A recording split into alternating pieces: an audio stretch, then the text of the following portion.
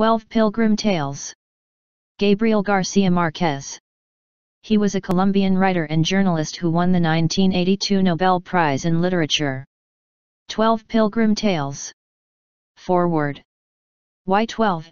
Why stories and why pilgrims? The 12 stories in this book were written in the course of the last 18 years. Before its current form, five of them were newspaper stories and movie scripts, and one was a television serial. Another I told it 15 years ago in a recorded interview, and the friend I told it to transcribed and published it, and now I have rewritten it from that version. It has been a rare creative experience that deserves to be explained, if only so that children who want to be writers when they grow up will know now how insatiable and abrasive the vice of writing is.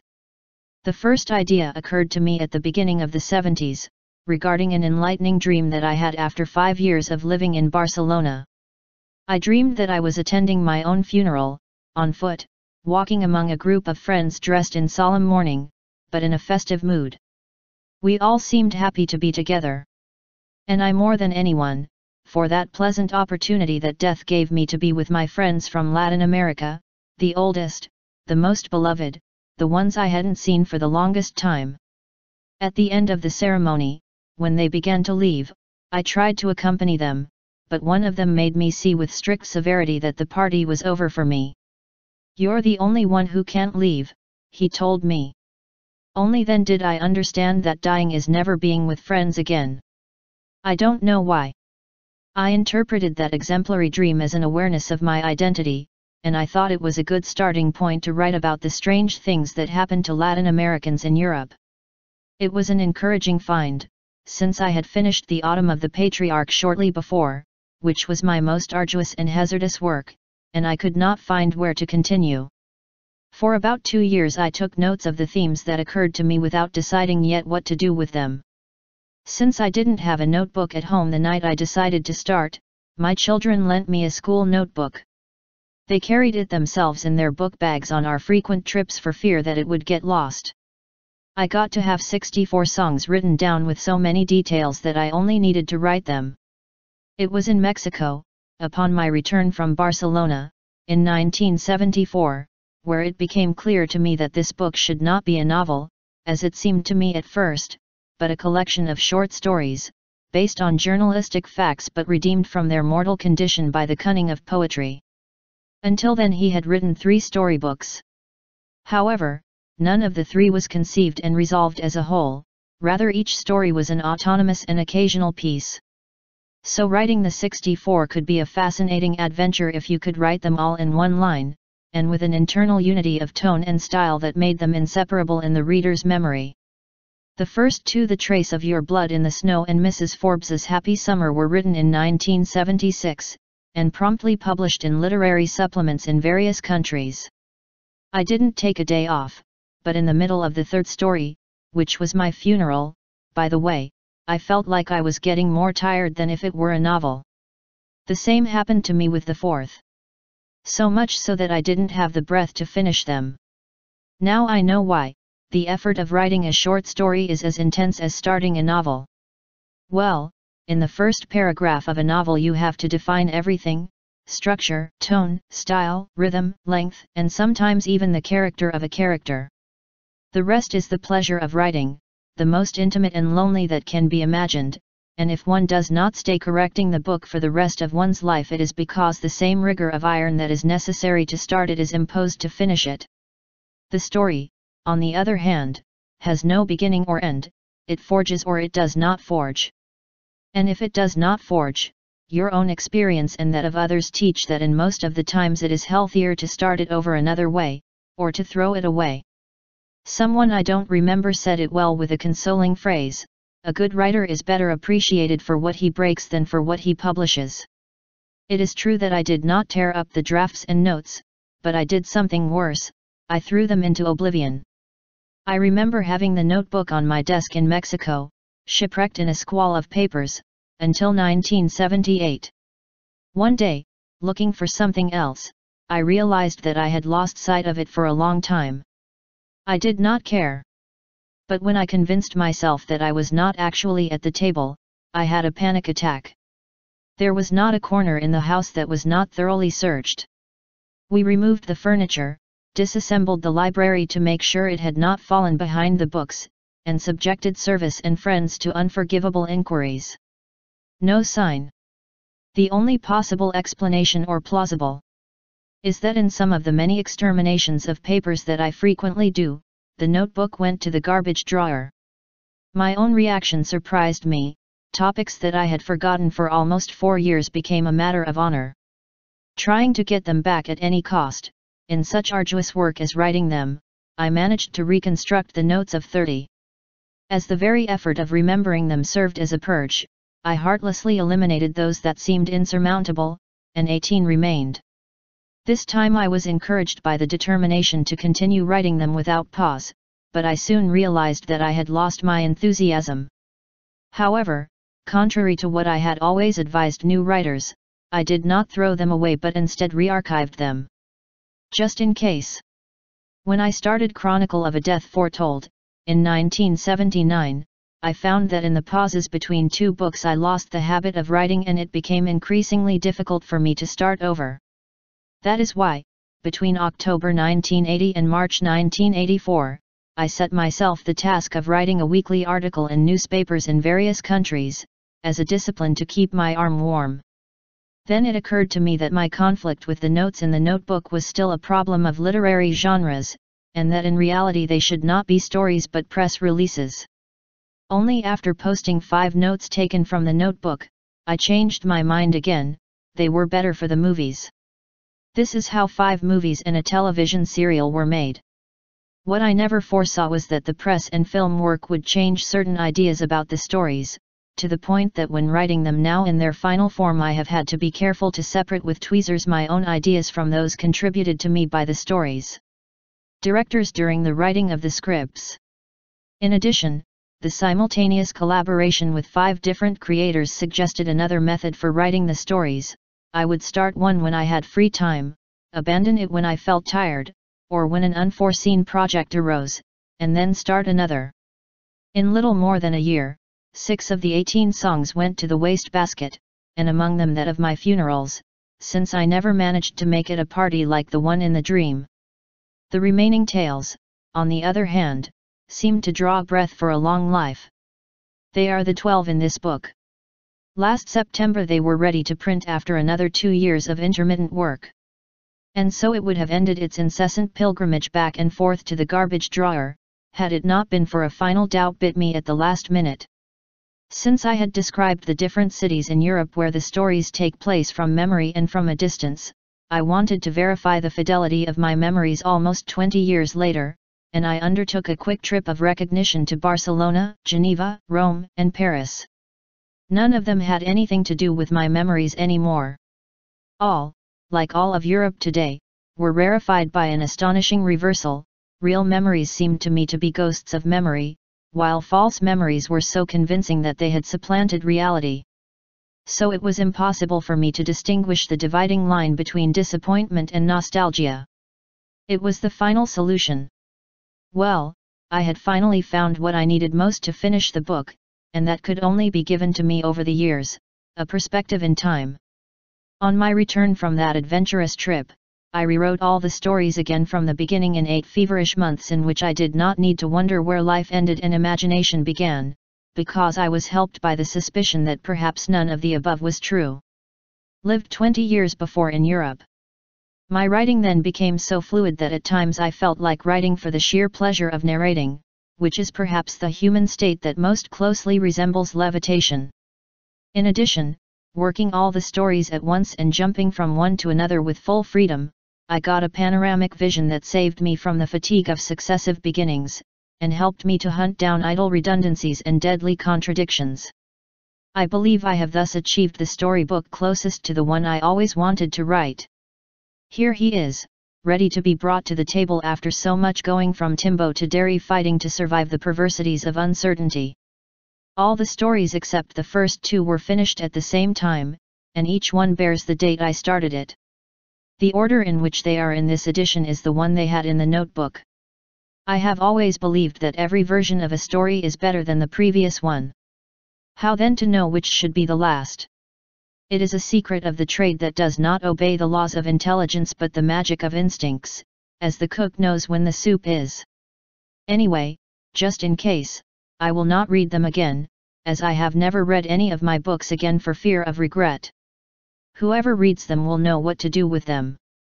Fortunately, for these twelve pilgrim tales ending up in the wastebasket must be like the relief of coming home. Gabriel Garcia Marquez Cartagena de Indias, April, 1992 Good trip, Mr. President. I was sitting on the wooden bench under the yellow leaves of the lonely park, staring at the dusty swans with both hands resting on the silver pommel of the cane, and thinking about death. When he first came to Geneva the lake was serene and clear, and there were tame seagulls coming to eat on the hands, and hired women who looked like six o'clock ghosts, with organdy ruffles and silk umbrellas. Now the only possible woman, as far as the eye could see, was a flower seller on the deserted dock. It was hard for him to believe that time could have wreaked such havoc not only on his life but on the world as well. He was just another stranger in the city of illustrious strangers. She wore the dark blue dress with white stripes, the brocade waistcoat, and the hard hat of retired magistrates. He had a haughty musketeer mustache, thick bluish hair with romantic waves, the hands of a harpist with the widower's ring on the left ring, and merry eyes.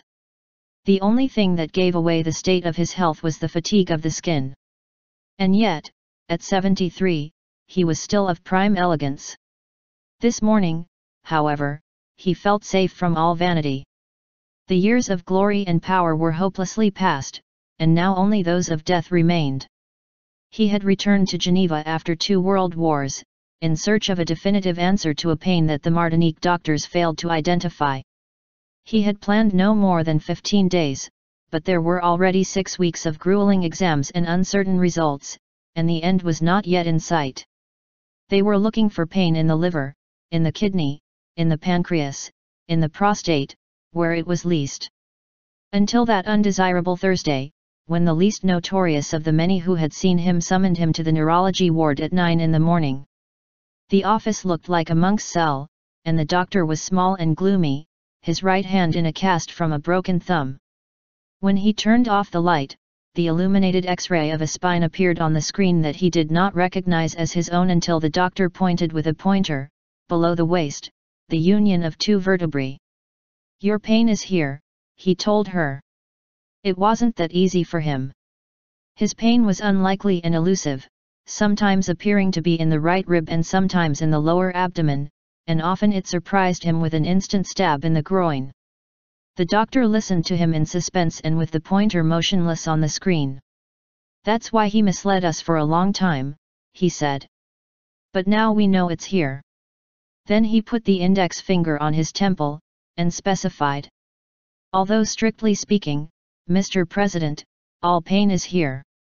His clinical style was so dramatic that the final sentence seemed benevolent, the president had to undergo a risky and unavoidable operation. The latter asked him what the risk margin was, and the old doctor enveloped him in a light of uncertainty. We couldn't say for sure, he told her. Until recently, he said, the risks of fatal accidents were great, and even more so those of different paralyses of varying degrees. But with the medical advances of the two wars, those fears were a thing of the past. Go easy, he concluded. Prepare your things well, and let us know. But yes, do not forget that the sooner the better. It was not a good morning to digest that bad news, unless in the open. He had left the hotel very early, without a coat, because he saw a radiant sun through the window, and he had gone with his counted steps from the Chemin du Beau Soleil, where the hospital was, to the refuge of furtive lovers of the English park. He had been there for more than an hour, always thinking about death, when autumn began.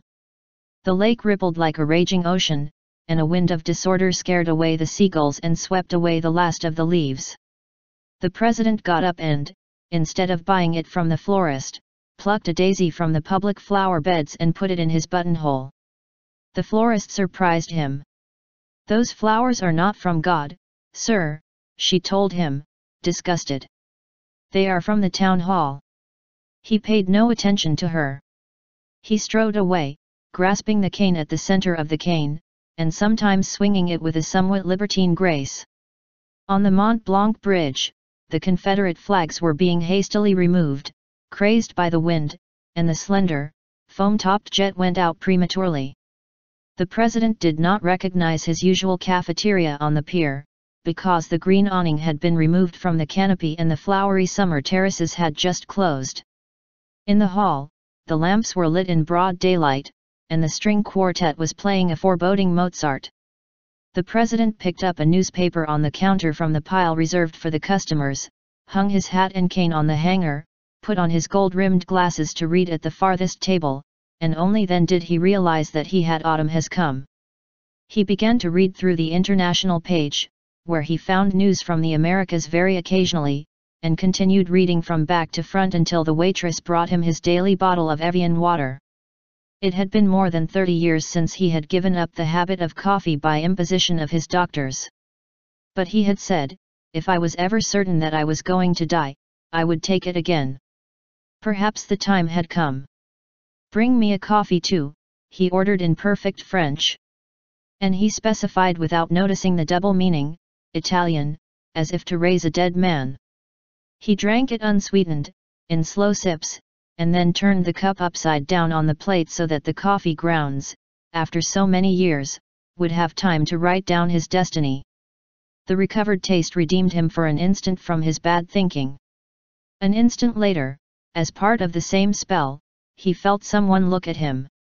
Then he turned the page casually, looked over his glasses, and saw the pale, unshaven man in a sports cap and turned up lamb jacket, who instantly looked away so as not to trip over hers. His face was familiar. They had passed each other several times in the hospital lobby, I had seen him again any day on a scooter on the Promenade du Lac. As he gazed at the swans, but never felt recognized. However, he did not rule out that it was another of the many persecutory fantasies of exile. He finished the newspaper leisurely, floating on Brahms's sumptuous cellos, until the pain was stronger than the pain of the music.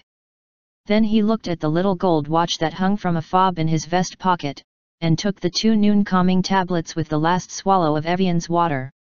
Before removing his glasses, he deciphered his destiny on the seat of the cafe, and felt an icy shudder, there was the uncertainty. Finally he paid the bill with a cosmetic tip, took his cane and hat on the hanger, and went out into the street without looking at the man who was looking at him. He walked away with his festive gait, skirting the beds of wind-blown flowers, and he believed himself freed from the spell. But suddenly he felt the footsteps behind his, stopped around the corner, and turned. The man who followed him had to stop short to avoid tripping over him, and looked at him in awe, less than two feet from his eyes. Mr. President, he murmured. Tell those who pay you not to get their hopes up, said the president, without losing his smile or the charm in his voice. My health is perfect. No one knows better than I do, said the man, overwhelmed by the burden of dignity that fell upon him. I work at the hospital. The diction and cadence, and even his shyness, were those of a crude Caribbean. You won't tell me you're a doctor, the president told him. What more would I like, sir, said the man. I am an ambulance driver. I'm sorry, said the president, convinced of his mistake. It is hard work. Not as much as yours, sir. He looked at him without reservation, leaned on the cane with both hands, and asked with real interest. Where are you from? From the Caribbean. I already realized that, said the president. But from what country?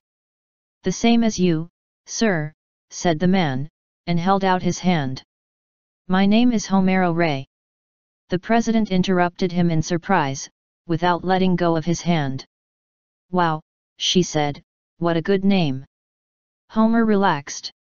And what's more, he said, Homer king of the house. A winter stab surprised them helpless in the middle of the street.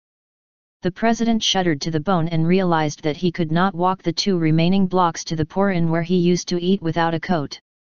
He already had lunch? He asked Homer. I never eat lunch, Homer said. Like once a night in my house. Make an exception for today, he told her with all his charms on the surface. I invite him to lunch. She took him by the arm and led him to the restaurant across the street, with the name gilded on the canvas canopy, Le Boeuf Couronne. The interior was cramped and warm, and there seemed to be no vacant space. Homero Rey, surprised that no one recognized the president, followed to the back of the room to ask for help. Are you president in office? asked the boss. No, said Homer. Overthrown. The boss gave an approving smile. For those, he said, I always have a special table. He led them to a secluded spot at the back of the room where they could chat at ease. The president thanked him. Not everyone recognizes the dignity of exile as you do, he said. The specialty of the house was the ribs of beef to the coal. The president and his guest looked around, and saw on the other tables the large roasted chunks with a rim of tender fat. It is magnificent meat, murmured the president. But I have it forbidden. He fixed Homer with a mischievous look, and changed his tone. Actually, I'm forbidden everything. He's also forbidden coffee, Homer said, and yet he drinks it. Realized? said the president. But today was just an exception on an exceptional day. The exception of that day was not only with the coffee. He also ordered a charcoal rib of beef and a fresh vegetable salad with no garnishes other than a splash of olive oil. His guest ordered the same, plus half a carafe of red wine. While they waited for the meat, Homer took out of his jacket pocket a wallet with no money and many papers, and showed the president a faded photo. He recognized himself in shirt sleeves, several pounds lighter and deep black hair and mustache, amid a crowd of young men who had risen to stand out. With a single glance he recognized the place, recognized the emblems of an abhorrent electoral campaign, recognized the ungrateful date. How outrageous! He murmured. I've always said that one ages faster in portraits than in real life. And he returned the photo with the gesture of a final act. I remember it very well, he said. It was thousands of years ago in the Galera of San Cristobal de las Casas. It's my people, Homer said, pointing to himself in the group, this is me. The president recognized it. It was a creature. Almost, said Homer. I was with you throughout the Southern campaign as the leader of the university brigades. The president anticipated the reproach. I, of course, didn't even notice you, he said. On the contrary, he was very kind to us, said Homer. But there were so many of us that it is not possible to remember. And later? Who can know more than you?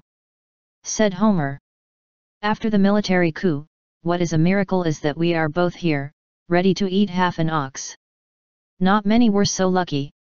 At that moment the dishes were brought to them. The president put the napkin around his neck, like a child's bib, and was not insensitive to the quiet surprise of the guest. If I didn't do this, I would lose a tie at every meal, he said.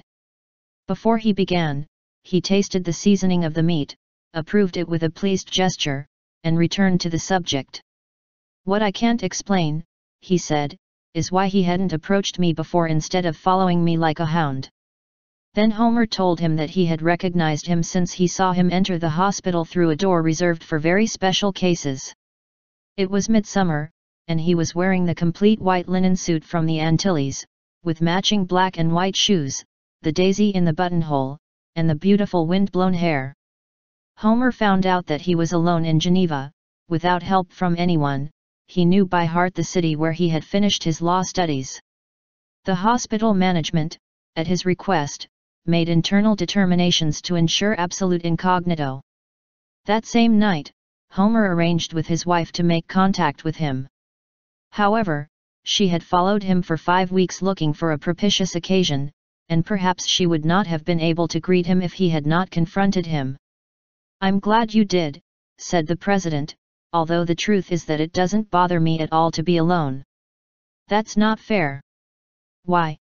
asked the president sincerely. The greatest victory of my life has been getting them to forget me. We remember you more than you think, said Homer without hiding his emotion. It is a joy to see him like this, healthy and young. However, he said without drama, everything indicates that I will die very soon. Your chances of doing well are very high, said Homer. The president jumped in surprise, but did not lose his grace. Oh geez! She exclaimed. Is medical secrecy abolished in beautiful Switzerland? In no hospital in the world are there secrets for an ambulance driver, Homer said. Well, what I know I have only known two hours ago and from the mouth of the only one who should have known. In any case, you wouldn't die in vain, said Homer. Someone will put you in your rightful place as a great example of dignity. The president feigned comic amazement. Thanks for warning me, he said. He ate as he did everything, slowly and with great neatness. Meanwhile he looked Homer straight in the eye, so that he had the impression of seeing what he was thinking. After a long conversation of nostalgic evocations, he made an evil smile. I had decided not to worry about my body, he said, but now I see that I must take certain detective novel precautions so that no one finds it. It'll be useless, Homer joked back. In the hospital there are no mysteries that last more than an hour. When they finished with the coffee, the president read the bottom of his cup, and shuddered again, the message was the same. However, his expression did not alter. He paid the bill in cash, but first he double-checked the amount, counted the money overly carefully, and left a tip that only earned a grunt from the waiter. It was a pleasure, he concluded, saying goodbye to Homer. I don't have a date for the operation, and I haven't even decided if I'm going to have it or not. But if everything goes well we will meet again. And why not before? said Homer. Lazara, my wife, is a cook for the rich. No one prepares shrimp rice better than her, and we'd like to have it at home one of these nights. Seafood is forbidden, but I will gladly eat it, he said. Tell me when. Thursday is my day off, Homer said. Perfect, said the president. On Thursday at 7 in the evening I am at his house. It will be a pleasure. I'll pick it up, Homer said. Hotel Airy Dames, 14 Rue de l'Industrie. Behind the station. It's right. Right, said the president, and stood more charming than ever. Apparently he even knows the number I wear. Of course, sir, said Homer, amused, 41. What Homero Rey did not tell the president, but he continued to tell for years to everyone who wanted to hear it, was that his initial purpose was not so innocent.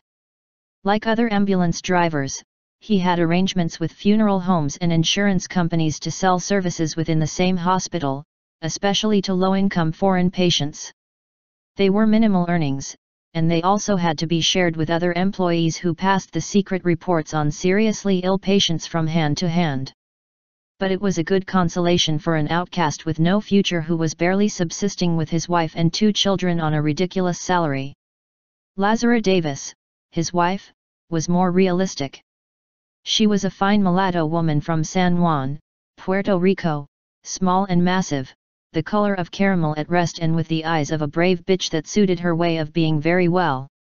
They had met in the charity services of the hospital, where she worked as an assistant to everything after a rentier from her country, who had taken her as a babysitter, left her behind in Geneva. They had been married by the Catholic rite, although she was a Yoruba princess, and they lived in a living room and two bedrooms on the eighth floor without elevator of a building for African immigrants. They had a nine-year-old girl, Barbara, and a seven-year-old boy, Lazaro, with some lower rates of mental retardation. Lazara Davis was smart and short-tempered, but with tender guts. She considered herself a pure Taurus, and had blind faith in her astral omens. However, she was never able to fulfill her dream of earning a living as a millionaire astrologer. Instead, she brought occasional, and sometimes significant, resources into the house by preparing dinners for wealthy ladies who showed off to their guests by making them believe that they were the ones cooking the exciting West Indian dishes. Homer, for his part, was shy of solemnity, and did not give for more than the little he did, but Lazara could not conceive of life without him because of the innocence of his heart and the caliber of his weapon. They had done well, but the years were getting harder and harder and the children were growing up. By the time the president arrived, they had started pecking at their five-year savings. So when Homero Rey discovered him among the incognito patients in the hospital, his illusions got out of hand. They did not know for sure what they were going to ask for, or with what right. At first they had planned to sell him the entire funeral, including the embalming and repatriation. But little by little they realized that the death did not seem as imminent as at first. On the day of lunch they were already stunned by doubts. The truth is that Homer had not been a leader of university brigades, or anything like that, and the only time he participated in the electoral campaign was when they took the photo that they had managed to find by a miracle misplaced in the closet but his fervor was true. It was also true that he had had to flee the country because of his participation in the street resistance against the military coup, although the only reason to continue living in Geneva after so many years was his poverty of spirit. So a lie too much or too little should not be an obstacle to winning the favor of the president. The first surprise of both was that the illustrious exile lived in a fourth-class hotel in the sad district of La Grotte, among Asian immigrants and butterflies of the night, and that he ate only in poor houses, when Geneva was full of dignified residences. For politicians in disgrace. Homer had seen him repeat the acts of that day day after day.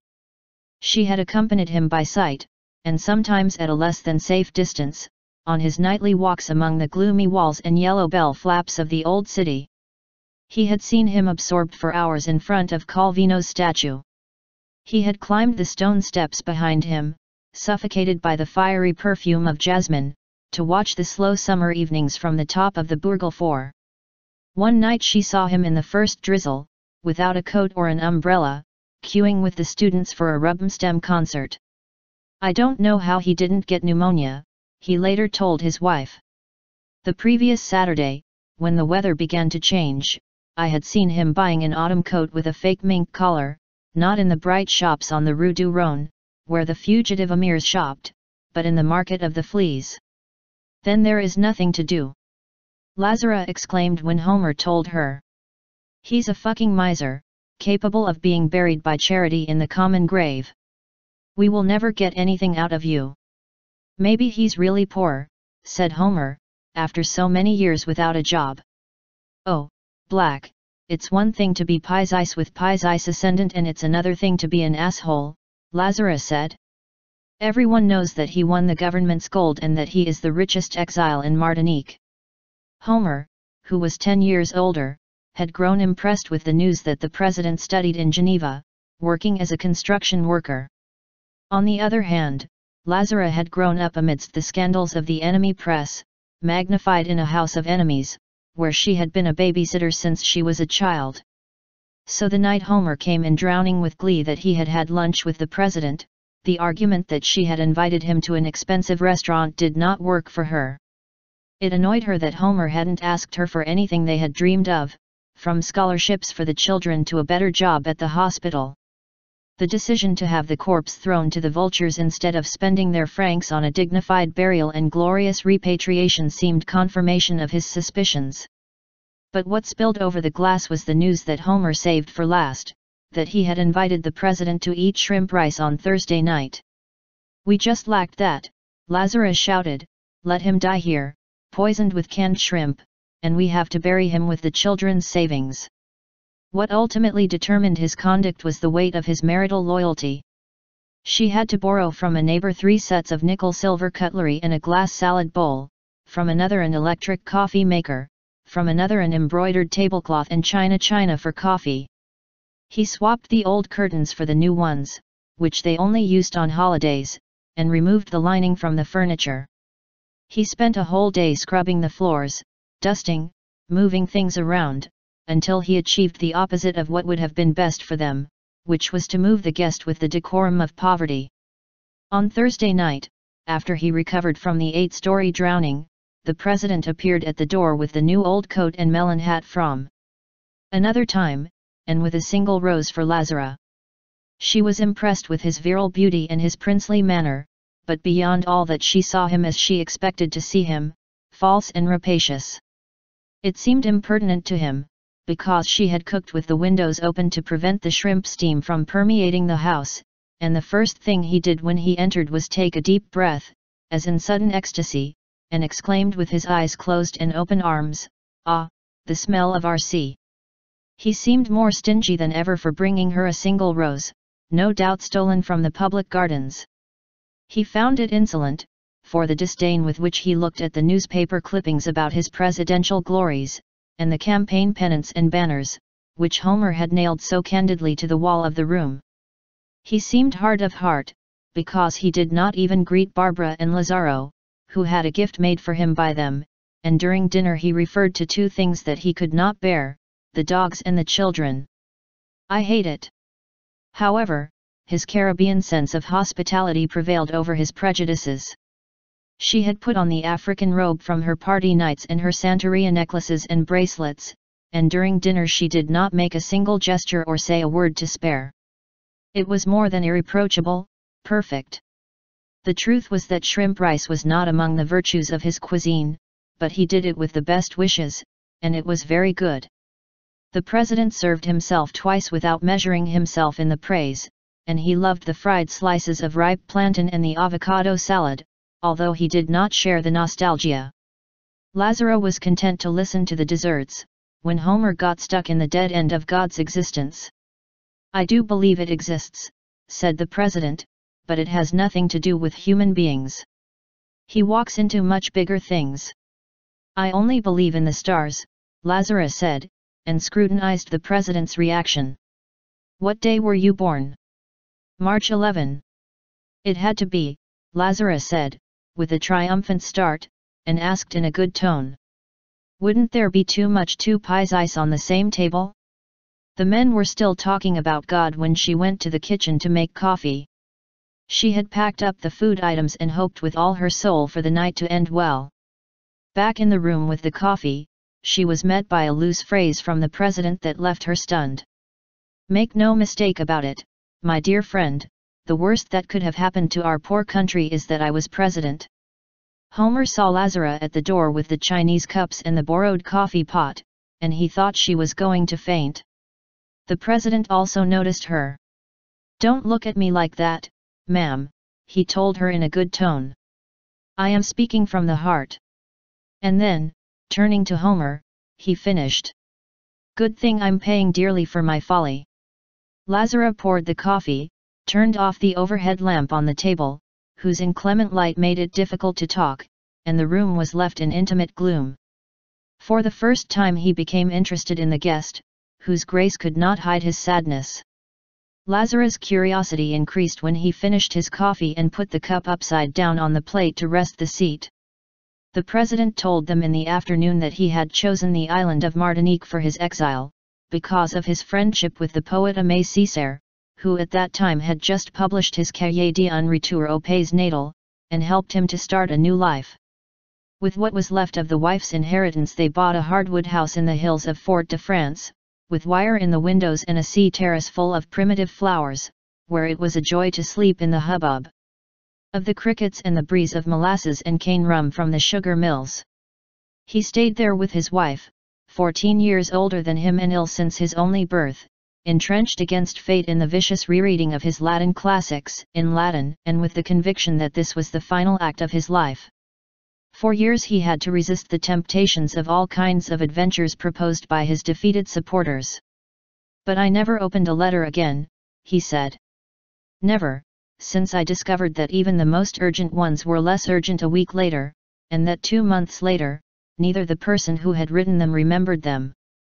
He glanced at Lazara in the dim light as he lit a cigarette, and removed it with a greedy flick of his fingers.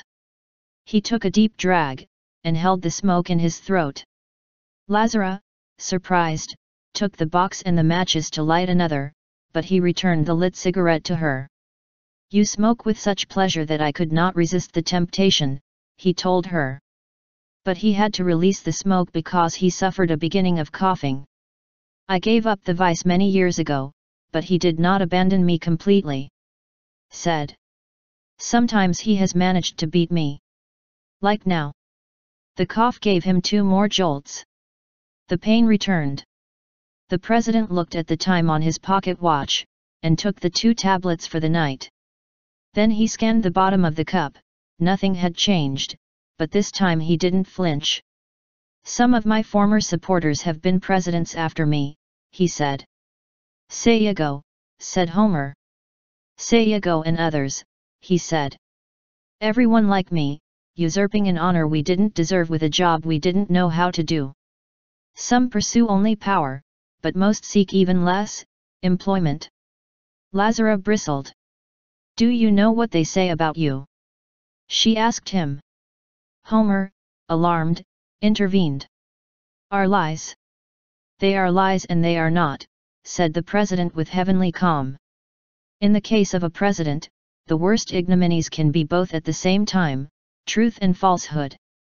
He had lived in Martinique every day of exile, with no other foreign contact than the few news from the official newspaper, supporting himself with Spanish and Latin classes at an official high school and with the translations that Aimé Césaire sometimes ordered him to do.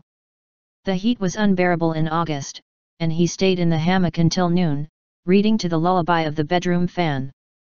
His wife took care of the birds that she raised in the wild, even in the hottest hours, protecting herself from the sun with a straw hat with large brims, adorned with artificial strawberries and organdy flowers.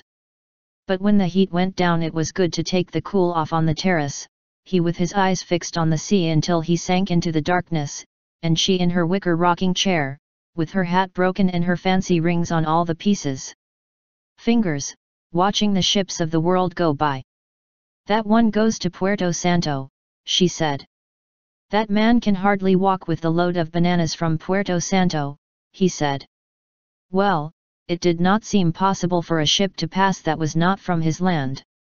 He was playing deaf, although in the end she managed to forget better than he, because he was left without memory. They stayed that way until the roaring twilights ended, and they had to take refuge in the house defeated by the mosquitoes. One of those many August, while reading the newspaper on the terrace, the president jumped in astonishment. Oh geez! said. I have died in Estoril. His wife, levitating in stupor, was shocked at the news. There were six lines on the fifth page of the newspaper that was printed around the corner, in which his occasional translations were published, and whose editor stopped by from time to time. And now he said that he had died in Estoril de Lisboa, a seaside resort and lair of European decadence, where he had never been, and perhaps the only place in the world where he would not have wanted to die. The wife really died a year later, haunted by the last memory that remained for that moment, that of the only son, who had participated in the overthrow of his father, and was later shot by his own accomplices. The president sighed. That's how we are, and nothing can redeem us, he said. A continent conceived by the feces of the whole world without a moment of love, children of kidnappings, rapes, infamous deals, deceit, enemies with enemies. I know. He faced Lazara's African eyes, which were scrutinizing him mercilessly, and tried to tame her with his old master's lip. The word miscegenation means to mix tears with the blood that runs. What can be expected from such a concoction? Lazara pinned him in place with deathly silence. But he managed to get over it, shortly before midnight, and dismissed him with a formal kiss. The president objected to Homer accompanying him to the hotel, but could not prevent him from helping him find a taxi. On the way home, Homer found his wife sick with fury. That's the best lying president in the world, she said. A tremendous son of a bitch. Despite Homer's efforts to reassure her, they spent a terrible night awake. Lazara recognized that he was one of the most beautiful men she had ever seen, with devastating power of seduction and the virility of a stud. As it is, old and screwed up, it must still be a tiger in bed, he said. But he believed that those gifts of God had been squandered in the service of simulation. He could not bear his boasting of having been the worst president in his country. Not even his ascetic pretenses, if she was convinced that he owned half of the Martinique mills. Nor the hypocrisy of his disdain for power, if it was evident that he would give everything to return to the presidency for a minute to make his enemies bite the dust. And all that, he concluded, just to have us surrendered to his feet. What can you gain from that? said Homer. Nothing, she said. What happens is that coquetry is a vice that is not satisfied with anything. His fury was so great that Homer could not bear it in bed, and he went to end the night wrapped in a blanket on the living room divan. Lazara also got up at dawn, naked in full length, as she used to sleep and be at home, and talking to herself in a one-string monologue. In a moment he erased from the memory of humanity all trace of the undesirable dinner. At dawn he returned the borrowed things, exchanged the new curtains for the old ones, and put the furniture in their place, until the house was again as poor and decent as it had been until the night before. Finally, he tore out the newspaper clippings, portraits, pennants, and pennants from the abominable campaign, and tossed everything into the garbage drawer with a final shout. Fuck it! A week after dinner, Homer found the president waiting for him outside the hospital, pleading with him to accompany him to his hotel. They climbed the three steep floors to a mansard with a single skylight that overlooked an ash sky, and traversed by a rope with clothes hanging to dry. There was also a double bed that took up half the space, a simple chair, a washstand, and a portable bidet, and a poor man's wardrobe with the cloudy mirror. The president noted Homer's impression. It's the same den where I lived my student years, he said apologetically. I booked it from Fort de France. She took out of a velvet bag and spread the final balance of her resources on the bed, several gold bracelets with different jeweled ornaments, a three-stranded pearl necklace and two others of gold and precious stones, three gold chains with medals of saints and a pair of gold earrings with emeralds, another with diamonds and another with rubies, two reliquaries and a locket, eleven rings with all kinds of precious frames and a diadem of diamonds that could have belonged to a queen. Then he took out of a separate case three pairs of silver and two gold cufflinks with their corresponding tie clips, and a white gold-plated pocket watch. Finally he took out of a shoe box his six decorations, two gold, one silver, and the rest, pure junk. It's all I have left in life, he said. He had no choice but to sell everything to cover the medical expenses, and he wanted Homer to do him the favor with the utmost secrecy. However, Homer did not feel able to please him as long as he did not have the invoices in order.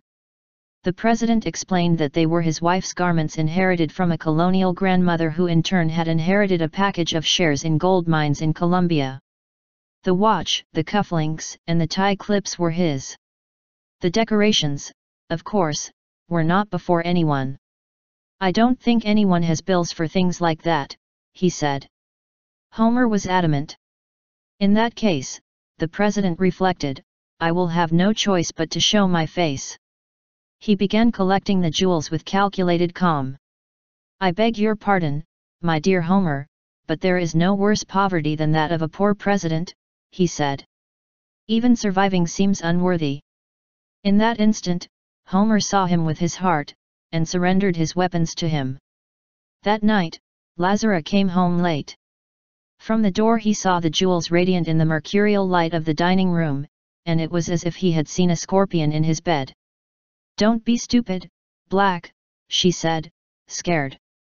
Why are those things here? Homer's explanation made her even more uneasy. He sat down to examine the jewels, one by one, with the meticulousness of a goldsmith. At a certain moment he sighed, it must be a fortune. Finally he stared at Homer without finding a way out of his confusion. Damn, he said. How do you know if everything that man says is true? And why not? said Homer. I just saw that he washes his clothes himself, and dries them in the room just like we do, hanging on a wire. For stingy, Lazarus said. Or poor, said Homer. Lazarus examined the jewels again, but with less attention now, because she too was beaten. So the next morning she dressed in the best she had, dressed herself with the jewels that seemed most expensive, put as many rings as she could on each finger, even on her thumb, and how many bracelets she could put on each arm, and she left. To sell them. Let's see who asks Lazara Davis for bills, he said as he left, strutting with laughter. She chose the exact jewelry, with more airs than prestige. Where she knew it was bought and sold without too many questions, and she entered terrified but steadfast. A lean and pale vendor in formal dress gave her a theatrical bow by kissing her hand, and placed himself at her orders. The interior was lighter than day, from the mirrors and bright lights, and the entire store looked like diamond. Lazara, barely looking at the employee for fear that the farce would show, continued to the back. The clerk invited her to sit at one of the three Louis XV desks that served as individual counters, and spread an immaculate handkerchief over it. Then he sat across from Lazara, and waited. How can I help you? She took off the rings, the bracelets, the necklaces, the earrings, everything she was wearing in sight, and was putting them on the desk in a chess order. All he wanted, he said, was to know his true worth. The jeweler put the monocle over his left eye, and began examining the jewels with clinical silence. After a long time, without interrupting the examination, he asked. Where are you from? You, Lazara had not anticipated that question. I, my lord, he sighed. From far away. I can imagine it, he said. He returned to silence, while Lazarus scrutinized him mercilessly with her terrible golden eyes. The jeweler paid special attention to the diamond tiara, and set it apart from the other jewels. Lazarus sighed. You are a perfect Virgo, he said. The jeweler did not interrupt the examination. How do you know? By way of being, Lazarus said. He made no comment until he was done, and addressed her with the same parsimony at the beginning. Where does all this come from? Inheritance from a grandmother, Lazarus said in a tight voice. He died last year in Paramaribo at the age of 97. The jeweler looked her in the eye then. I'm very sorry, he said. But the only value of these things is what the gold weighs. She caught the tiara with her fingertips and made it sparkle in the dazzling light. Except for this one, he said. It is very ancient, Egyptian perhaps, and it would be invaluable if it weren't for the poor condition of the diamonds. But it still has a certain historical value. On the other hand, the stones of the other jewels, the amethysts, the emeralds, the rubies, the opals, all, without exception, were false. Without a doubt the originals were good, said the jeweler, as he collected the garments to return them. But from so much passing from one generation to another, legitimate stones have been left behind, replaced by bottle bottoms. Lazara felt a green nausea, took a deep breath and controlled her panic. The seller consoled her. It happens often, ma'am. I know, Lazarus said, relieved. That is why I want to get out of them. Then she felt that she was beyond the sham, and she was herself again. Without further ado, she took the cufflinks, the pocket watch, the tie clips, the gold and silver decorations, and the rest of the president's personal trinkets from her bag, and put everything on the table. That too? asked the jeweler. Everything, Lazarus said. The Swiss francs with which they paid him were so new that he feared the fresh ink would stain his fingers. She received them without counting them, and the jeweler dismissed her at the door with the same ceremony of greeting. On the way out, holding the glass door to give way, he delayed her for a moment. And one last thing, ma'am, he said, I'm Aquarius. At the first night Homero and Lazara took the money to the hotel. After doing the math again, there was a little more left. So the president took off and put the wedding ring, the watch with the fob and the cufflinks, and the tie clip he was using on the bed. Lazara returned the ring. Not this, he told her. Such a souvenir cannot be sold. The president admitted it and put the ring back on. Lazara also returned the watch on the vest. This too, he said. The president disagreed but she put him in his place. Who can sell watches in Switzerland? We already sold one, said the president. Yes, but not because of the watch but because of the gold. This one is gold, too, said the president. Yes, Lazarus said. But you can even stay without operating, but not without knowing what time it is. Nor did he accept the gold frame of the glasses, although he had another pair of tortoiseshell. He weighed the garments in his hand, and put an end to his doubts. Besides, he said, This is enough. Before leaving, he took down the wet clothes, without consulting him, and took them away to dry and iron them at home. They left on the scooter, Homer driving and Lazara on the grill, hugging her waist. The public lights had just come on in the mauve afternoon. The wind had ripped off the last of the leaves, and the trees looked like plucked fossils.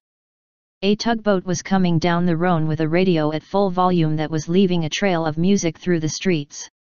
Georges Brassens sang, Monday amour have good law, sweep, le temps va passer par law, et le temps est un barbare dans le genre d'Attila, par la ou sun cheval passe vamour ni repousse pas.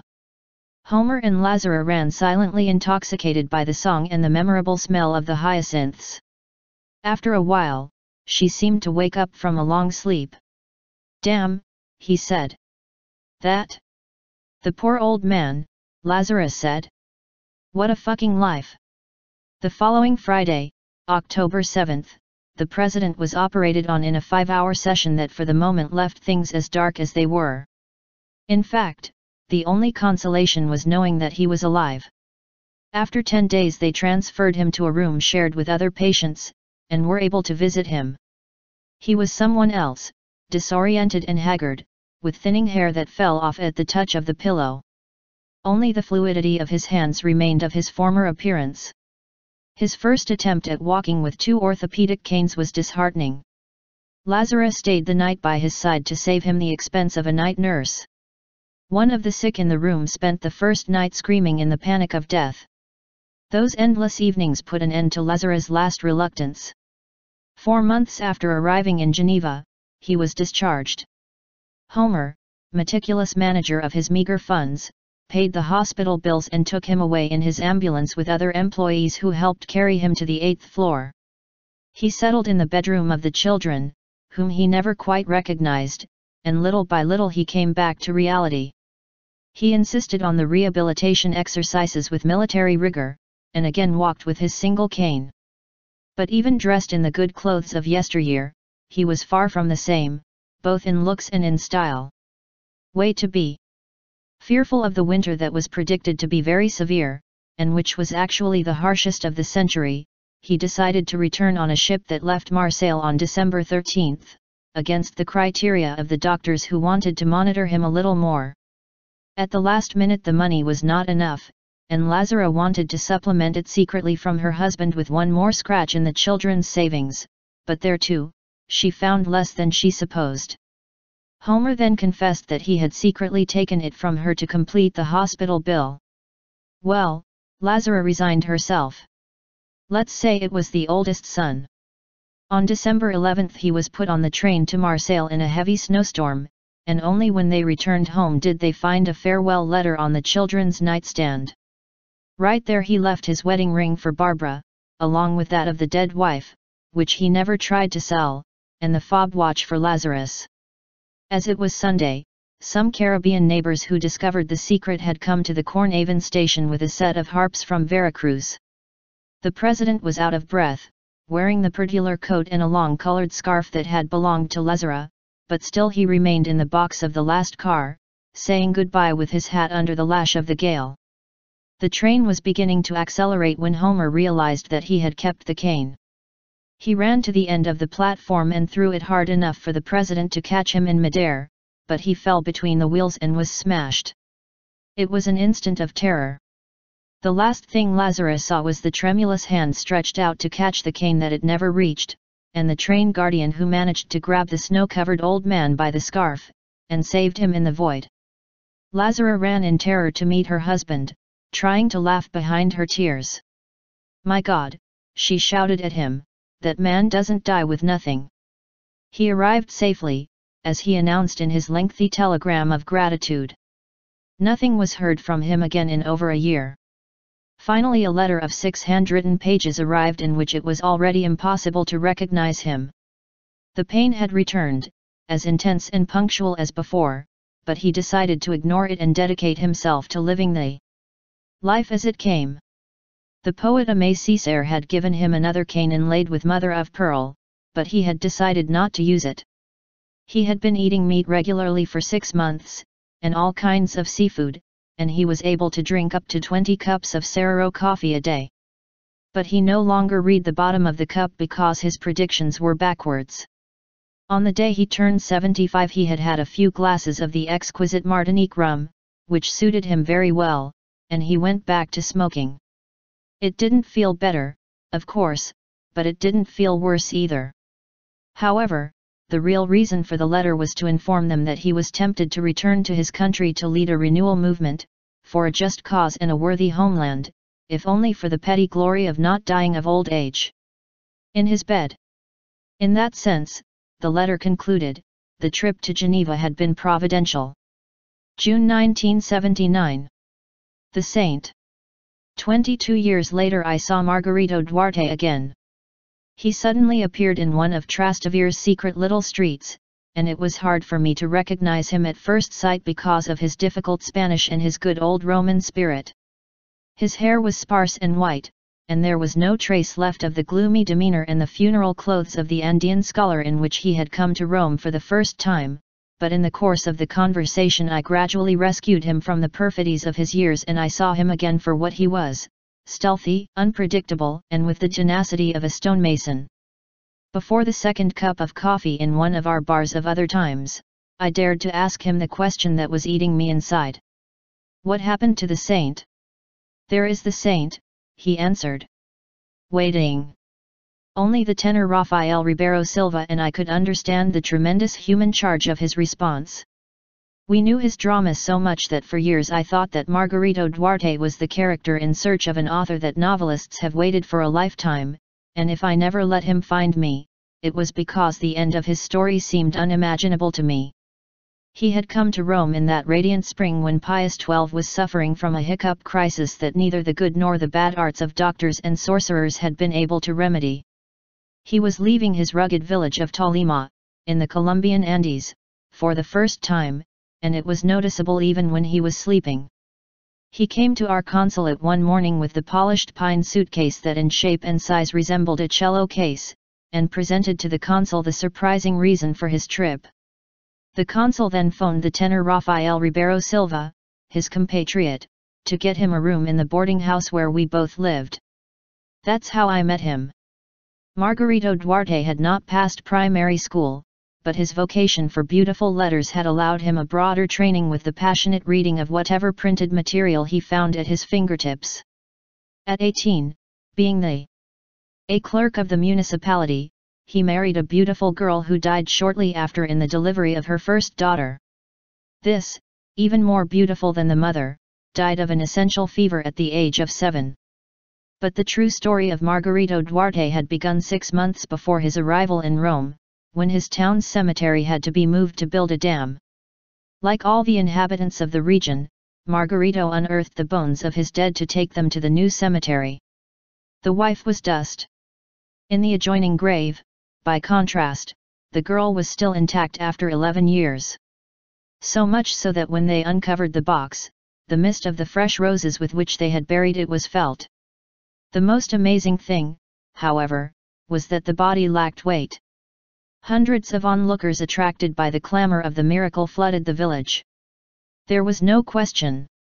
The incorruptibility of the body was an unequivocal symptom of sanctity, and even the bishop of the diocese agreed that such a prodigy should be submitted to the verdict of the Vatican.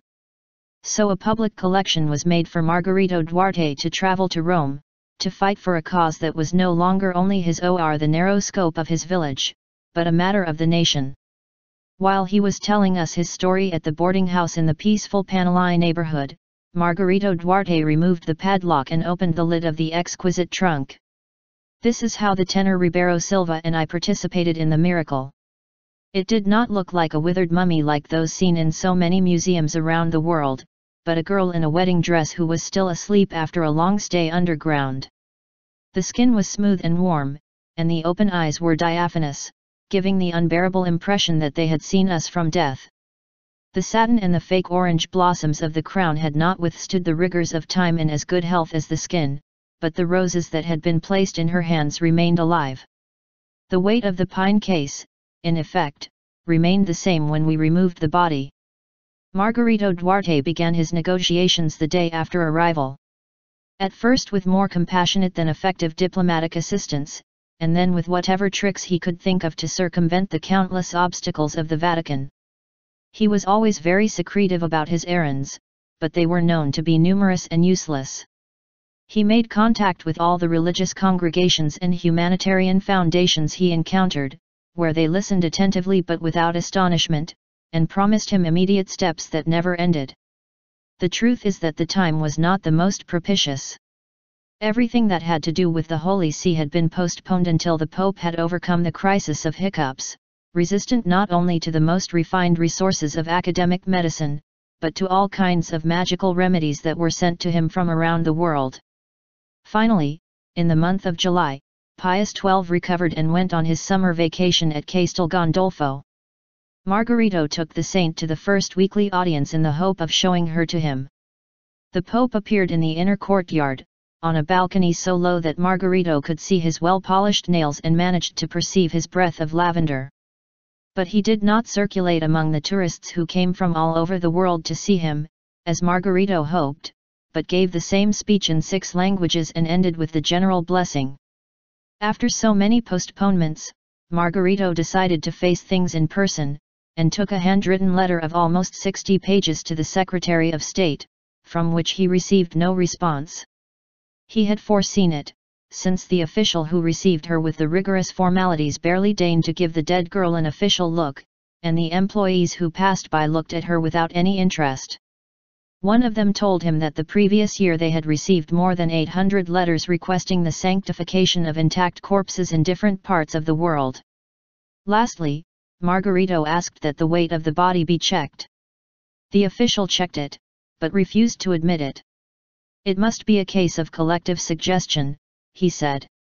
In his few free hours and on arid summer Sundays, Margarito stayed in his room, fiercely reading any book that seemed of interest to his cause.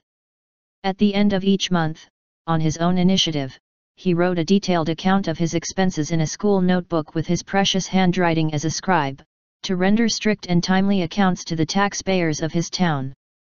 Before the end of the year, he knew the daedalus of Rome as if he had been born in them, he spoke easy Italian and as few words as his Andean Spanish, and he knew as much as anyone else about canonization processes. But it was much longer before he changed his funeral dress, and the vest and magistrate's hat that in the Rome of the time were typical of some secret societies with unspeakable purposes. He would leave very early with the saint's case, and sometimes he would return late at night, exhausted and sad, but always with a glow of light that breathed new life into him for the next day. Saints live in their own time, he said. I was in Rome for the first time, studying at the Centro Experimental de Cine, and I experienced his ordeal with unforgettable intensity. The pension where we lived was actually a modern apartment a few steps from the Villa Borghese, whose owner occupied two bedrooms and rented four to foreign students. We called her Maria Bella, and she was pretty and temperamental in the height of her fall, and always faithful to the sacred rule that everyone is absolute king in their room. Actually, the one who carried the weight of everyday life was his older sister, Aunt Antoinette, a wingless angel who worked for him for hours during the day, and walked everywhere with his bucket and his jargon broom polishing beyond if possible the marbles on the floor. It was she who taught us to eat the singing birds that Bartolino, her husband, hunted because of a bad habit left over from the war, and who would end up taking Margarito to live in his house when resources were not enough for the prices of Maria Bella. Nothing less suitable for Margarito's way of being than that lawless house. Every hour he reserved a novelty for us, even at dawn, when we were awakened by the terrifying roar of the lion in the Villa Borghese Zoo. The tenor Ribeiro Silva had earned the privilege that the Romans did not resent his early rehearsals. He would get up at six, take his medicinal ice water bath, and groom Mephistopheles' beard and eyebrows, and only when he was ready with the plaid robe, Chinese silk scarf, and his personal eau de toilette, she gave herself body and soul to her singing exercises. He would open wide the window of the room, even with the winter stars, and he would begin to warm his voice with progressive phrases of great love arias, until he released himself to sing it at the top of his voice. The daily expectation was that when he gave his chest the lion of the Villa Borghese answered him with a roar of earthquake. You are Saint Mark reincarnated, my figure, exclaimed Aunt Antonietta, truly astonished. Only he could talk to lions. One morning it was not the lion who gave him the reply. The tenor began the Otello's love duet, Gianella notte densa S. estinguioni clamor. Suddenly, from the back of the patio, the answer came to us in a beautiful soprano voice. The tenor continued, and the two voices sang the entire piece, to the delight of the neighborhood who opened the windows to sanctify their houses with the torrent of that irresistible love. The tenor was about to faint when he learned that his invisible Desdemona was none other than the great Maria Caniglia. I have the impression that it was that episode that gave Margarito Duarte a valid reason to integrate himself into the life of the house. From then on he sat with everyone at the common table and not in the kitchen, as at the beginning, where Aunt Antoinette pleased him almost daily with her master stew of singing birds. Maria Bella would read us the daily newspapers after dinner to get used to Italian phonetics, and she completed the news with an arbitrariness and grace that made our lives happy. One of those days, he told about the saint, that in the city of Palermo there was a huge museum with the incorrupt corpses of men, women, and children, and even of several bishops, unearthed from the same cemetery of the Capuchin Fathers. The news disturbed Margarito so much that he did not have a moment of peace until we went to Palermo. But a glance as he passed through the overwhelming galleries of inglorious mummies was enough to form a judgment of consolation. They are not the same case, he said. You can tell right away that they are dead. After lunch, Rome succumbed to the torpor of August. The midday sun remained motionless in the center of the sky, and in the silence of two in the afternoon only the sound of water could be heard, which is the natural voice of Rome. But around seven o'clock at night the windows were flung open to summon the fresh air that was beginning to move, and a jubilant crowd took to the streets for no other purpose than to live, amid the firecrackers of the motorcycles, the cries of the watermelon sellers and the love songs among the flowers on the terraces. The tenor and I did not take a nap, we would go on his scooter, he driving and I on the grill, and we would bring ice cream and chocolates to the summer horse who were fluttering under the centennial laurels of the Villa Borghese, in search of tourists awake. Full sun. They were beautiful, poor, and affectionate, like most of the Italians of that time, dressed in blue organza, pink poplin, green linen, and protected themselves from the sun with umbrellas moth-eaten by the rains of the recent war. It was a human pleasure to be with them, because they jumped over the laws of the trade and had the luxury of losing a good customer to go with us to have a well-discussed coffee at the corner bar, or to ride in the carriages of rent along the paths of the park, or to grieve the dethroned kings and their tragic lovers who rode at dusk in the gallop patio. More than once we served as interpreters with a gringo gringo. It was not for them that we took Margarito Duarte to Villa Borghese, but so that he could meet the lion. He lived in freedom on a desert island surrounded by a deep moat, and as soon as he spotted us on the other shore he began to roar with a disquiet that surprised his guardian. Visitors to the park came surprised. The tenor tried to identify with his morning chest C, but the lion paid him no heed. He seemed to roar at all of us without distinction, but the watchman realized instantly that he was only roaring for Margarito. So it was, wherever he moved the lion moved, and as soon as he hit he stopped roaring. The watchman, who was a doctor of classical letters from the University of Siena, thought that Margarito must have been with other lions that day who had contaminated him with their scent. Apart from that explanation, which was invalid, he could think of no other. In any case, he said, they are not roars of war but of compassion. However, what impressed the tenor Ribeiro Silva was not that supernatural episode, but Margarito's shock when they stopped to talk with the girls in the park.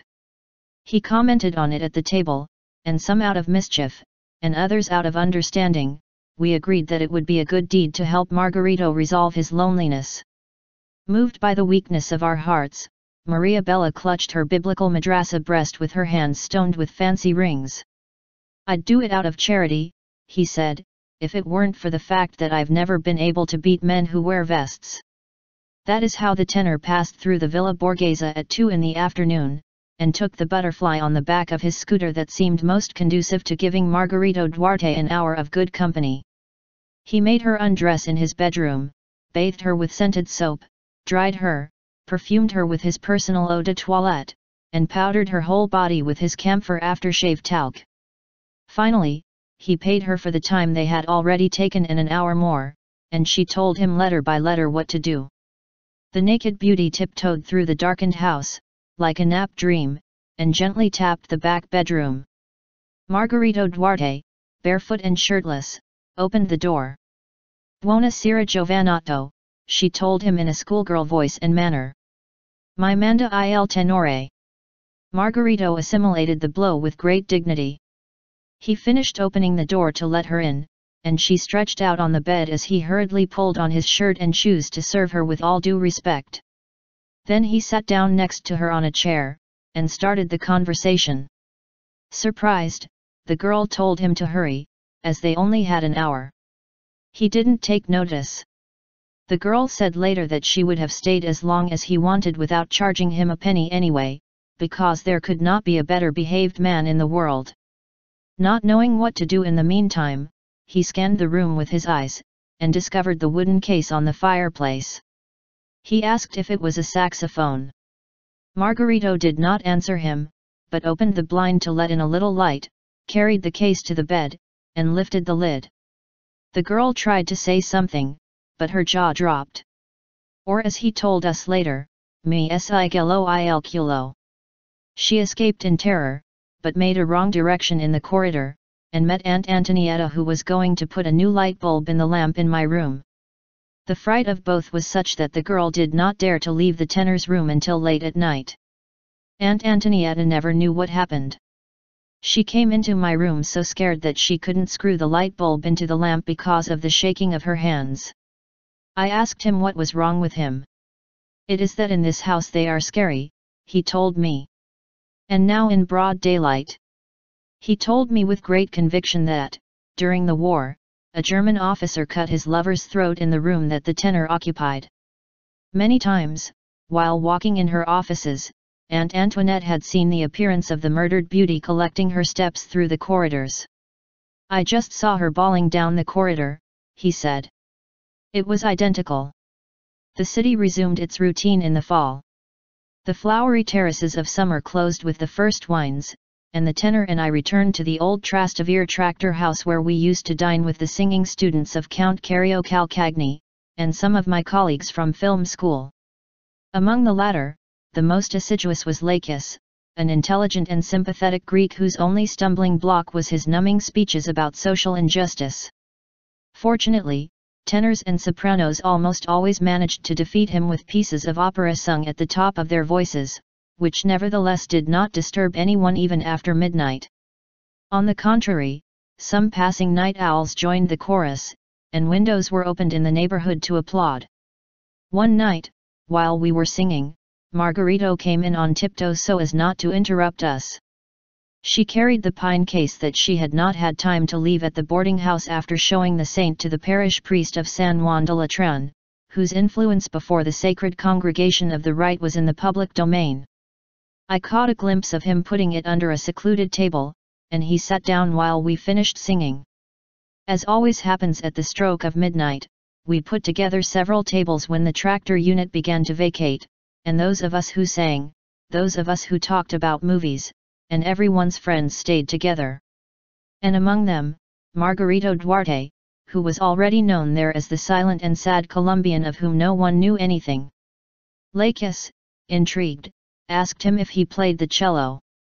I was overwhelmed by what seemed like an indiscretion difficult to avoid. The tenor, as uncomfortable as I, could not mend the situation. Margarito was the only one who took the question naturally. It's not a cello, he said. It is the saint. He put the box on the table, opened the padlock, and lifted the lid. A flurry of stupor shook the restaurant. The other customers, the waiters, and finally the people from the kitchen in their bloody aprons, gathered in astonishment to contemplate the prodigy. Some crossed themselves. One of the cooks knelt with her hands together, shaking with fever, and prayed silently. However, after the initial shock, we became embroiled in a shouting match about the insufficiency of holiness in our times. Lakis, of course, was the most radical. The only thing that became clear at the end was his idea of making a critical film with the theme of the saint. I'm sure, he said, that old Cesar would not let this issue escape. He was referring to Cesar Zavattini, our story and script teacher, one of the greats in the history of cinema and the only one who maintained a personal relationship with us outside of school. He tried to teach us not only the trade, but a different way of looking at life. It was a machine for thinking arguments. They were gushing out, almost against his will. And in such a hurry, that he always needed someone's help to think them out loud and catch them on the fly. Only when he finished them his spirits fell. Too bad it has to be filmed, he said. Well, I thought that on screen it would lose a lot of its original magic. He kept the ideas on cards arranged by subject and pinned to the walls, and he had so many that they took up a bedroom in his house.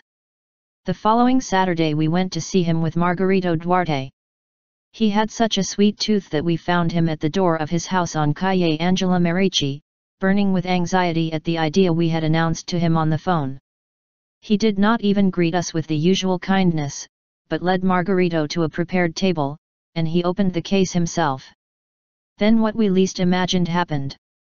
Instead of going mad, predictably, he suffered a kind of mental paralysis.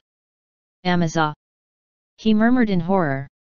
He looked at the saint in silence for two or three minutes, closed the box himself, and without saying anything he led Margarito to the door, like a child taking its first steps.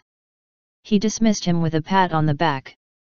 Thank you, son, thank you very much, he said. And may God be with you in your fight. When he closed the door he turned to us, and gave us his verdict. It's not good for the movies, he said.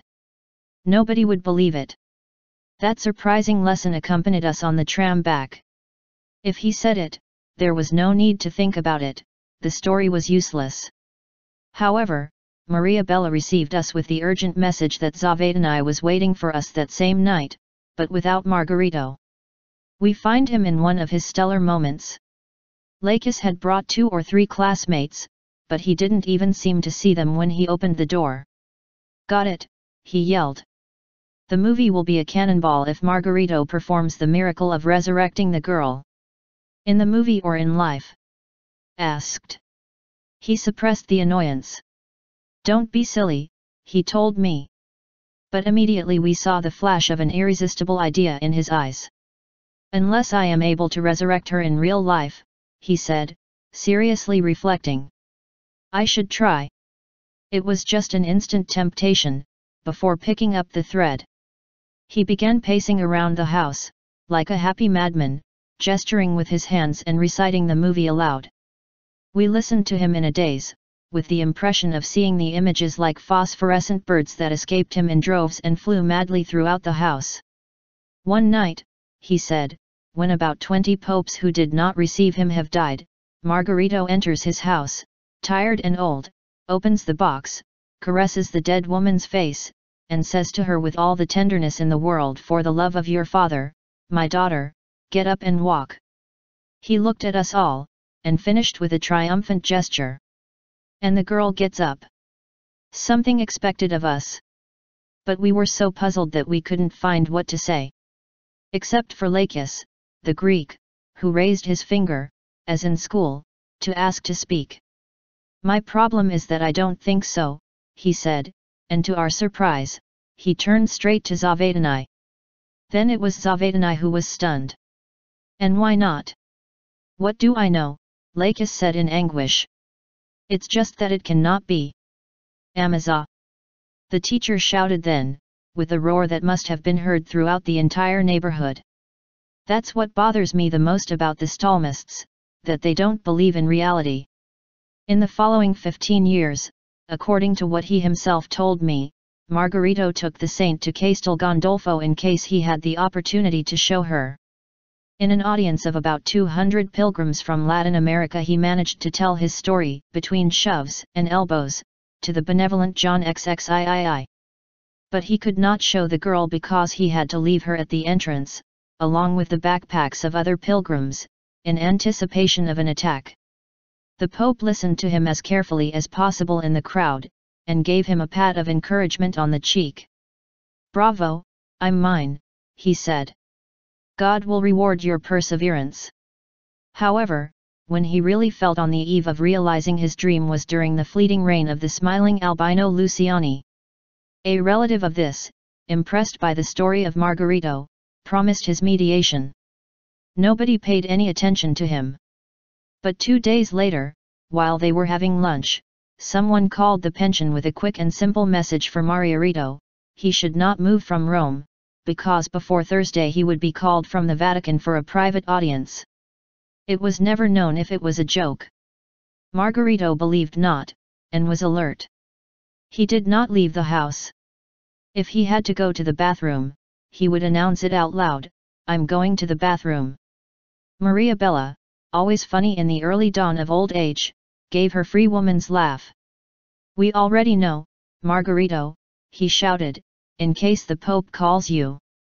The following week, two days before the announced call, Margarito collapsed before the headline of the newspaper that was slipped under the door, Morto il Papa.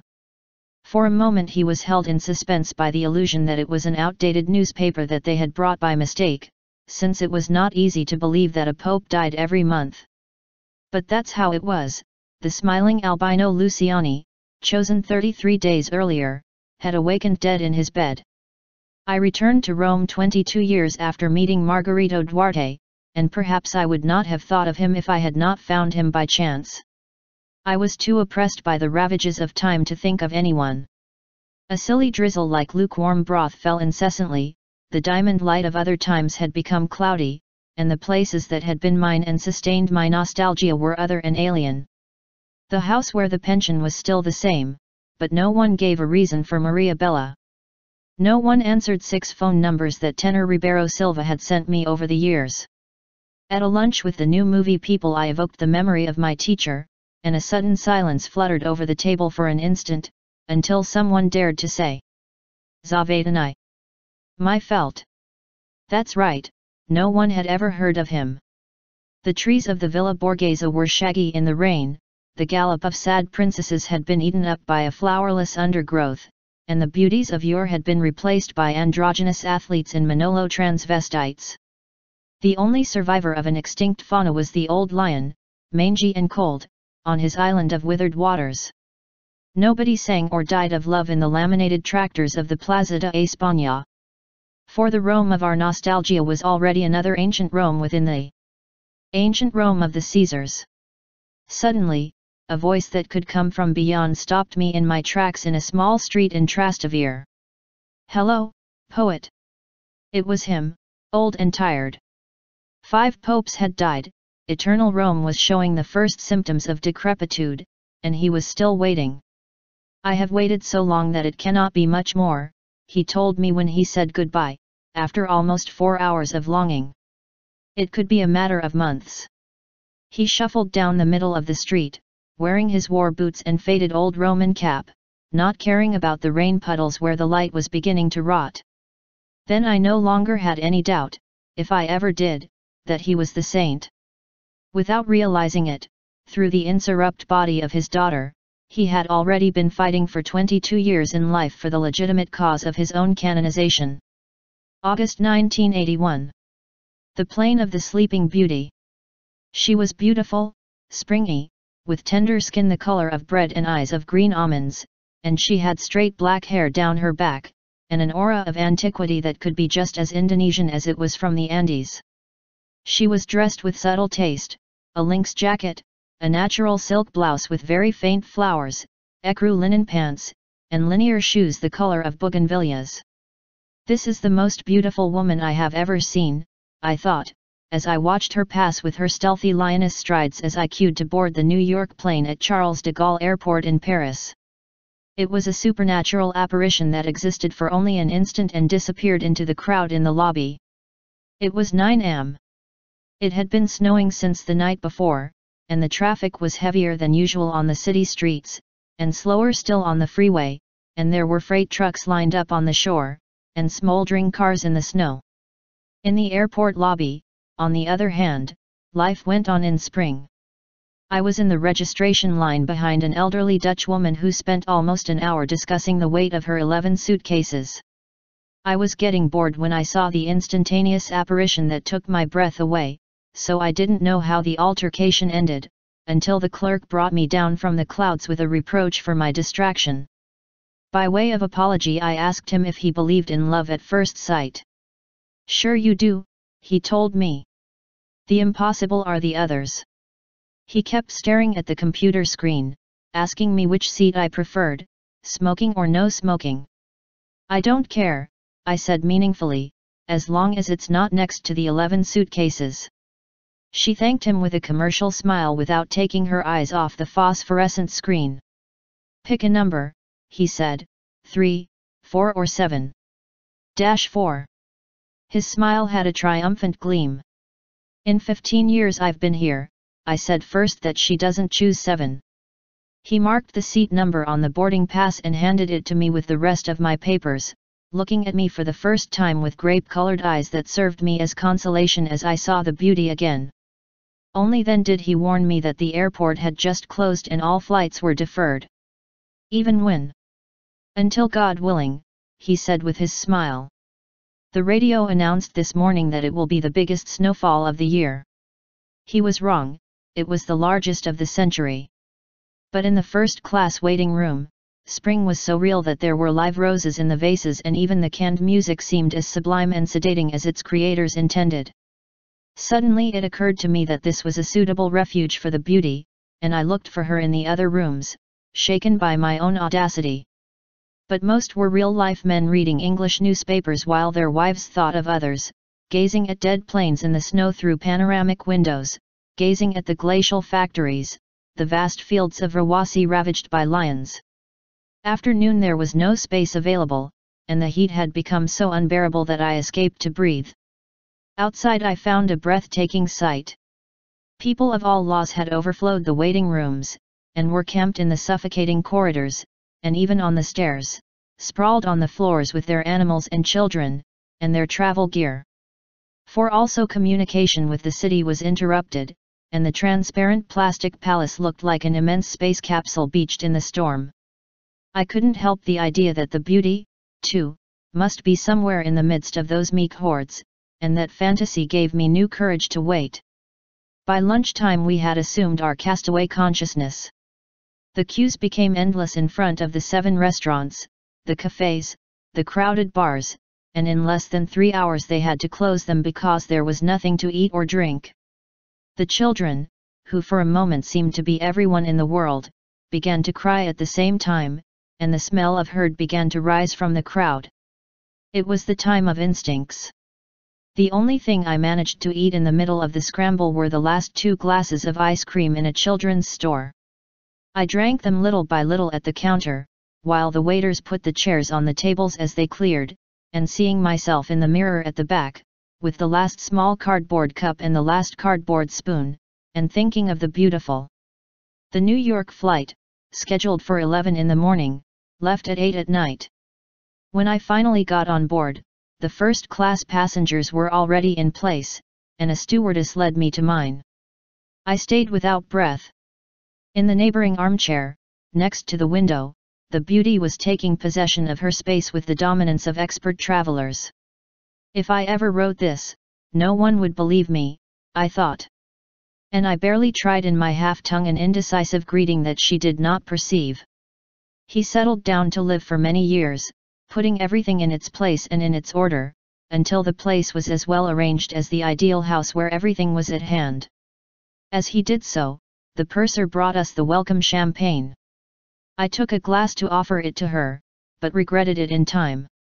Well, she only wanted a glass of water, and she asked the purser, first in inaccessible French and then in slightly easier English, not to wake her for any reason during the flight. His deep, warm voice carried an oriental sadness.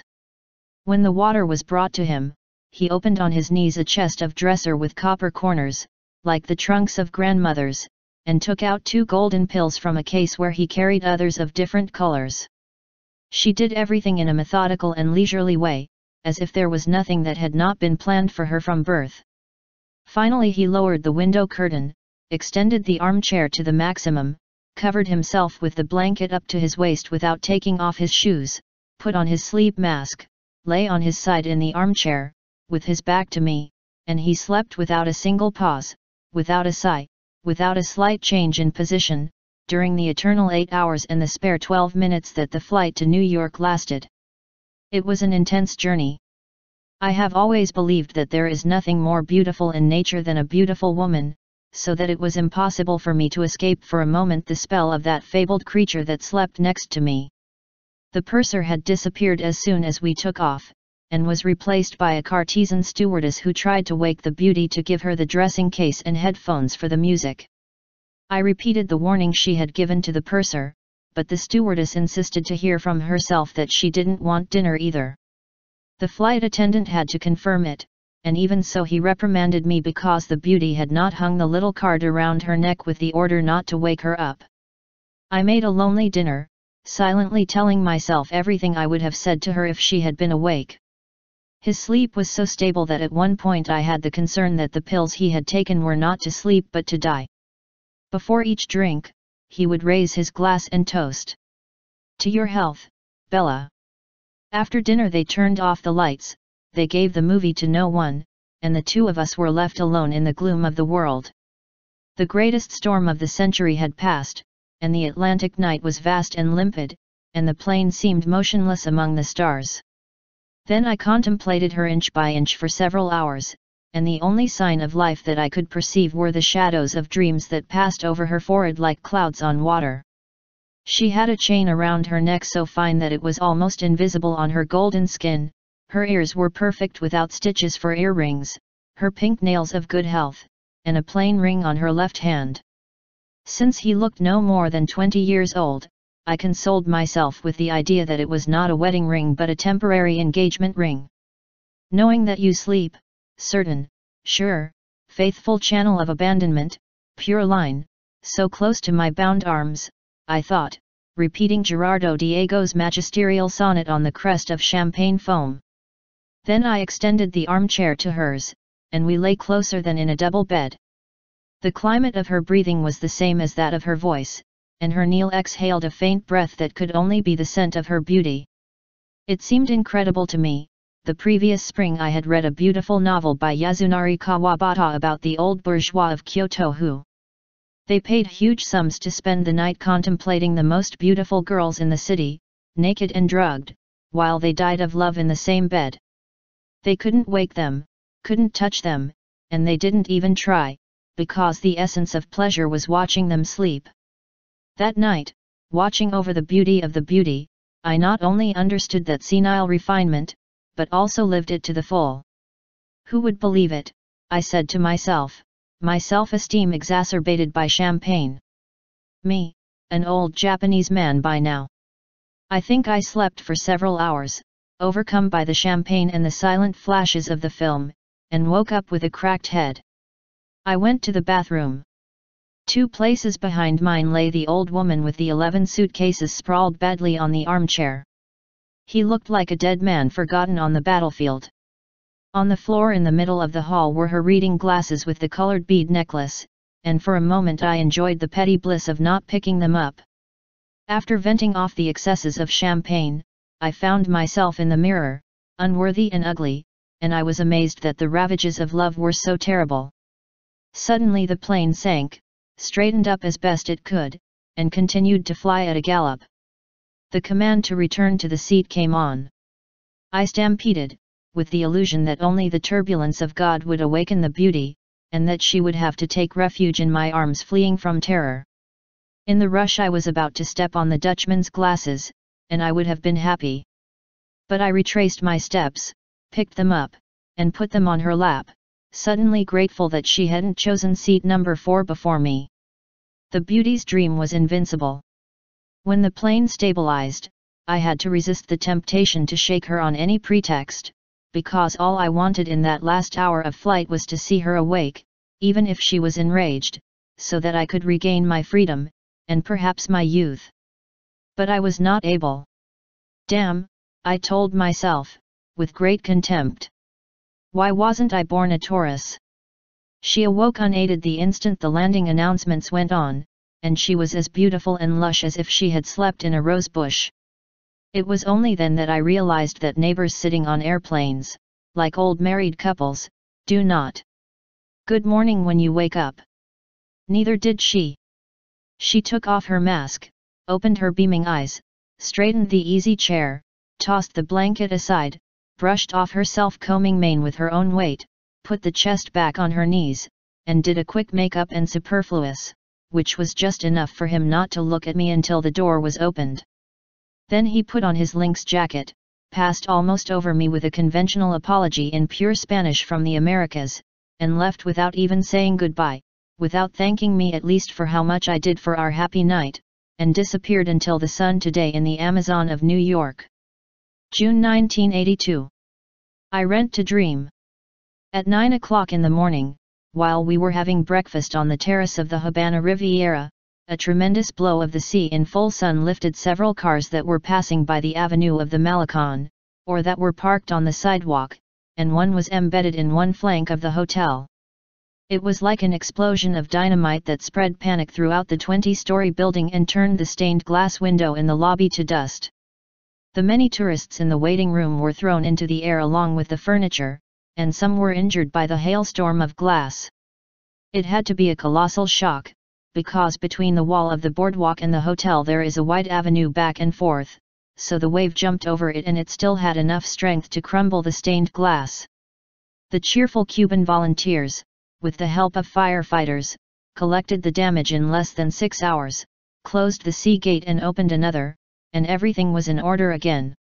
No one had taken care of the car embedded in the wall, as it was thought to be one of those parked on the sidewalk but when the crane pulled it out of the embrasure they discovered the body of one woman tied up in the driver's seat with a seat belt.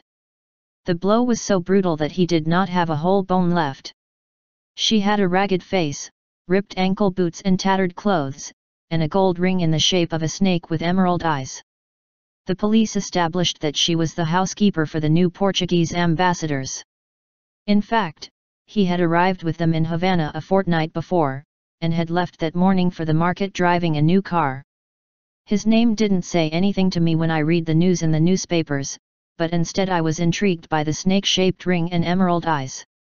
I couldn't figure out, however, which finger he was wearing it on.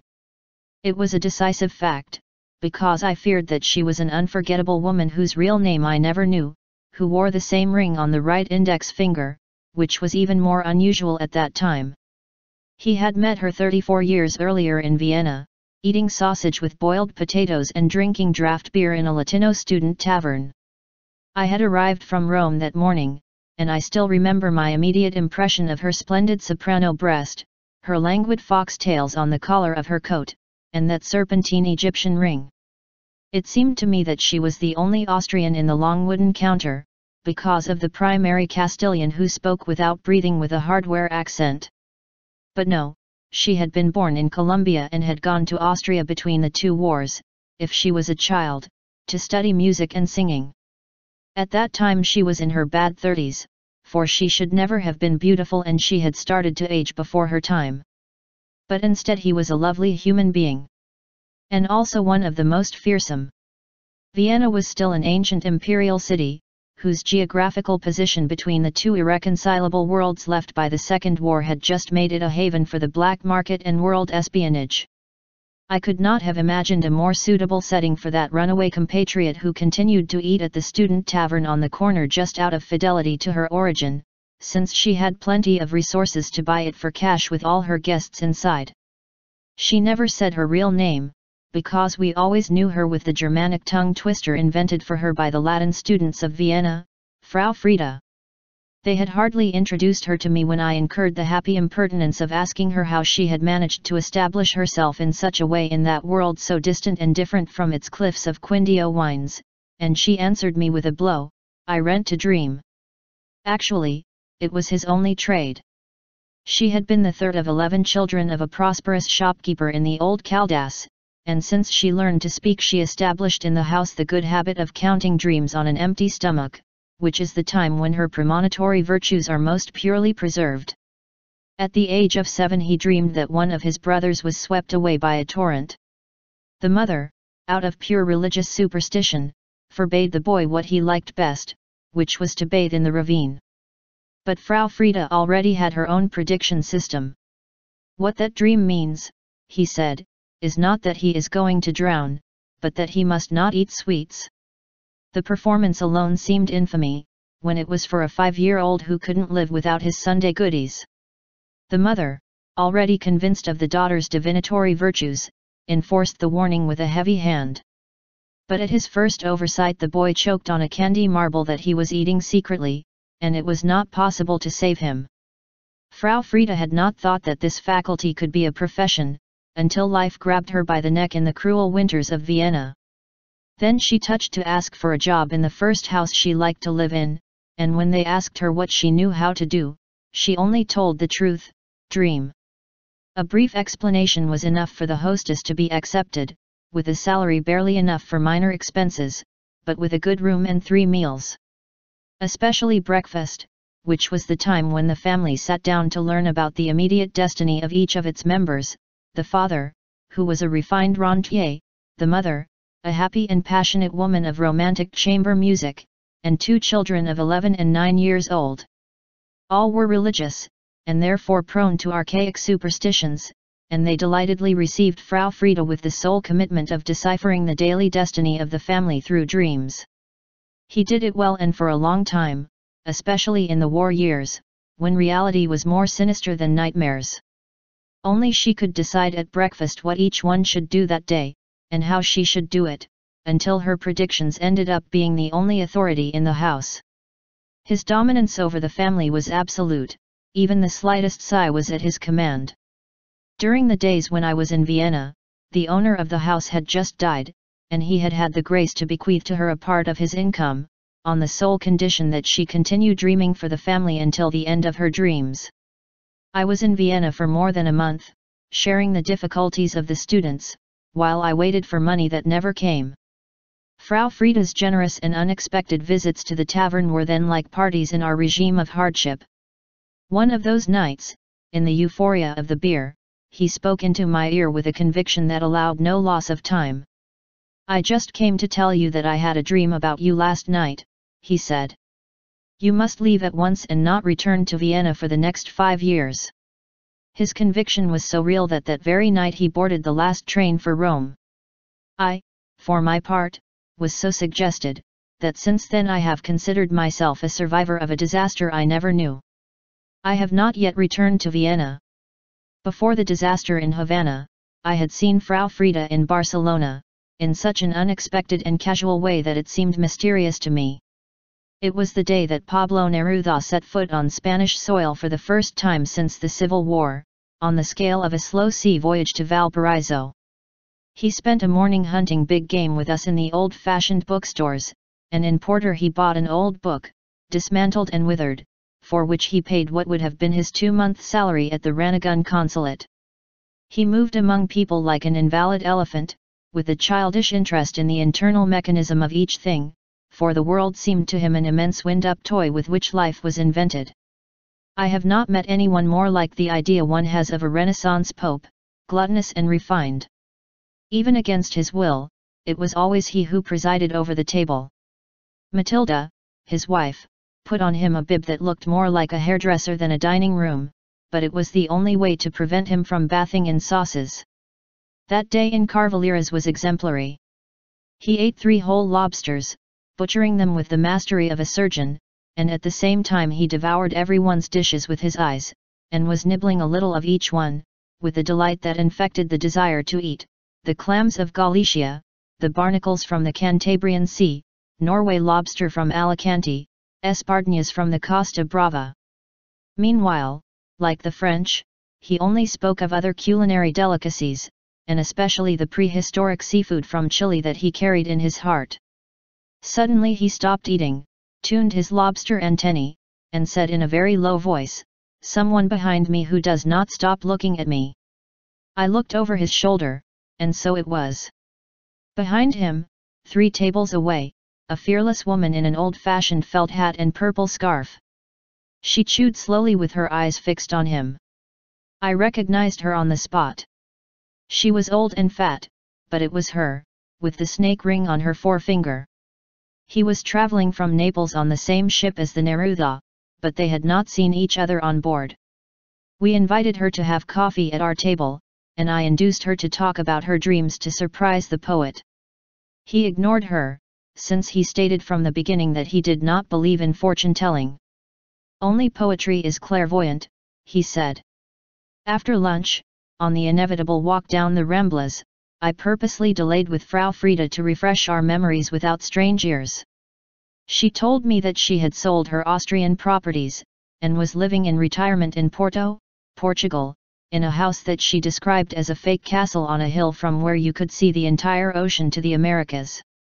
Even if he did not say it, it was clear from his conversation that from dream to dream he had ended up seizing the fortune of his ineffable patrons in Vienna.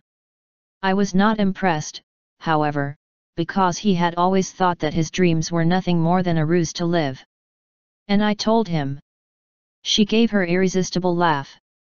You're still as daring as ever, he told me.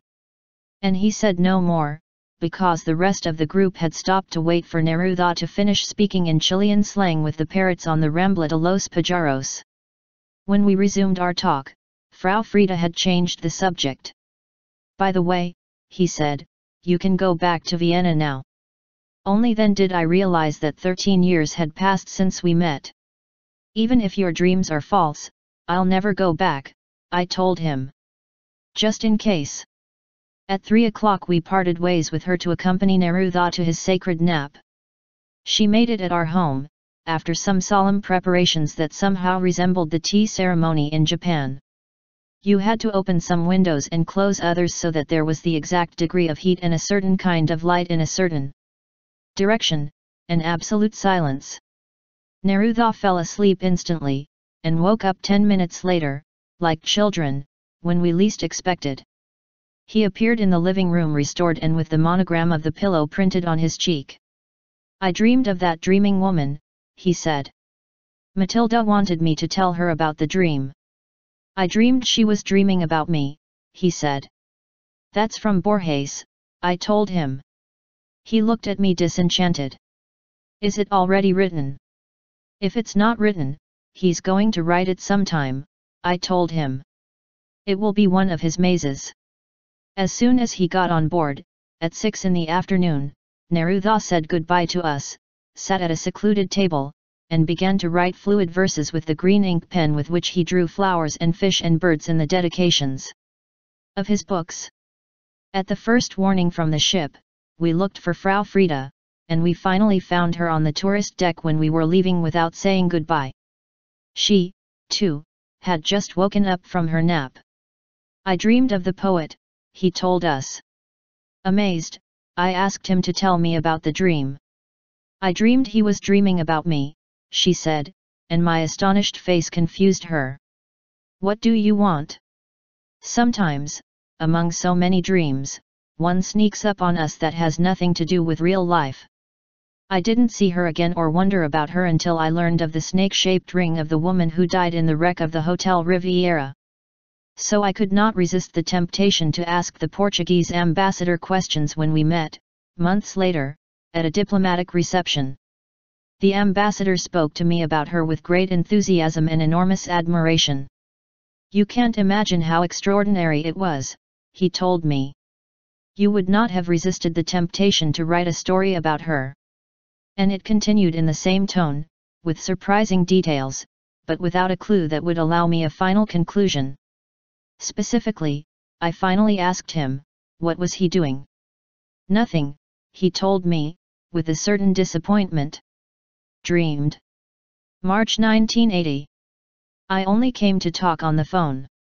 One spring rainy afternoon, when she was traveling alone to Barcelona driving a rented car, Maria de la Luz Cervantes suffered a breakdown in the Monte desert. She was a 27-year-old Mexican, pretty and serious, who years before had had a certain name as a variety actress. She was married to a parlor conjurer, whom she was going to meet that day after visiting relatives in Zaragoza. After an hour of desperate beckoning to cars and freight trucks rushing by in the storm, the driver of a rickety bus took pity on her. He warned him, yes, that he was not going very far. It doesn't matter, Maria said. All I need is a phone. It was true, and she only needed it to warn her husband that she would not arrive before seven at night. She looked like a soaked little bird, wearing a student coat and beach shoes in April, and she was so stunned by the mishap that she forgot to take her car keys. A woman who was traveling with the driver, military looking but sweet, gave him a towel and a blanket, and made a place for him next to him. After half drying herself, Maria sat up, wrapped herself in the blanket, and tried to light a cigarette, but the matches were wet. The neighbor on the seat gave him a light and asked for one of the few cigarettes that remained dry. As they smoked, Maria gave in to the urge to vent, and her voice resounded louder than the rain and the rattle of the bus. The woman interrupted her with her index finger on her lips. They are asleep, he murmured. Maria looked over her shoulder, and saw that the bus was occupied by women of uncertain ages and different conditions, who slept wrapped in blankets the same as hers. Contaminated by his placidity, Maria curled up in the seat and abandoned herself to the sound of the rain. When he awoke it was night and the downpour had dissolved into icy serenity. He had no idea how long it had been. Asleep or where in the world they were. His seat neighbor had an alert demeanor. Where we are? Maria asked him. We have arrived, the woman replied. The bus was entering the cobbled courtyard of a huge, gloomy building that looked like an old convent in a forest of colossal trees. The female passengers, lit only by a lantern in the courtyard, remained motionless until the military-looking woman brought them down with a system of primary orders, as in a nursery school. They were all older, moving so slowly in the gloom of the courtyard that they looked like images from a dream. Maria, the last to descend, thought they were nuns. He thought less of it when he saw several women in uniform who received them at the door of the bus, and they covered their heads with the blankets so that they did not get wet, and they put them in single file, directing them without speaking, with rhythmic and peremptory claps. After saying goodbye to her neighbor, Maria wanted to return the blanket, but she told her to cover her head to cross the patio, and return it at the goal. Will there be a phone? Maria asked him. Of course, the woman said. Right there they indicate. He asked Maria for another cigarette, and she gave him the rest of the wet pack. On the way they dry up, he told her. The woman waved goodbye from the stirrup, and almost yelled, good luck. The bus started without giving him extra time. Maria started running toward the entrance of the building. A guardian tried to stop her with a forceful slap, but had to appeal to an imperious cry, Stop I said. Maria looked under the blanket, and saw icy eyes and an unappealable index that indicated the row. He obeyed. In the hallway of the building, he separated from the group and asked the doorman where there was a telephone. One of the guards made her return to the line with a pat on the back, while saying in very sweet ways. Over here, sweetie, over here is a telephone. Maria followed the other women down a dark corridor, and at the end entered a collective bedroom where the guards gathered up the blankets and began to distribute the beds.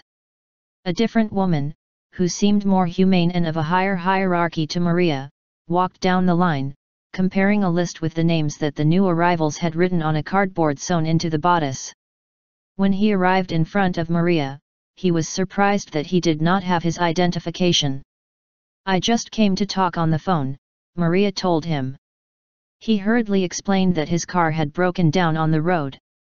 The husband, who was a party magician, was waiting for her in Barcelona to fulfill three commitments until midnight, and he wanted to warn her that he would not be on time to accompany him. It was going to be seven.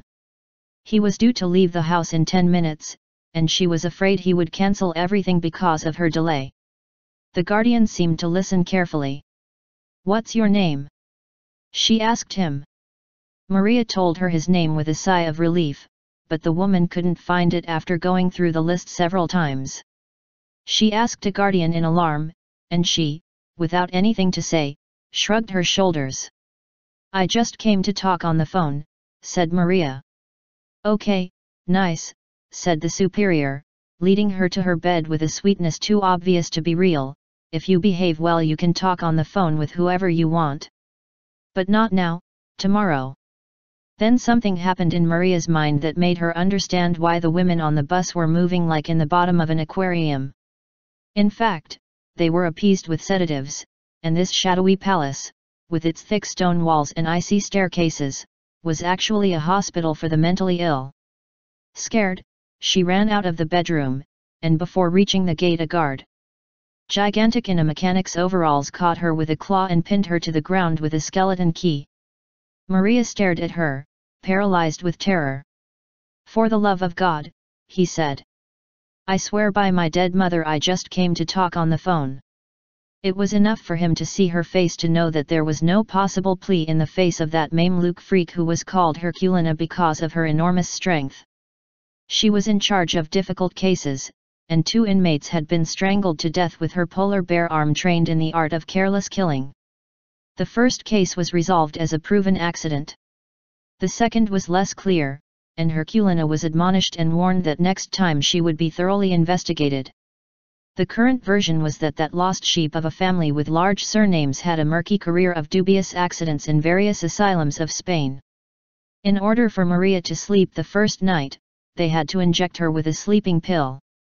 Before dawn, when she was awakened by the urge to smoke, she was bound by the wrists and ankles on the bars of the bed. Nobody attend the shouting. In the morning, while the husband found no clue to her whereabouts in Barcelona, they had to take her to the infirmary, as they found her senseless in a swamp of her own miseries. He didn't know how long it had been when he came to. But then the world was a haven of love, and in front of his bed was a monumental old man, with a plantigrade gait and a sedative smile, who with two master passes restored him the joy of living. He was the director of the sanatorium. Before saying anything to him, without even greeting him, Maria asked him for a cigarette. He gave it to her on, and gave her the nearly full package. Maria couldn't hold back crying.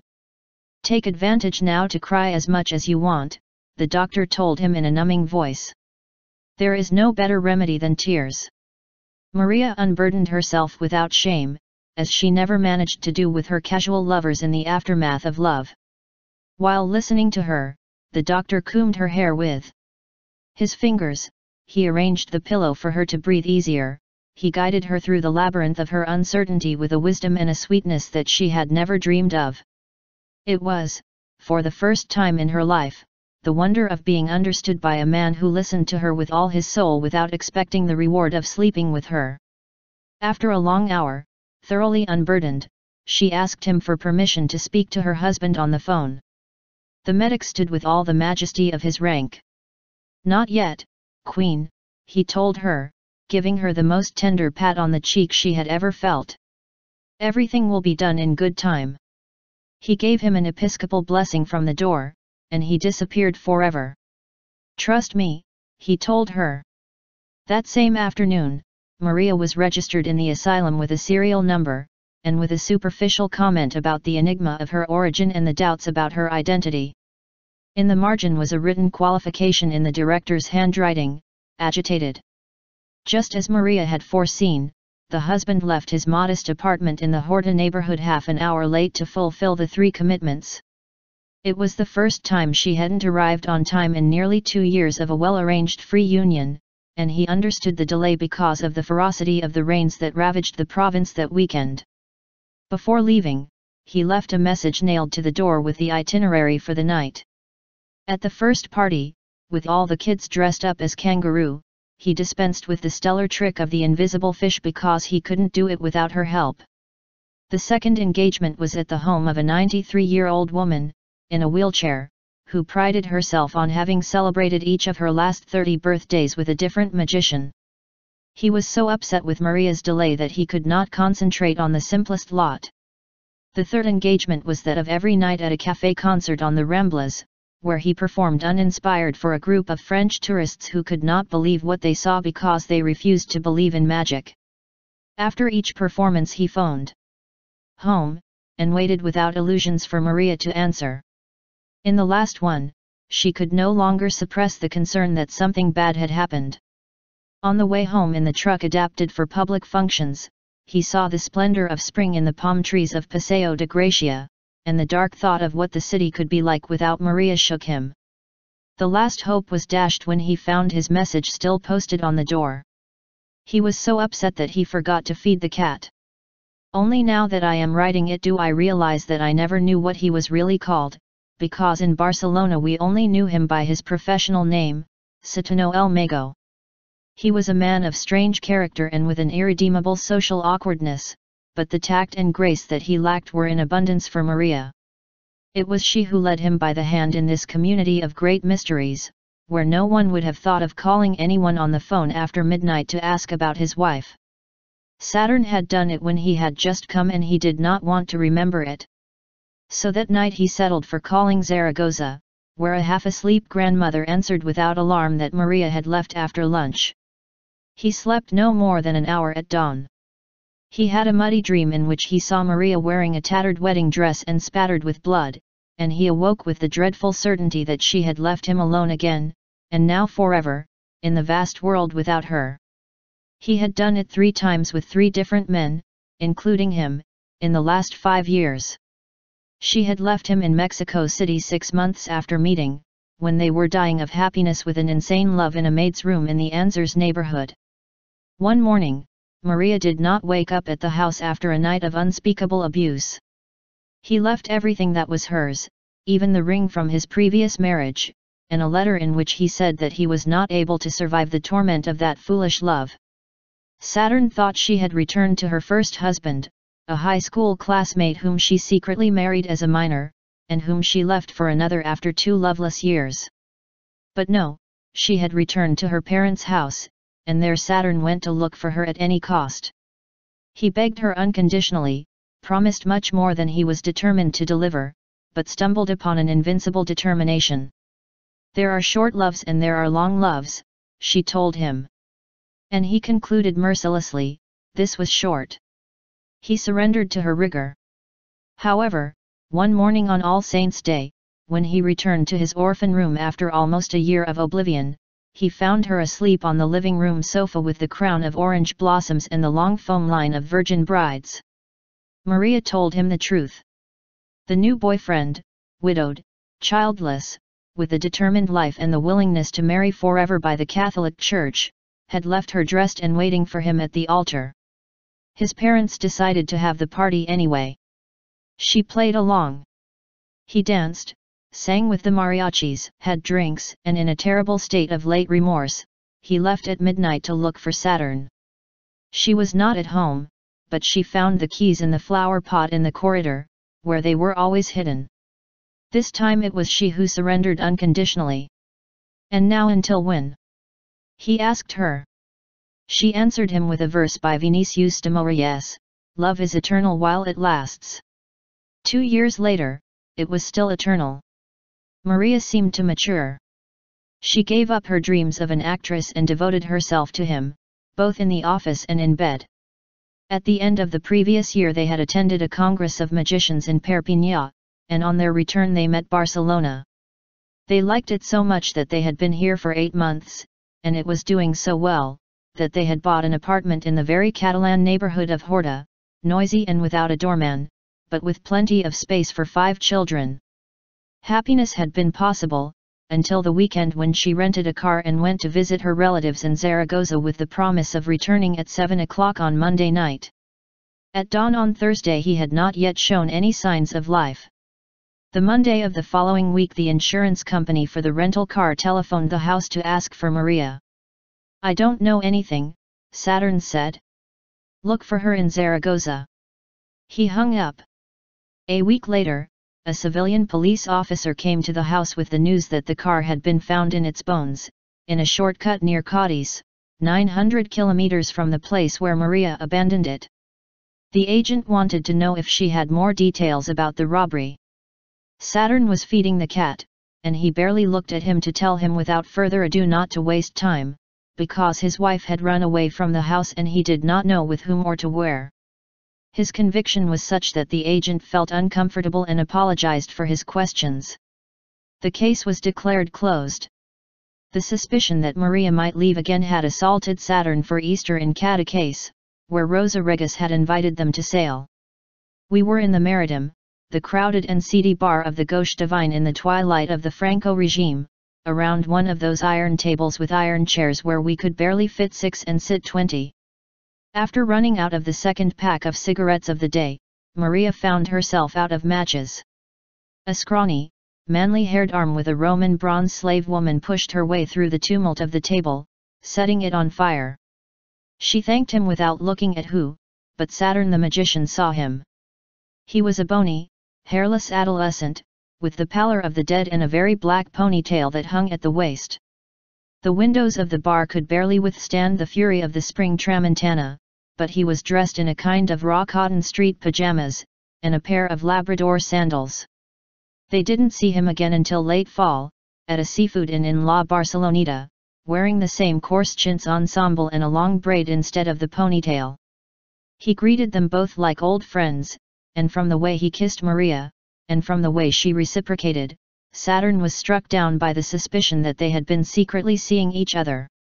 Days later he found by chance a new name and a telephone number written by Maria in the home directory, and the inclement lucidity of jealousy revealed who they were from. The intruder's social record ended up finishing him off, 22 years old, the only child of wealthy people, a fashionable shop window decorator, with an easy bisexual fame and a well-founded reputation as a rental comforter for married ladies. But he managed to get over it until the night Maria didn't come home. So she started calling him on the phone every day, first every two or three hours, from 6 in the morning until the next morning, and then whenever she found a phone handy. The fact that no one answered increased his martyrdom. On the fourth day, an Andalusian woman answered that she was only going to do the cleaning. The senorito is gone, she told him, vague enough to drive him crazy. Saturn could not resist the temptation to ask if by any chance Miss Maria was not there. No Maria lives here, the woman told him. The young man is single. I know, he told her. It does not live, but sometimes it does. Or not. The woman reared. But who the hell is talking there? I. Saturn hung up.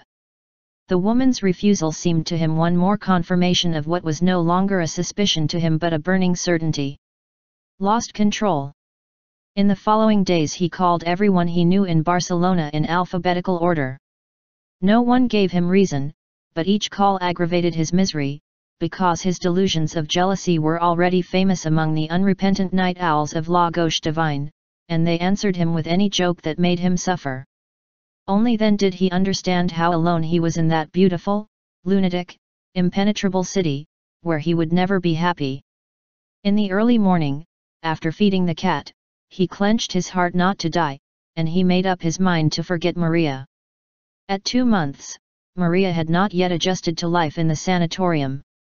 He survived just pecking at the jail pit with the cutlery chained to the raw wood counter, and his gaze fixed on the lithograph of General Francisco Franco who presided over the gloomy medieval dining room.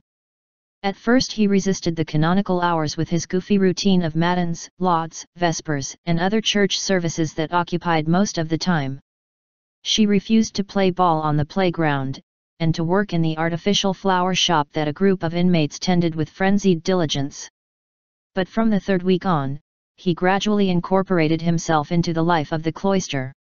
After all, the doctors said, that is how they all began, and sooner or later ended up integrating into the community. The lack of cigarettes, solved in the first days by a guardian who sold them at a price of gold, haunted her again when the little money she carried ran out. Later, she consoled herself with the newspaper cigarettes that some inmates made from cigarette butts collected in the trash, since the obsession with smoking had become as intense as that of the telephone. The meager pesetas that he later earned by making artificial flowers afforded him fleeting relief. The hardest thing was the loneliness of the nights. Many inmates stayed awake in the shadows, like her, but without daring to do anything, since the night watchman also kept watch in the gate closed with a chain and padlock. One night, however, overwhelmed by grief, Maria asked in a voice enough for her bed neighbor to hear. Where we are? The grave and lucid voice of the neighbor answered him. In the deep underworld. They say this is the land of the Moors, said another distant voice that echoed across the room of the bedroom. And it must be true, because in summer, when there is a moon, you can hear the dogs barking at the sea. The chain on the ring sounded like a galleon anchor, and the door swung open. The guardian, the only being who seemed alive in the instantaneous silence, began to pace from one end of the bedroom to the other. Maria was shocked, and only she knew why. From his first week in the sanitarium, the night watchman had bluntly suggested that he sleep with her in the guard room. He began with a specific business tone, bartering love for cigarettes, for chocolates, for whatever. You will have everything, she would tell him tremulously. You will be the queen. Faced with Maria's rejection, the guardian changed her method. She left little love notes under her pillow, in the pockets of her robe, in the least expected places. They were messages of a heartbreaking urgency capable of shaking stones. She had seemed resigned to defeat for more than a month, the night the incident was promoted in the bedroom. When she was convinced that all the inmates were sleeping, the guardian approached Maria's bed, and murmured all kinds of tender obscenities in her ear, while she kissed her face, her neck tense with terror, her arms stiff, her legs exhausted. Finally, perhaps believing that Maria's paralysis was not one of fear but of complacency, he dared to go further. Maria then hit him with the back of her hand that sent her against the neighboring bed. The guard sat up in a rage amid the scandal of the rowdy inmates. Son of a bitch, he yelled. We will rot together in this pigsty until you go crazy for me. Summer came unannounced on the first Sunday in June, and emergency measures had to be taken, because suffocated inmates began to remove their sloops of the Zmina during Mass. Maria watched with amusement the spectacle of the sick women in Pelota that the guards ran around the ships like blind hens. Amid the confusion, she tried to protect herself from missed blows, and not knowing how she found herself alone in an abandoned office with a phone that was ringing incessantly with a pleading ring. Maria answered without thinking, and heard a distant and smiling voice that was entertaining itself by imitating the telephone service of the hour. It's 45 hours, 92 minutes, and 107 seconds. Fag, said Maria. She hung up amused. He was leaving, when he realized that he was missing an unrepeatable occasion. Then she dialed six digits, in such a rush and in such a rush that she wasn't sure it was her home number. She waited with her heart pounding, heard the familiar ringing in its avid, sad tone, once, twice, three times, and finally heard the voice of the man of her life in the house without her. Well? He had to wait for the ball of tears that formed in his throat to pass. Rabbit, my dear, he sighed. The tears overcame her. On the other end of the line there was a brief, shocked silence, and the jealous voice spat out the word. Bitch! And he hung up dry. That night, in a frantic attack, Maria took down the lithograph of the Generalissimo in the refectory, threw it with all her might against the stained glass window in the garden, and collapsed bathed in blood. She still had enough anger to face blows with the guards who tried to subdue her, without succeeding, until she saw Herculina standing in the doorway, arms folded, looking at her. He gave up. However, they dragged her to the pavilion of the furious mad women, annihilated her with a hose of ice water, and injected turpentine into her legs. Unable to walk by the inflammation caused, Maria realized that there was nothing in the world that she was not able to do to escape from that hell. The following week, back in the common bedroom, she got up on tiptoe and played in the cell of the night watchman. Maria's price, demanded by her in advance, was to bring a message to her husband. The guardian agreed, as long as the deal was kept secret. And he pointed at her with an inexorable index. If it's ever known, you'll die. So Saturn the magician went to the madhouse the following Saturday, with the circus truck ready to celebrate the return of Mary. The director himself received him in his office, as neat and clean as a warship, and gave him an affectionate report on the wife's condition. No one knew where she came from, or how or when, since the first piece of information about her admission was the official record dictated by him when he interviewed her. An investigation initiated the same day had concluded nothing. In any case, what intrigued the director most was how Saturn learned of his wife's whereabouts. Saturn protected the guardian. I was informed by the car insurance company, he said. The director nodded, pleased. I don't know how they do insurance to know everything, he said. He glanced at the file on his ascetic desk, and concluded. The only certainty is the severity of his condition. He was prepared to authorize a visit with due precautions if Saturn the magician promised, for the sake of his wife, to adhere to the conduct he directed especially in the way he treated her, to prevent her from relapsing into her increasingly frequent and dangerous outbursts of rage. It's weird, said Saturn. He was always strong-tempered, but very domineering. The doctor made a wise gesture. There are behaviors that remain latent for many years, and one day they explode, he said. All in all, it is fortunate that he fell here, because we are specialists in cases that require a heavy hand. In the end he gave a warning about Maria's rare obsession with the phone. Go with the flow, he said. Easy, doctor, Saturn said cheerfully. It is my specialty. The visiting room, a mixture of prison and confessional, was the old parlor of the convent. The entrance of Saturn was not the explosion of jubilation that they both could have expected. Maria was standing in the center of the room, next to a small table with two chairs and a vase without flowers. Clearly she was ready to go, in her pitiful strawberry coat and squalid shoes given to her out of charity. In a corner, almost invisible, was Herculina with her arms crossed. Maria did not move when she saw the husband enter, nor did any emotion appear on her face still splattered by the ravages of the stained glass window. They had a routine kiss. How you feel? He asked her. Happy you've finally come, rabbit, she said. This has been the death. They did not have time to sit down. Drowning in tears, Maria told him about the miseries of the cloister, the barbarism of the guards, the dog food, the endless nights without closing her eyes in terror.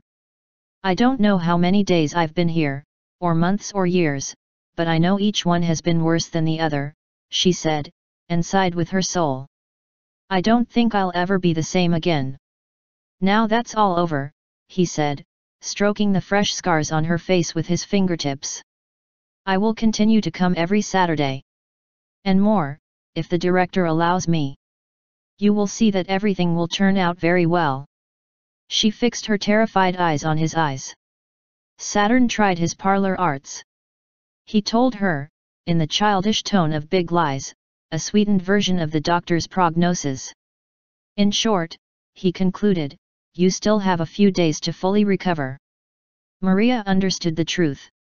For God's sake, rabbit! She said, stunned. Don't tell me that you think I'm crazy too. How can you think? He said, trying to laugh. What happens is that it will be much more convenient for everyone if you continue for a while here. In better condition, of course. But I already told you that I just came to talk on the phone. Said Maria. He did not know how to react to the fearsome obsession. He looked at Herculina. She took advantage of the look to indicate on her wristwatch that it was time to finish the visit. Maria intercepted the signal, looked back, and saw Herculina in the tension of the impending assault. Then she clung to her husband's neck, screaming like a true madwoman. He brushed her off with as much love as he could, and left her at the mercy of Herculina, who jumped on his back. Without giving him time to react, he applied a key with his left hand, put the other iron arm around his neck, and shouted to Saturn the magician. Go away! Saturn fled in terror.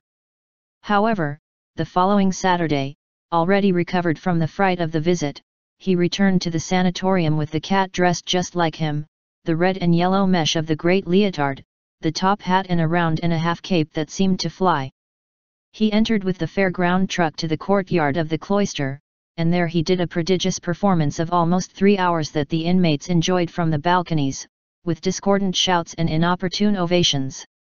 They were all there, except Maria, who not only refused to receive her husband, but even to see him from the balconies. Saturn was mortally wounded. It's a typical reaction, the director consoled him. It will pass. But it never happened. After trying many times to see Maria again, Saturn did everything he could to get her to receive a letter, but it was useless. Four times he returned it closed and without comment. Saturno gave up, but kept leaving the cigarette rations at the hospital gate, without even knowing if they reached Maria, until reality overcame him. He was never heard from again, except that he remarried and returned to his country. Before leaving Barcelona, he left the cat half-starved to a casual girlfriend, who also promised to continue taking the cigarettes to Maria. But she too disappeared. Rosa Regàs remembered seeing her in the English court, about 12 years ago, with a shaved head and the orange sloop of some oriental sect, and she was pregnant as much as she could. She told him that she had continued to bring Maria cigarettes, whenever she could, and solve some unforeseen emergencies, until one day when she only found the rubble of the hospital, demolished as a bad memory of those ungrateful times. Maria seemed very lucid to him the last time he saw her, a little overweight and content with the peace of the cloister. That day he also brought the cat to him, because he had already run out of the money that Saturn left him to feed him. April 1978 Sparing of August We arrived in Arezzo a little before noon, and we lost more than two hours looking for the Renaissance castle that the Venezuelan writer Miguel Otero Silva had bought in that idyllic corner of the Tuscan countryside. It was a hot and bustling Sunday in early August, and it was not easy to find someone who knew anything on the crowded streets. After many futile attempts we returned to the car, left the city along a path of cypress trees without road signs, and an old shepherdess of geese pointed out precisely where the castle was. Before saying goodbye, he asked us if we planned to sleep there, and we answered, as we had planned, that we were only going to have lunch. Thank goodness, she said, because they are scary in that house. My wife and I, who don't believe in noon appearances, scoff at his credulity. But our two children, ages 9 and 7, were happy to meet a ghost with a present body. Miguel Otero Silva, who in addition to being a good writer was a splendid host and a refined dining room, awaited us with a lunch that will never be forgotten. As we were late, we did not have time to see the interior of the castle before sitting down at the table, but its appearance from the outside was not terrifying, and any concern was dissipated with the complete view of the city from the flowery terrace where we were having lunch. It was hard to believe that on that hill of perched house, where barely 90,000 people could fit, so many men of enduring genius had been born. However, Miguel Otero Silva told us with his Caribbean humor that none of the many was the most distinguished of Arezzo. The greatest, he declared, was Ludovico. Thus, without surnames, Ludovico, the great lord of the arts and of war, who had built that castle of his misfortune, and of whom Miguel spoke to us throughout lunch. He tells us of his immense power, of his disgruntled love, and of his gruesome death. He told us how it was that in a moment of madness of the heart he had stabbed his lady in the bed where they had just loved each other, and then he drove his ferocious dogs of war against himself, which tore him to pieces. He assured us, very seriously, that from midnight the spectre of Ludovico roamed the house in darkness, trying to find peace in his purgatory of love. The castle really was immense and gloomy. But in broad daylight, with a full stomach and a happy heart, Miguel's story could only seem like a joke like so many of his others to entertain his guests. The 82 rooms that we walked through without amazement after the siesta had undergone all kinds of changes from their successive owners. Miguel had completely restored the ground floor and had a modern bedroom built with marble floors and facilities for sauna and fitness, and the flowery terrace where we had had lunch. The second floor, which had been the most used in the course of the centuries, was a succession of rooms without any character, with furniture from different periods abandoned to its fate.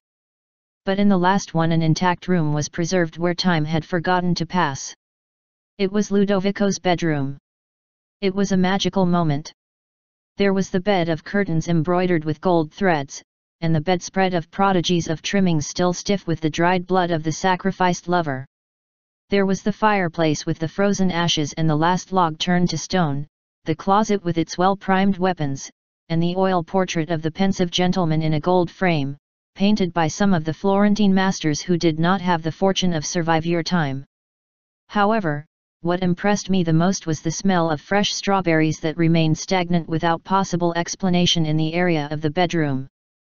Summer days were long and leisurely in Tuscany, and the horizon stayed in place until nine at night.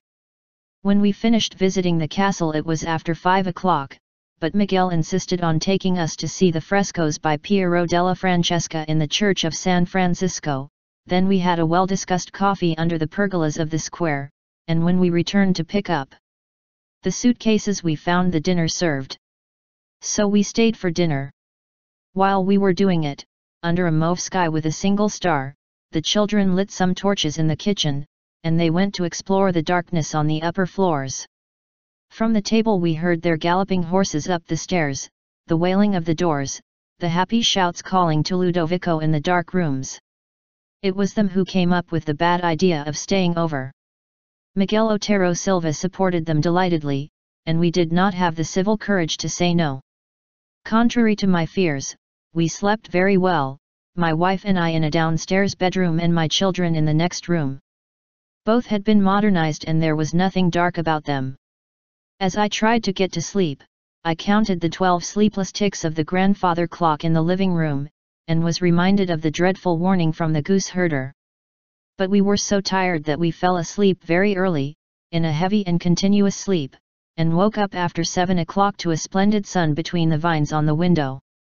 Beside me, my wife was sailing on the peaceful sea of innocence. What nonsense, I said to myself, that someone continues to believe in ghosts these days.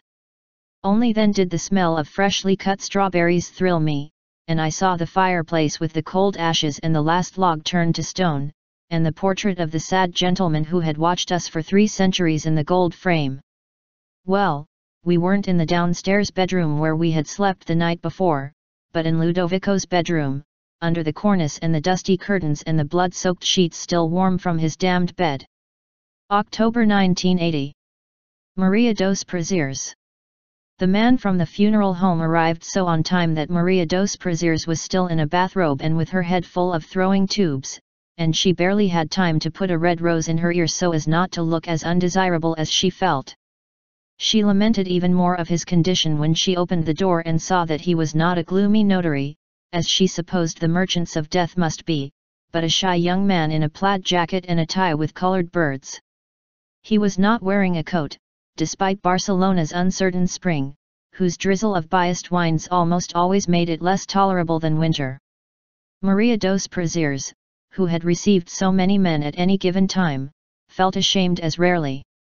He had just turned 76 years old and was convinced that he was going to die before cavity, and even so he was about to close the door and ask the burial vendor to wait a moment while he dressed to receive him according to his merits. But then he thought he was going to freeze on the dark landing, and he ushered him forward. Forgive me for this bat-like appearance, he said, but I've been in Catalonia for more than 50 years, and it's the first time someone has arrived at the announced time. He spoke perfect Catalan with a slightly archaic purity, although the music of his forgotten Portuguese was still noticeable.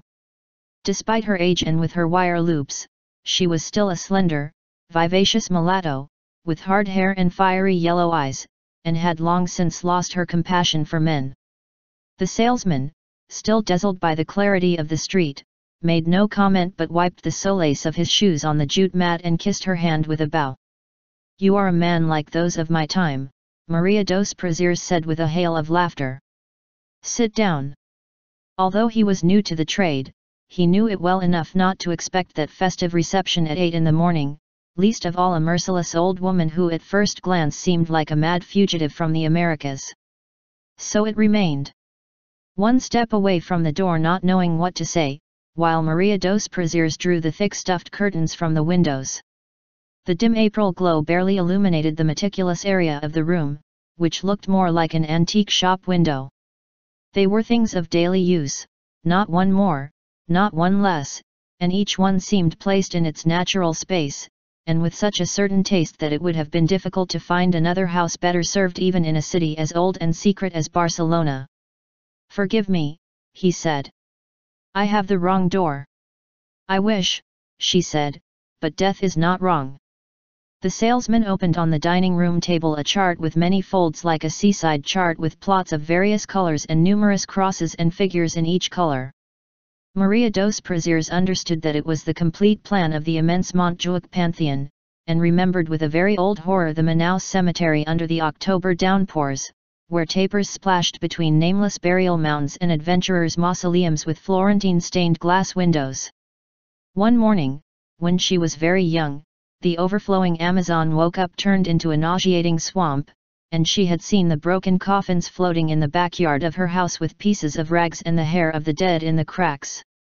That memory was the reason why he had chosen the Montjuic Hill to rest in peace, and not the small San Gervasio cemetery, so close and familiar. I want a place where the waters never come, he said. Well, here it is, said the salesman, indicating the site on the map with an extendable pointer that he carried in his pocket like a steel fountain pen. She oriented herself on the colored board until she found the main entrance, where were the three contiguous, identical, and nameless tombs where Buenaventura Durruti and two other anarchist leaders died in the Civil War lay. Every night someone wrote the names on the blank headstones. They. They wrote with pencil, with paint, with charcoal, with eyebrow crayon or nail polish, with all their letters and in the correct order, and every morning the guards erased them so that no one would know who was who under the silent marbles. Maria dos Prazeres had attended Durruti's funeral, the saddest and most tumultuous of those ever in Barcelona, and she wanted to rest near his grave. But none were available in the vast overcrowded pantheon. So he resigned himself to the possible. On the condition, he said, that they won't put me in one of those five-year-old drawers where one remains as if it were in the mail. Then, suddenly remembering the essential requirement, he concluded. And above all, that they bury me lying down. Indeed, in response to the noisy promotion of graves sold with advance installments, a rumor circulated that vertical burials were being made to save space. The vendor explained, with the precision of a speech learned by heart, and often repeated, that this version was a perverse infanticide of traditional funeral companies to discredit the novel promotion of installment graves. As he explained, there was a knock on the door with three discreet knocks, and he made an uncertain pause, but Maria dos Prazeres motioned him to continue. Don't worry, he said very quietly. It is the NOI. The seller picked up the thread, and Maria dos Prazeres was satisfied with the explanation. However, before opening the door, he wanted to make a final synthesis of a thought that had matured in his heart for many years, and even in its most intimate details, since the legendary Manaus Crescent. What I mean, she said, is that I'm looking for a place where I'm lying underground, without risk of flooding and if possible in the shade of the trees in summer, and where they won't take me out after a certain time to throw myself away. In the trash. He opened the front door and a little spaniel came in, soaked by the drizzle, and with a particular mood that had nothing to do with the rest of the house. He was returning from his morning walk through the neighborhood, and as he entered he suffered a fit of exhilaration. He jumped on the table, barking senselessly, and was about to destroy the plan of the cemetery with his paws dirty with mud. A single glance from the owner was enough to moderate her impetus. NOI. He said without yelling. Bizaci. The animal flinched, looked at her frightened, and a pair of clear tears slid down his snout. Then Maria dos Prazeres took care of the vendor again, and found him perplexed. Collins! He exclaimed. Has cried. He's just excited to find someone here at this time, Maria dos Prazeres excused him in a low voice. In general, he enters the house more carefully than men. Except for you, as I've already seen. But he cried, damn it! The salesman repeated and immediately realized his inaccuracy and apologized blushing. All dogs can do it if they teach them, she said. What happens is that the owners spend their lives educating them with habits that make them suffer, such as eating from plates or doing their crap at their hours and in the same place. And instead they don't teach them the natural things they like, like laughing and crying. Where were we going? There was very little left. Maria dos Prazeres also had to resign herself to treeless summers, because the only ones in the cemetery had the shadows reserved for the hierarchs of the regime. Instead, the conditions and formulas of the contract were superfluous, because she wanted to benefit from the discount for early and cash payment. Only when they had finished, and as he put the papers back in his wallet, did the salesman examine the house with a conscious gaze and was shocked by the magical breath of its beauty. He looked back at Maria dos Prazeres as if for the first time. May I ask you an indiscreet question? He asked. She directed him toward the door. Of course, he said, as long as it's not age.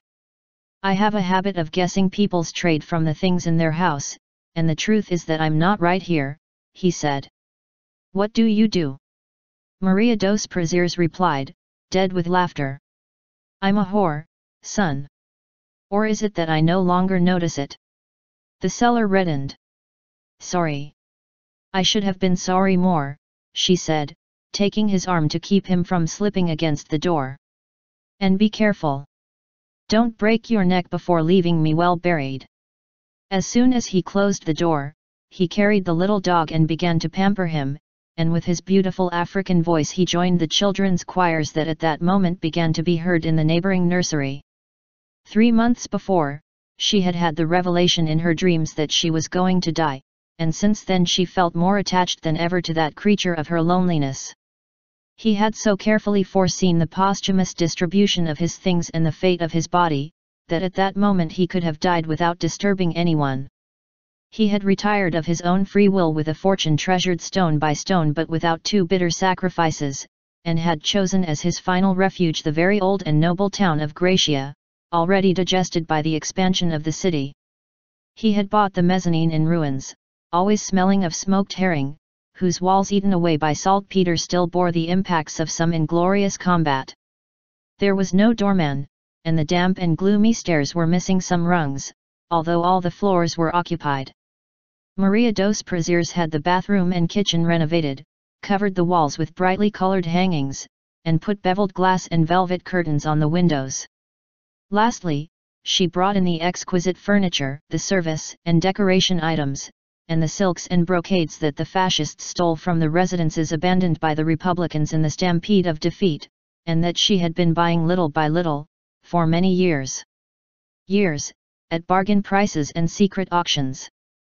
The only link she had with the past was her friendship with the Count of Cardona, who continued to visit her on the last Friday of each month to dine with her and have a languid after-dinner love. But even that friendship of youth was kept in reserve, because the Count left the car with his heraldic insignia at a more than prudent distance, and one reached his mezzanine by walking through the shade, both to protect her honor and his own. Own. Maria dos Prazeres did not know anyone in the building, except at the front door, where a very young couple had recently lived with a nine-year-old girl. It seemed incredible to him, but it was true, that he had never passed anyone else on the stairs.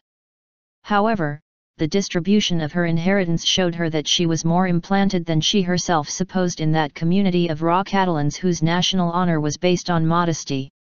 Even the smallest trinkets he had distributed among the people who were closest to his heart, who were closest to his home. In the end, she did not feel very convinced that she had been fair, but instead she was sure that she had not forgotten anyone who did not deserve it. It was an act prepared with such rigor that the notary of Tree Street, who prided himself on having seen it all, could not believe his eyes when he saw her dictating from memory to her clerks the meticulous list of her assets, with the name precise of each thing in medieval Catalan, and the complete list of the heirs with their offices and addresses, and the place they occupied in his heart. After the visit of the burial vendor, he ended up becoming one of the many Sunday visitors to the cemetery. Like his grave neighbors, he planted four season flowers in the flower beds, watered the newborn grass and leveled it with pruning shears until it was like the town hall rugs, and he became so familiar with the place that he ended up not understanding how. It was that at first it seemed so desolate. On her first visit, her heart had jumped when she saw the three nameless tombs near the portal, but she did not even stop to look at them, for a few steps from her was the insomniac watcher. But on the third Sunday, she took advantage of an oversight to fulfill one more of her great dreams, and with lipstick she wrote on the first tombstone washed by the rain, Durruti. Since then, whenever he could, he did it again, sometimes in a grave, in two or three, and always with a steady hand and a heart racing with nostalgia. One Sunday in late September he witnessed the first burial on the hill. Three weeks later, on an icy windy afternoon, they buried a young woman just married in the grave next to hers. By the end of the year, seven plots were occupied, but the short-lived winter passed without disturbing it. He felt no discomfort, and as the heat increased and the torrential noise of life poured in through the open windows, he found himself more in the mood to survive the enigmas of his dreams. The Count of Cardona, who spent the hottest months in the mountains, found her on his return even more attractive than in his surprising youth of 50 years. After many unsuccessful attempts, Maria dos Prazeres managed to get Noi to distinguish her tomb on the long hill of equal tombs. Then she insisted on teaching him to cry over the empty grave so that he would continue to cry out of habit after his death. He took him several times on foot from his house to the cemetery, indicating landmarks for him to memorize the route of the Ramblas bus, until he felt adept enough to send him alone. On the Sunday of the final rehearsal, at 3 in the afternoon, he removed his spring vest, partly because summer was imminent and partly to make it less conspicuous, and left it to his own devices. She watched him walk away down the shady sidewalk with a light trot, his tight sad ass under his ruffled tail, and he managed with great difficulty suppressing the desire to cry, for her and for him, and for so many bitter years of common illusions. Until he saw it turn towards the sea at the corner of Calle Mayor. Fifteen minutes later he got on the bus from Las Ramblas in the neighboring Plaza de Lesseps, trying to see him without being seen from the window, and indeed he saw him among the flocks of Sunday children, distant and serious, waiting for the change of the traffic light from pedestrians on Paseo de Gracia. My God, he sighed. What is only seen? He had to wait for almost two hours under the brutal Montjuic sun. He greeted several mourners from other less memorable Sundays, although he hardly recognized them, for it had been so long since he had seen them for the first time that they no longer wore mourning clothes, nor cried, and placed the flowers on the graves without think about their dead. Shortly after, when they all left, he heard a gloomy roar that frightened the seagulls, and he saw in the immense sea a white ocean liner with the flag of Brazil, and he hoped with all his soul that he would bring him a letter from someone who had died for her in the Pernambuco jail. Shortly after five o'clock, twelve minutes early, Noi appeared on the hill, drooling with fatigue and heat, but with the airs of a triumphant child. In that instant, Maria dos Prazeres overcame the terror of not having anyone cry over her grave. It was the following autumn that he began to perceive dark signs that he could not decipher, but that increased the weight of his heart. He drank his coffee again under the golden acacia trees of the Plaza del Reloj, wearing the coat with the foxtail collar and the hat adorned with artificial flowers that from so much being old had become fashionable again. Instinct sharpened. Trying to explain his own anxiety, he scrutinized the chatter of the bird vendors on the Ramblas, the whispers of the men in the bookstalls who for the first time in many years did not talk about football, the deep vices of the war cripples who were throwing them at them. Leaves of bread to the pigeons, and everywhere unmistakable signs of death entered. At Christmas the colored lights were lit among the acacias, and music and voices of joy came out from the balconies, and a crowd of tourists foreign to our destination invaded the outdoor cafes, but within the party the same repressed tension was felt that preceded the times when anarchists took over the streets. Maria dos Prazeres, who had lived through those times of great passions, could not control her anxiety, and for the first time she was awakened in the middle of her sleep by claws of fear. One night, state security agents shot dead in front of his window a student who had written with a broad brush on the wall, Visca Catalunya lliure. My God, she said to herself in amazement, it's as if everything was dying with me. I had only known such anxiety when I was very young in Manaus, a minute before dawn, when the numerous noises of the night suddenly ceased, the waters stopped, time wavered, and the Amazon rainforest was submerged in an abysmal silence that only it could be the same as death. In the midst of that irresistible tension, on April 10, as always, the Count of Cardona went to dinner at his home. The visit had become a ritual. The Count would arrive punctually between 7 and 9 at night with a bottle of local champagne wrapped in the afternoon paper to make it less noticeable, and a box of stuffed truffles. Maria dos Prazeres would prepare him cannelloni au gratin and a tender chicken in its own juice, which were the favorite dishes of the Catalans of their good times, and an assorted platter of seasonal fruits. While she did the cooking, the Count listened to fragments of Italian operas in historical versions on the gramophone, slowly sipping a glass of port that lasted until the end of the records. After dinner, long and well discussed, they made a sedentary love by heart that left both of them a sediment of disaster. Before leaving, always flustered by the imminence of midnight, the Count would leave 25 pesetas under the ashtray in the bedroom. That was the price of Maria dos Prazeres when he met her in a hotel passing through the parallel, and it was the only thing that the rust of time had left intact. Neither of them had ever wondered what the friendship was based on. Maria dos Prazeres owed him some easy favors.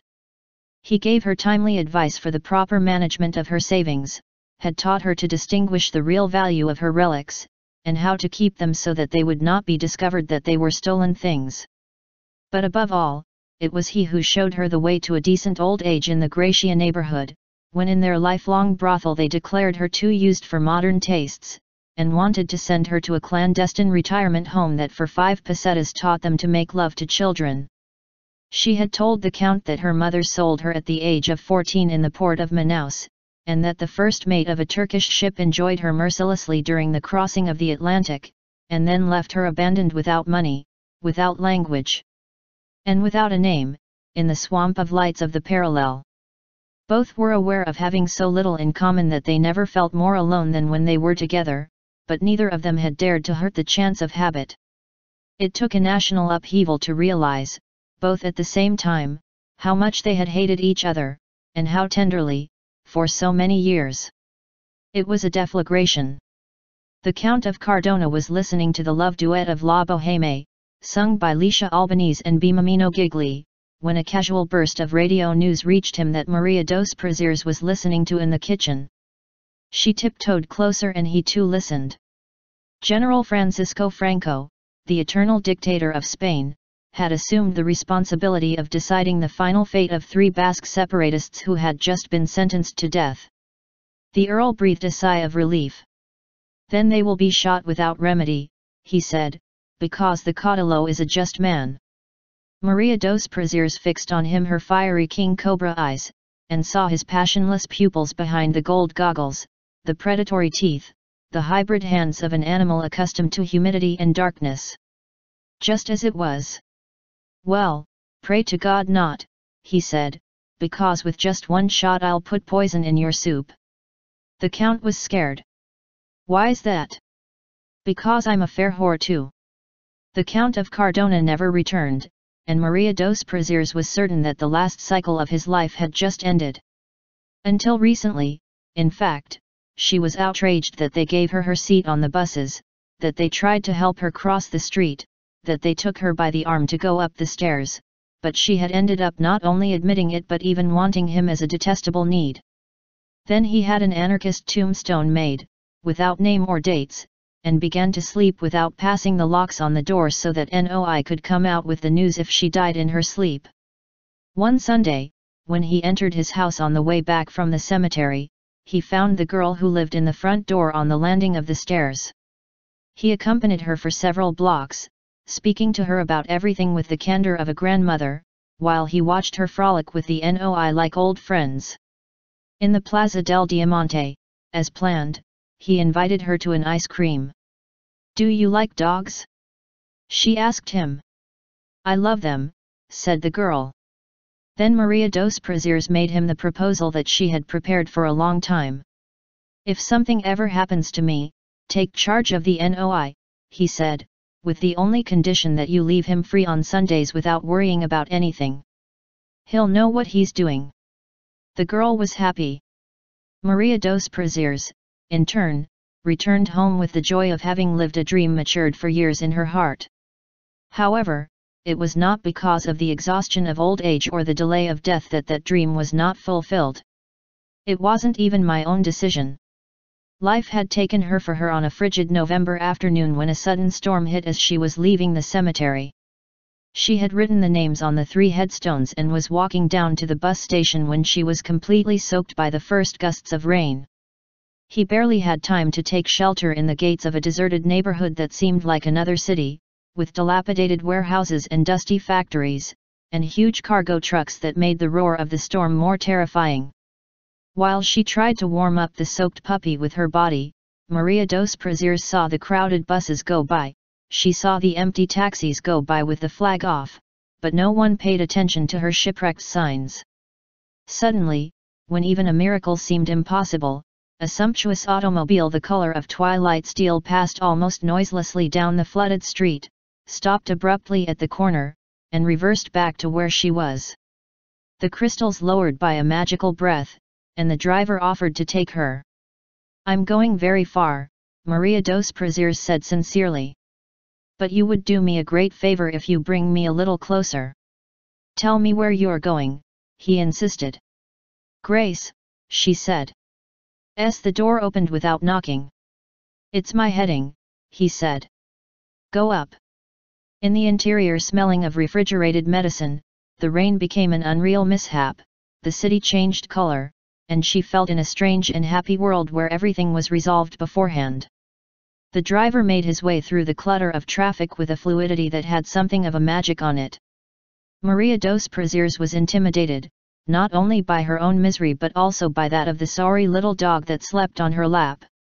This is an ocean liner, he said, because he felt he had to say something worthy. I've never seen anything like it, not even in dreams. Actually, the only bad thing about it is that it's not mine, he said, in difficult Catalan, and after a pause he added in Spanish, my lifetime's salary wouldn't be enough to buy it. I can imagine it, she sighed.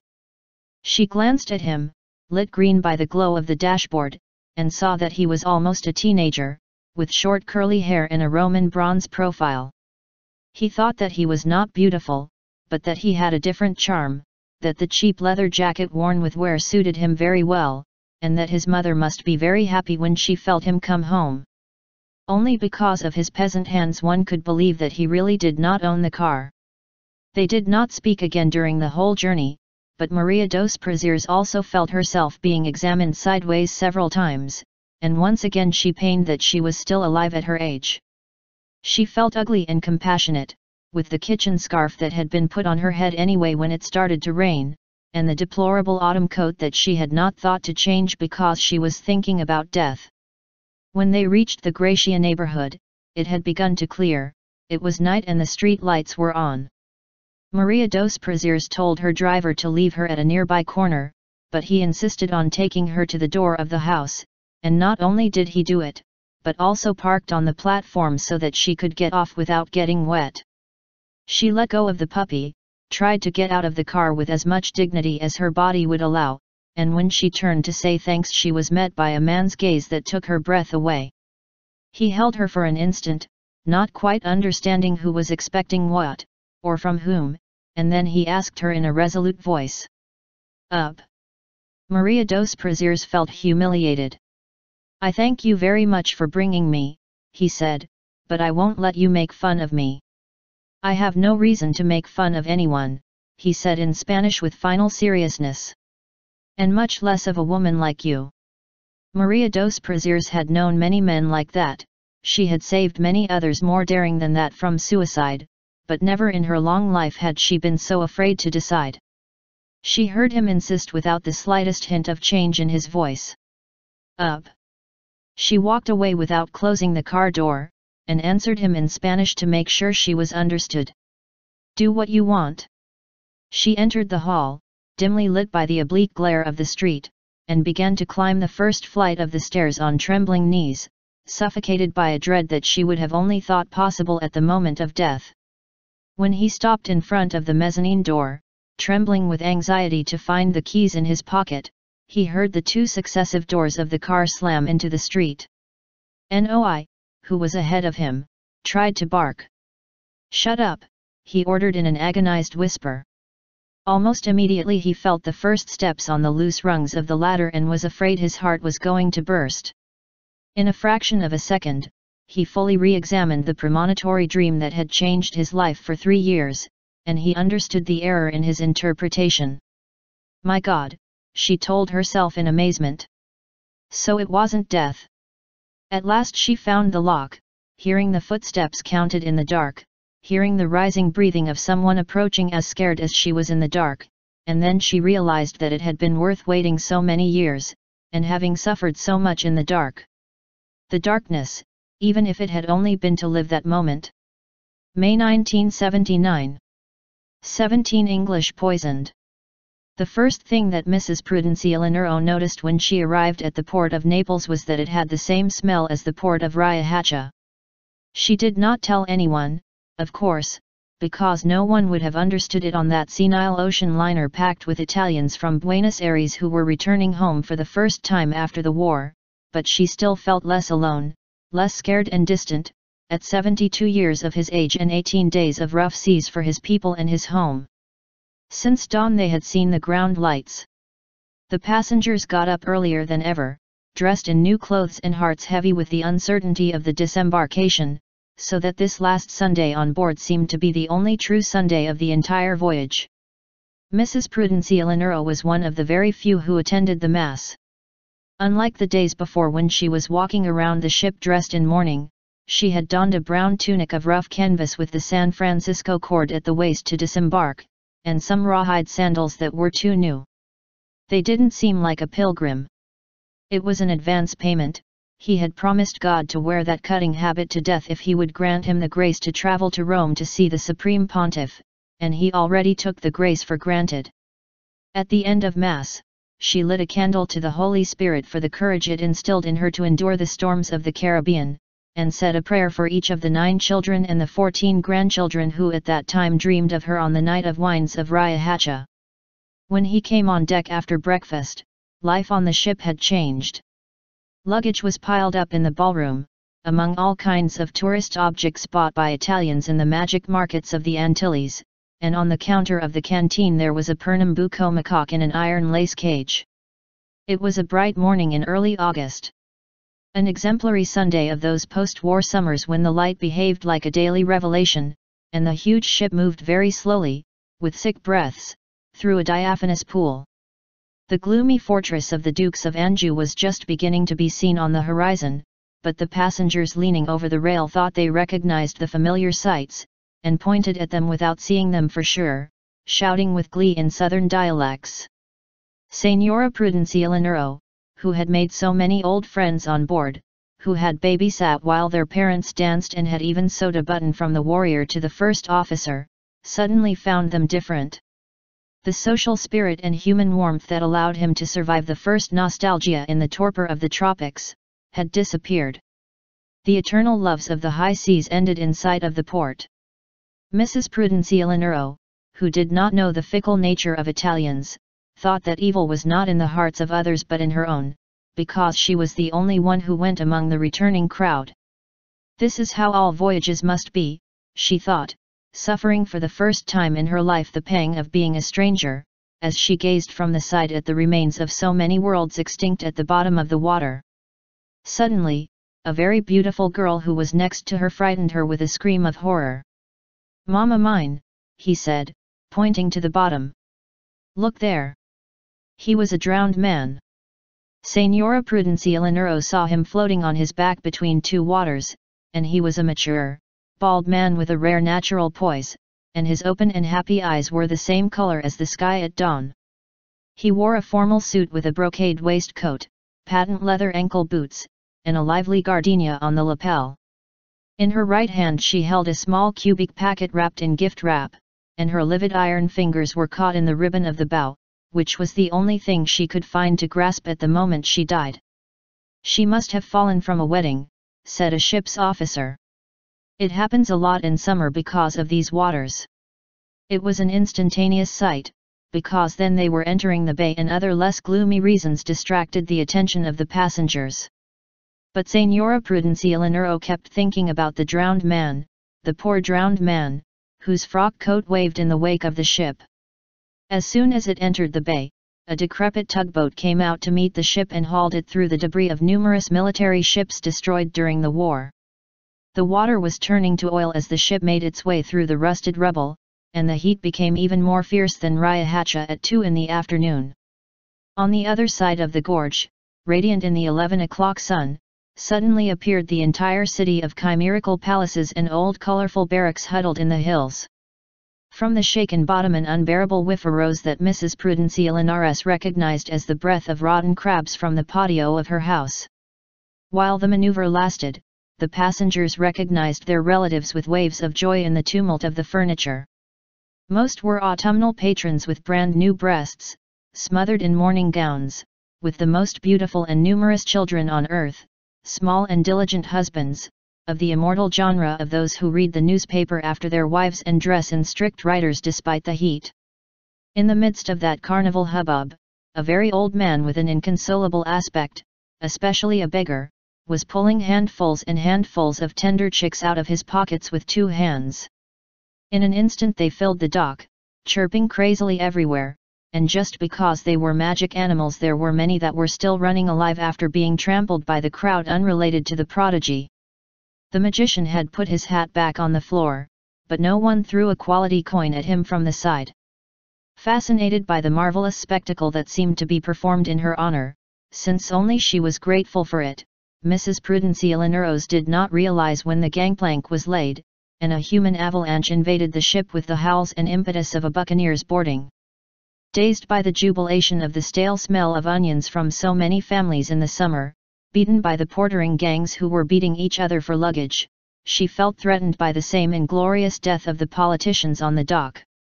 Then she sat on her wooden trunk with painted brass corners, and stood undaunted, praying in a vicious circle of prayers against the temptations and dangers in the lands of the infidels.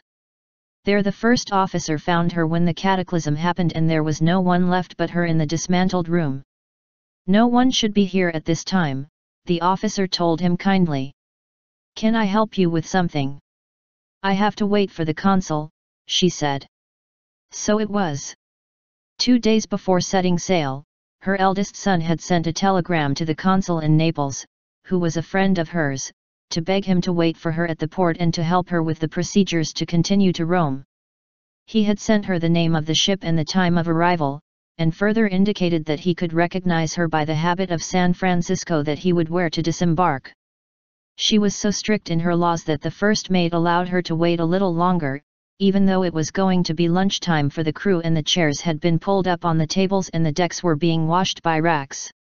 Several times they had to move the trunk so as not to get it wet, but she changed places without flinching, without interrupting the prayers, until they took her out of the recreation rooms and she ended up sitting in the sun among the rescue boats. There the first officer found her again a little before two in the afternoon, drowning in sweat inside her penitent's diving suit, and praying a rosary without hope, because she was terrified and sad and could hardly bear the urge to cry. It's useless if you keep praying, said the officer, without the kindness of the first time. Even God goes on vacation in August. He explained that half of Italy was on the beach at this time, especially on Sundays. The consul was probably not on vacation, due to the nature of his position, but he would certainly not open the office until Monday. The only reasonable thing was to go to a hotel, rest quietly that night, and the next day to call the consulate, whose number was undoubtedly in the directory. So Mrs. Prudencia Linero had to comply with that criterion, and the officer helped her with the immigration and customs procedures and money exchange, and put her in a taxi with the random indication JE that they take her to a decent hotel. The decrepit taxi with the remnants of a hearse staggered through the deserted streets. Mrs. Prudencia Linero thought for a moment that she and the driver were the only living beings in a city of ghosts hanging on wires in the middle of the street, but she also thought that a man who spoke so much, and with such passion, could not have time to hurt a poor lonely woman who had braved the risks of the ocean to see the Pope. At the end of the labyrinth of streets the sea could be seen again. The taxi continued to lurch along a lonely, hot beach where there were numerous small hotels in bright colors. But he did not stop at any of them but went straight to the least attractive, set in a public garden with large palm trees and green benches. The driver put the trunk on the shady sidewalk and, in the face of Mrs. Prudencia Linero's uncertainty, assured her that this was the most decent hotel in Naples. A handsome and kind porter slung the trunk over his shoulder and took care of her. He led her to the makeshift wire net elevator in the stairwell, and began to sing a Puccini aria at the top of his voice and with alarming determination. It was an old nine-story restored building, each with a different hotel. Mrs. Prudencia Linero felt suddenly in an instant hallucinated, stuck in a cage of chickens that climbed very slowly through the center of a stentorian marble staircase, and surprised people inside the houses with their most intimate doubts, with their ripped underpants and their sour burps. On the third floor the elevator stopped with a start, and then the trunk stopped singing, opened the folding diamond door and indicated to Mrs. Prudencia Linero, with a gallant bow, that he was at home. She spotted a languid teenager behind a stained glass inlaid wooden counter in the lobby and shade plants in copper pots. He liked it right away, because it had the same serif loops as his youngest grandson. He liked the name of the hotel with the letters engraved on a bronze plate, he liked the smell of carbolic acid, he liked the hanging ferns, the silence, the golden stripes on the wallpaper. Then he took a step out of the elevator, and his heart sank. A group of English tourists in beach shorts and sandals dozed in a long line of waiting chairs. There were 17 of them, and they were seated in a symmetrical order, as if they were a single one repeated many times in a gallery of mirrors. Mrs. Prudencia Linero saw them without distinguishing them, with a single glance, and the only thing that impressed her was the long row of pink knees, which looked like pigs hanging on the hooks of a butcher's shop. She didn't take another step toward the counter, but staggered back in awe and stepped back into the elevator. Let's go to another floor, he said. This is the only one with a dining room, Signora, said the porter. It doesn't matter, she said. The porter nodded in agreement, closed the elevator, and sang the missing piece of the song to the hotel on the fifth floor. Everything seemed less strict there, and the owner was a spring matron who spoke easy Spanish, and no one took a nap in the armchairs in the lobby. There was indeed no dining room, but the hotel had an agreement with a nearby inn to serve guests at a special price. So Senora Prudencia Linero decided that yes, she was staying for one night, as convinced by the eloquence and sympathy of the owner as by the relief that there were no Englishmen on pink knees sleeping in the hall. The bedroom had the blinds closed at 2 in the afternoon, and the gloom retained the coolness and silence of a secluded forest, and it was good for crying. As soon as she was left alone, Mrs. Prudencia Linero passed the two locks, and urinated for the first time since the morning with a tenuous and difficult drain that allowed her to regain her identity lost during the trip. Then she took off her sandals and the lace of her habit and lay on her heart side on the marriage bed that was too wide and too lonely for her alone, and released the other source of her belated tears. Not only was it the first time she left Riohacha, but one of the few she left home after her children married and left, and she was left alone with two barefoot Indian women caring for her husband's soulless body. Half his life ended in the bedroom in front of the rebel of the only man he had ever loved, and who lay dormant for almost thirty years, lying in the bed of his youthful loves on a goatskin mattress. Last October, the sick man opened his eyes in a sudden flash of lucidity, recognized his people and asked for a photographer to be called. They brought the old man from the park with the huge apparatus with bellows and black sleeve, and the magnesium plate for the domestic photos. The patient himself directed the photos. One for Prudencia, for the love and happiness she gave me in life, he said. They took it with the first flash of magnesium. Now two more for my adored daughters, Prudencita and Natalia, he said. They took them. Another two for my sons, examples of the family for their affection and good judgment, he said. And so on until the paper ran out and the photographer had to go home to restock. At 4 in the afternoon, when it was impossible to breathe in the bedroom because of the magnesium smoke and the tumult of relatives, friends, and acquaintances who came to receive his copies of the portrait, the invalid began to vanish in bed. And he was saying goodbye to everyone with goodbyes, as if erasing himself from the world on the railing of a ship. His death was not the relief everyone expected for the widow. On the contrary, she was so distressed that her children gathered to ask how they could comfort her, and she replied that she wanted nothing more than to go to Rome to meet the Pope. I'm going alone and in the San Francisco habit, she warned them. It is a command. The only pleasant thing that remained of those waking years was the pleasure of crying. On the ship, while she had to share the cabin with two poor Clare sisters who stayed in Marseille, she would linger in the bathroom to cry without being seen. So the hotel room in Naples was the only propitious place she had found to cry at ease since leaving Riohacha. And he would have cried until the next day when the train left for Rome, had it not been for the owner knocking on his door at seven to warn him that if he did not arrive at the inn on time, he would not eat. The hotel employee accompanied her. A cool breeze had begun to blow from the sea, and there were still a few bathers on the beach in the pale seven o'clock sun.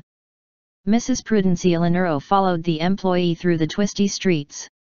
Steep and narrow that were just beginning to wake up from Sunday nap, and he found himself under a shady pergola, where there were dining tables with red checkered tablecloths and jars of pickles improvised like vases of paper flowers. The only diners at that early hour were the servants themselves, and a very poor priest who ate onions with bread in a secluded corner. Upon entering, she felt everyone's gaze for the brown habit, but she did not alter, as she was aware that ridicule was part of penance.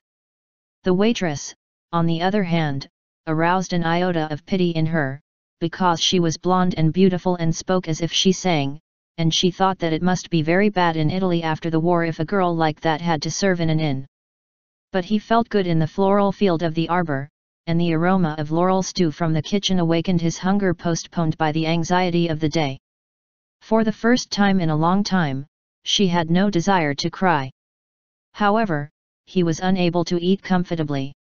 Partly because it was difficult for him to get along with the blonde waitress, even though she was nice and patient, and partly because the only meat there was to eat were some singing birds that were raised in cages in Riohacha houses.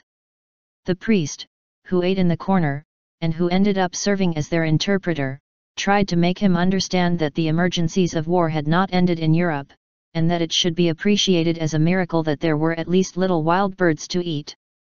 But she rejected them.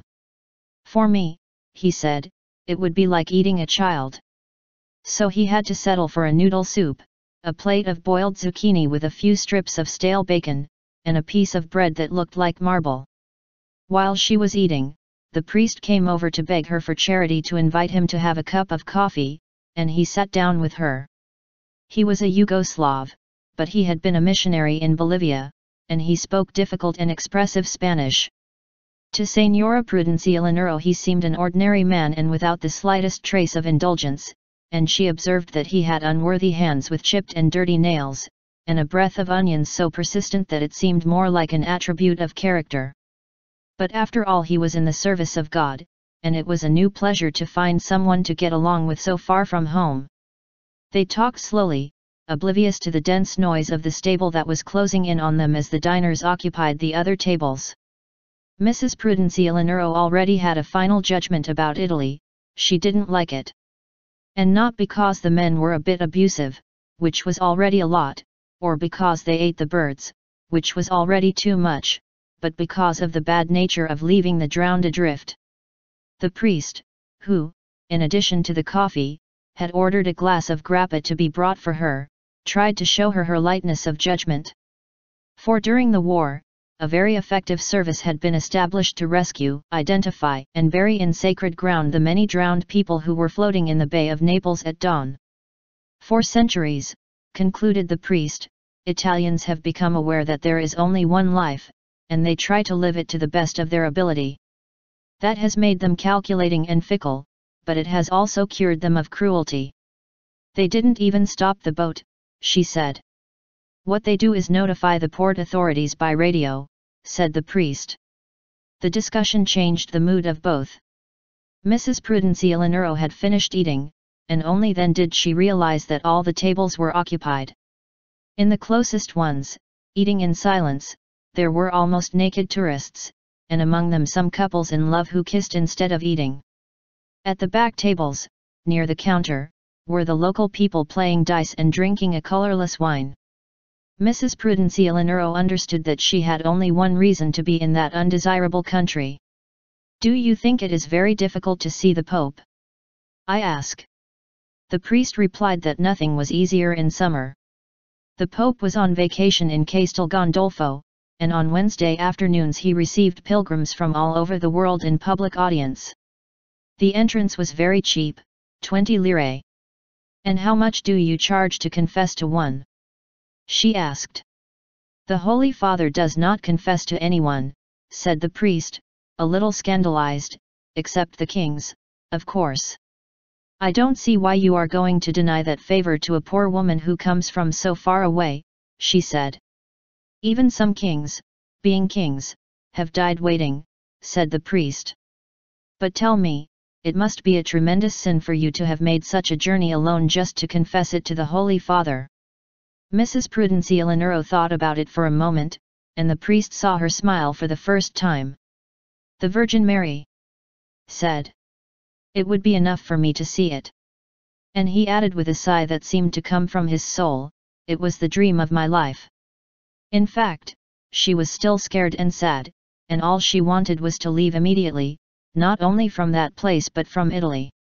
The priest must have thought that this hallucinated woman could not do enough anymore, so he wished her good luck and went to another table to ask for charity that they buy him a coffee. When she left the inn, Mrs. Prudencia Linero found the city changed. She was surprised by the sunlight at nine o'clock at night, and frightened by the raucous crowd that had invaded the streets for the relief of the new breeze. You couldn't live with the firecrackers of so many maddened scooters. They were led by men without shirts, carrying their beautiful women hugging their waists on their haunches, and they wriggled their way through the hanging pigs and the tables of watermelons. The atmosphere was festive, but to Mrs. Prudencia Linero oh, it seemed catastrophic. He lost his way. Suddenly he found himself on an ungodly street with taciturn women sitting at the doors of their identical houses, whose flashing red lights caused him a shudder of dread.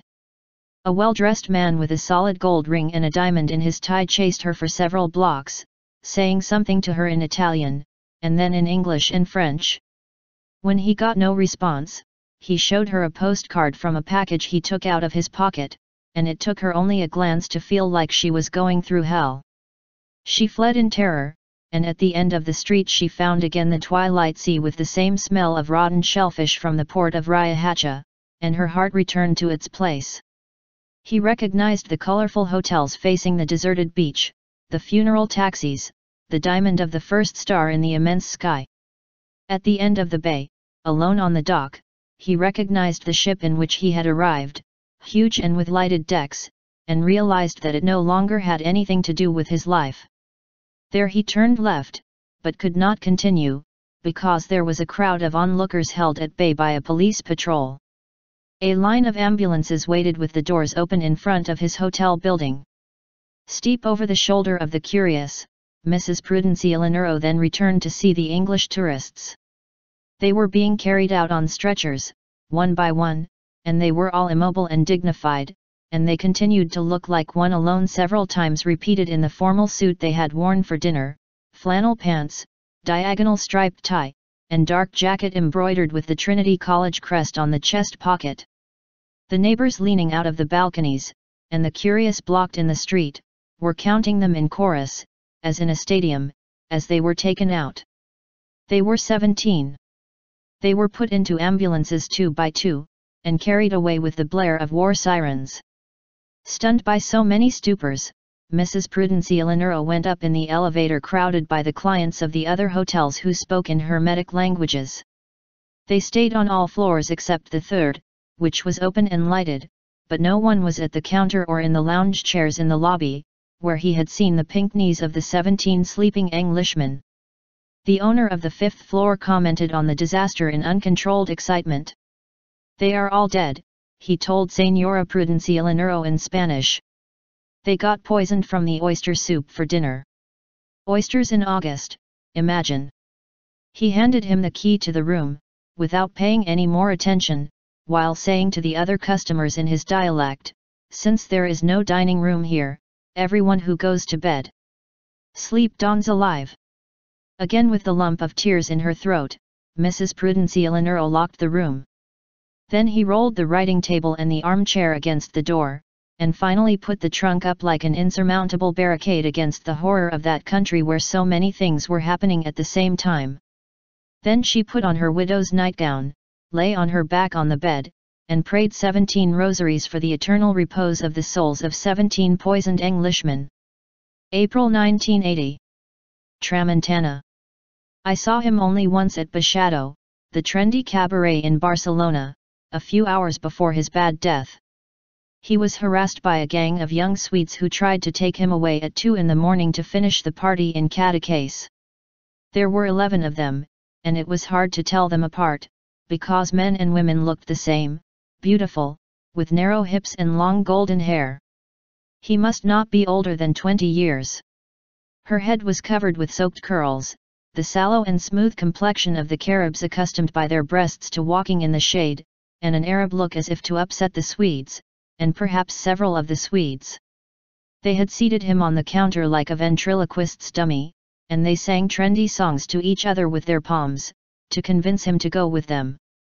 He, terrified, explained his reasons. Someone yelled in to demand that they leave him alone, and one of the Swedes confronted him with a laugh. It's ours, he yelled. We found it in the garbage drawer. I had walked in with a group of friends shortly before after the last concert that David Oistrakh gave at the Palau de la Musica, and my skin crawled with the disbelief of the Swedes. For the boy's motives were sacred. He had lived in Cadaqués until the previous summer, where he was hired to sing songs from the Antilles in a fashionable cantina, until the north wind defeated him. He managed to escape on the second day with the decision never to return, with or without the north wind, certain that if he ever did return, death awaited him. It was a Caribbean certainty that could not be understood by a band of rationalist Nordics, fired up by the summer and by the hard Catalan wines of that time, who sowed wild ideas in the heart. I understood it like nobody else. Cadaqués was one of the most beautiful towns on the Costa Brava, and also the best preserved. This was in part because the access road was a narrow, twisting ledge on the edge of a bottomless abyss, where you had to have a good soul to drive at more than 30 miles per hour. The usual houses were white and low, with the style traditional of the Mediterranean fishing villages. The new ones were built by renowned architects who had respected the original harmony. In summer, when the heat seemed to come from the African deserts across the street, Cadaqués turned into an infernal Babel, with tourists from all over Europe who for three months disputed their paradise with natives and strangers who had been lucky to buy a house at a good price when it was still possible. However, in spring and autumn, which were the times when Cadaqués was most desirable, no one stopped thinking with fear of the north wind, an inclement and tenacious land wind, which, according to the natives and some chaste writers, carries with it the germs of madness. About 15 years ago I was one of its regular visitors, until the north wind was crossed in our lives. I felt it before it arrived, on a Sunday nap time, with the inexplicable omen that something was going to happen. My spirits fell, I felt sad without cause, and I had the impression that my children, then under 10 years old, were following me around the house with hostile glances. The porter came in shortly after with a toolbox and some marine ropes to secure doors and windows, and was not surprised by my prostration.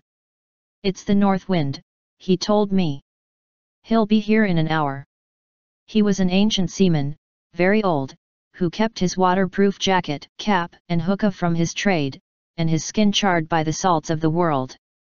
In his free hours he played petanque in the plaza with veterans of several lost wars, and had aperitifs with tourists in the beach taverns, as he had the virtue of making himself understood in any language with his Catalan as a gunner. He prided himself on knowing all the ports on the planet, but no inland city. Not even Paris of France with being what it is, he said. Well, he did not give credit to any vehicle that was not seaworthy. In recent years he had aged suddenly, and had not returned to the streets. He spent most of his time in his porter den, alone in soul, as he always lived. He cooked his own food in a tin and a small alcohol stove, but that was enough to delight us all with the delicacies of Gothic cuisine. From the Don took care of the tenants, floor by floor, and he was one of the most helpful men I have ever met, with the involuntary generosity and harsh tenderness of the Catalans. He spoke little, but his style was direct and accurate. When he had nothing else to do, he spent hours filling out soccer forecast forms that he rarely had he stamped. That day, while he was securing doors and windows in anticipation of the disaster, he spoke to us about the north wind as if it were an abominable woman but without whom his life would be meaningless. I was surprised that a man of the sea would pay such a tribute to an onshore wind. This one is older, he said. It gave the impression that he did not have his year divided into days and months, but rather in the number of times the north wind came. Last year, about three days after the second Tramontana, I had a colic crisis, he once told me. Perhaps that explained his belief that after each Tramontana one was several years older. Such was her obsession that it made us anxious to meet her as a deadly and desirable visit. There was not long to wait. As soon as the doorman left, a whistle was heard that gradually became more acute and intense, and dissolved into a roar of earth tremors. Then the wind started. First in increasingly frequent spaced bursts, until one froze, without a pause, without relief, with an intensity and a fury that had something supernatural about it. Our apartment, contrary to the usual in the Caribbean, was facing the mountain, perhaps due to that rare taste of stale Catalans who love the sea without seeing it. So the wind was hitting us head on and threatening to break the window ties. What most caught my attention was that the weather continued to be of unrepeatable beauty, with a golden sun and an undaunted sky. So much so that I decided to go outside with the children to see the state of the sea. They, after all, had grown up between the earthquakes in Mexico and the hurricanes in the Caribbean, and a wind of more or less did not seem anything to disturb anyone. We tiptoed through the porter's den, and saw him standing in front of a plate of beans and chorizo, gazing out the window at the wind. He didn't see us leave. We managed to walk while we stayed in the shelter of the house, but when we went out to the helpless corner we had to hug a pole so as not to be swept away by the power of the wind. We were like this, admiring the immobile and clear sea in the midst of the cataclysm, until the doorman, helped by some neighbors, came to rescue us. Only then did we convince ourselves that the only rational thing was to stay locked up at home until God wanted. And then no one had the slightest idea when he was going to want it. After two days we had the impression that that terrifying wind was not a telluric phenomenon, but a personal injury that someone was doing against one, and only against one. The porter visited us several times a day, concerned about our mood, and brought us seasonal fruits and alfajores for the children. At lunch on Tuesday he gave us the masterpiece of the Catalan garden, prepared in his kitchen tin, rabbit with snails. It was a party in the midst of horror. Wednesday, when nothing but the wind happened, was the longest day of my life. But it must have been something like the darkness of dawn, because after midnight we all woke up at the same time, overwhelmed by an absolute silence that could only be that of death. Not a leaf moved from the trees on the side of the mountain. So we went out into the street when there was still no light in the doorman's room, and we enjoyed the early morning sky with all its glowing stars, and the phosphorescent sea. Despite the fact that it was less than five o'clock, many tourists enjoyed the relief on the stones of the beach, and began to rig the sailboats after three days of penance. When we left we had not been struck by the fact that the doorman's room was dark. But when we got home the air had the same phosphorescence of the sea, and his den was still off. Surprised, I knocked twice, and seeing that it did not respond, I pushed the door. I think the children saw it first than I did, and they let out a terrified cry. The old porter, with his distinguished navigator insignia pinned to the lapel of his sea jacket, was hanging from the neck on the central beam, still swaying from the last breeze of the north wind. In full convalescence, and with a feeling of anticipated nostalgia, we left town ahead of schedule, with the irrevocable determination never to return. The tourists were on the street again, and there was music in the Veterans Plaza, who barely had the heart to hit the petant bowls. Through the dusty windows of the Maritimo bar we caught a glimpse of some surviving friends, beginning life anew in the radiant spring of the north wind. But all that was already in the past. For this reason, in the sad morning of the sketching, no one understood like I did the terror of someone who refused to return to Cadaqués because he was sure of dying. However, there was no way to dissuade the Swedes, who ended up taking the boy by force with the European pretense of applying a donkey cure to his African tricks. They kicked him into a drunken van, amid the applause and shrieks of the divided clientele, and at that hour they set off on the long journey to Cadaqués. The next morning the phone woke me up. He had forgotten to close the curtains when he returned from the party and had no idea what time it was, but the bedroom was bathed in summer splendor. The anxious voice on the phone, which I did not immediately recognize, woke me up. Do you remember the boy they took to Cadaqués last night? I didn't have to hear any more. Only it was not how I had imagined it, but even more dramatic. The boy, terrified by the imminence of the return, took advantage of a carelessness of the Venatic Swedes and jumped into the abyss from the moving truck, trying to escape an ineluctable death. January 1982 MRS Forbes's Happy Summer In the afternoon, on our way home, we found a huge sea snake stuck by the neck in the doorframe, and it was black and phosphorescent and looked like a gypsy curse, with its eyes still alive and the teeth of a saw in the holes. Jaws lopsided. I was then nine years old, and I felt such intense terror at that appearance of delirium that my voice closed. But my brother, who was two years younger than me, dropped the oxygen tanks, the masks and the swim fins and fled with a cry of horror. Mrs. Forbes heard it from the winding stone staircase that climbed the reefs from the jetty to the house, and it caught up with us, livid and livid, but it was enough to see the crucified animal in the doorway to understand the cause of our death. Rrr. She used to say that when two children are together they are both guilty of what each one does separately, so she reprimanded us both for my brother's screaming, and kept berating us for our lack of dominance.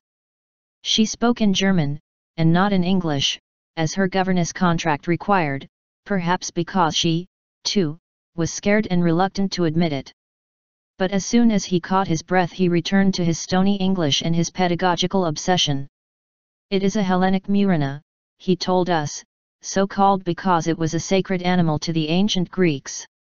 Orest, the native boy who taught us to swim in deep water, suddenly appeared behind the caper bushes. He wore a diver's mask on his forehead, tiny bathing pants and a leather belt with six knives, of different shapes and sizes, since he could not conceive of any other way to hunt underwater than by fighting hand to hand with the animals. He was in his early twenties, spent more time on the seabed than on land, and he himself looked like a sea animal, his body always smeared with engine grease. When she first saw him, Mrs. Forbes had told my parents that a more beautiful human being was impossible to conceive. However, his beauty did not save him from the rigor, he too had to endure a reprimand in Italian for having hung the wall on the door, with no other possible explanation than that of scaring the children. Then Mrs. Forbes ordered me to unpin it with the respect due to a mythical creature and had us get dressed for dinner. We did it immediately and trying not to make a single mistake, because after two weeks under Mrs. Forbes we had learned that nothing was more difficult than living. As we showered in the darkened bathroom, I realized that my brother was still thinking about the wall. He had people's eyes, he told me. I agreed, but I led him to believe otherwise, and managed to change the subject until I finished showering. But when I got out of the shower he asked me to stay to join him. It's still daylight, I told him. I opened the curtains. It was the middle of August, and through the window you could see the burning lunar plain to the other side of the island, and the sun stopped in the sky. That's not why, my brother said. I am afraid of being afraid. By the time we got to the table, however, he seemed calm, and had done things with such care that he deserved a special congratulations from Mrs. Forbes, and two more points on his good score for the week. On the other hand, he deducted two points from the five that I had already earned, because at the last minute I let myself be carried away by the rush and arrived at the dining room with altered breathing. Every 50 points we were entitled to a double portion of dessert, but neither of us had managed to pass the 15 points. It was a shame, really, because we never found more delicious puddings than Mrs. Forbes's. Before starting dinner, we would pray standing in front of the empty plates. Mrs. Forbes was not a Catholic, but her contract stipulated that she make us pray six times a day, and she had learned our prayers to fulfill it. Then the three of us sat down, holding our breath while she checked even the smallest detail of our behavior, and only when everything seemed perfect did she ring the bell. Then Fulvia Flaminia, the cook, would come in with the eternal noodle soup of that abhorrent summer. At first, when we were alone with our parents, the meal was a party. Fulvia Flaminia served us cackling around the table, with a vocation of disorder that brightened life, and in the end she would sit with us and end up eating a little of everyone's dishes. But ever since Mrs. Forbes took over our destiny, she served us in such dark silence that we could hear the gurgling of the boiling soup in the kettle. We dined with our spine resting on the back of the chair, chewing ten times with one cheek and ten times with the other, without taking our eyes off the iron and languid autumn woman, who recited a lesson in civility by heart. It was just like Sunday Mass, but without the comfort of the people singing. The day we found the Murena hanging on the door, Mrs. Forbes told us about our duties towards the country. Fulvia Flaminia, almost floating in the air rarefied by the voice, served us after the soup a charcoal fillet of snow-covered meat with an exquisite smell. For me, who since then preferred fish to anything else to eat on earth or in the sky, that memory of our house in Guacamayal relieved my heart. But my brother rejected the dish without tasting it. I don't like it, he said. Mrs. Forbes interrupted the lesson. You can't know, he said, you haven't even tasted it. He gave the cook an alert look, but it was too late. Murena is the finest fish in the world, my figure, Fulvia Flaminia told him. Try it and you will see. Mrs. Forbes was unperturbed. He told us, with his unforgiving method, that Murena was a delicacy of kings in ancient times, and that warriors disputed its gall because it instilled supernatural courage. Then he repeated to us, as so many times in such a short time, that good taste is not a congenital faculty, but that it is not taught at any age, but that it is imposed from childhood. So there was no valid reason not to eat. I, who had tasted the murena before knowing what it was, was forever left with the contradiction, it had a smooth taste, although a little melancholic, but the image of the serpent nailed to the lintel was more pressing than my appetite. My brother made a supreme effort with the first bite, but he couldn't bear it, he threw up. You go to the bathroom, Mrs. Forbes said quietly, wash yourself well and eat again. I felt great anguish for him, because he knew how hard it was to walk through the entire house with the first shadows and stay alone in the bathroom for the time necessary to wash. But he returned very soon, in another clean shirt, pale and scarcely shaken by a hidden tremor, and he withstood the severe examination of his cleanliness very well. Then Mrs. Forbes carved a piece of the murena, and gave the order to continue. I barely had a second bite. My brother, on the other hand, didn't even take the silverware. I'm not going to eat it, he said. Her determination was so obvious that Mrs. Forbes dodged it. Okay, he said, but you won't have dessert. My brother's relief gave me courage. I crossed the silverware on the plate, just as Mrs. Forbes taught us what to do when finished, and said. I won't have dessert either. They won't even watch television, she replied. We won't even watch TV, I said. Mrs. Forbes put the napkin on the table, and the three of us got up to pray. Then she sent us to the bedroom, with the warning that we should fall asleep in the same amount of time as she needed to finish eating. All our good points were cancelled, and only after 20 we would again enjoy their cream cakes, their vanilla cakes, their exquisite plum cakes, as we would not know others in the rest of our lives. Sooner or later we had to reach that break. For a whole year we had looked forward to that free summer on the island of Pantellaria, at the southern tip of Sicily, and it had really been during the first month that our parents were with us. I still remember like a dream the solar plain of volcanic rocks, the eternal sea, the house painted with quicklime, even the sardine trees, from whose windows the luminous blades of the African lighthouses could be seen in the windless nights. Exploring with my father the sleeping bottoms around the island we had discovered a string of yellow torpedoes, stranded since the last war, we had rescued a Greek amphora almost a meter high, with petrified garlands, at the bottom of which lay the embers of an immemorial and poisonous wine, and we had bathed in a steaming pool, whose waters were so dense that you could almost walk on them. But the most dazzling revelation for us had been Flaming Fulvia. He seemed like a happy bishop, and he always walked with a round of sleepy cats that made it difficult for him to walk, but she said that she did not put up with them out of love, but to prevent them from being eaten by rats. At night, while our parents watched adult programs on television, Fulvia Flaminia took us with her to her house, less than a hundred meters from ours, and taught us to distinguish remote ramblings, songs, bursts of crying from the wines of Tunisia. Her husband was too young a name for her, who worked during the summer in the tourist hotels at the other end of the island, and only came home to sleep. Orest lived with his parents a little further afield, always turning up at night with strings of fish and baskets of freshly caught lobsters, and hanging them in the kitchen for Fulvia Flaminia's husband to sell in the hotels the next day.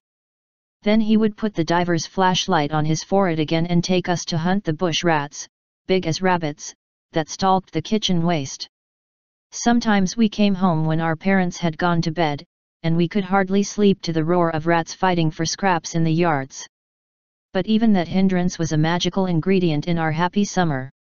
The decision to hire a German governess could only occur to my father, who was a Caribbean writer with more pretense than talent. Dazzled by the ashes of the glories of Europe, he always seemed too eager to have his origins forgiven, both in books and in real life, and had set himself the fantasy that no vestige of his own past would remain in his children.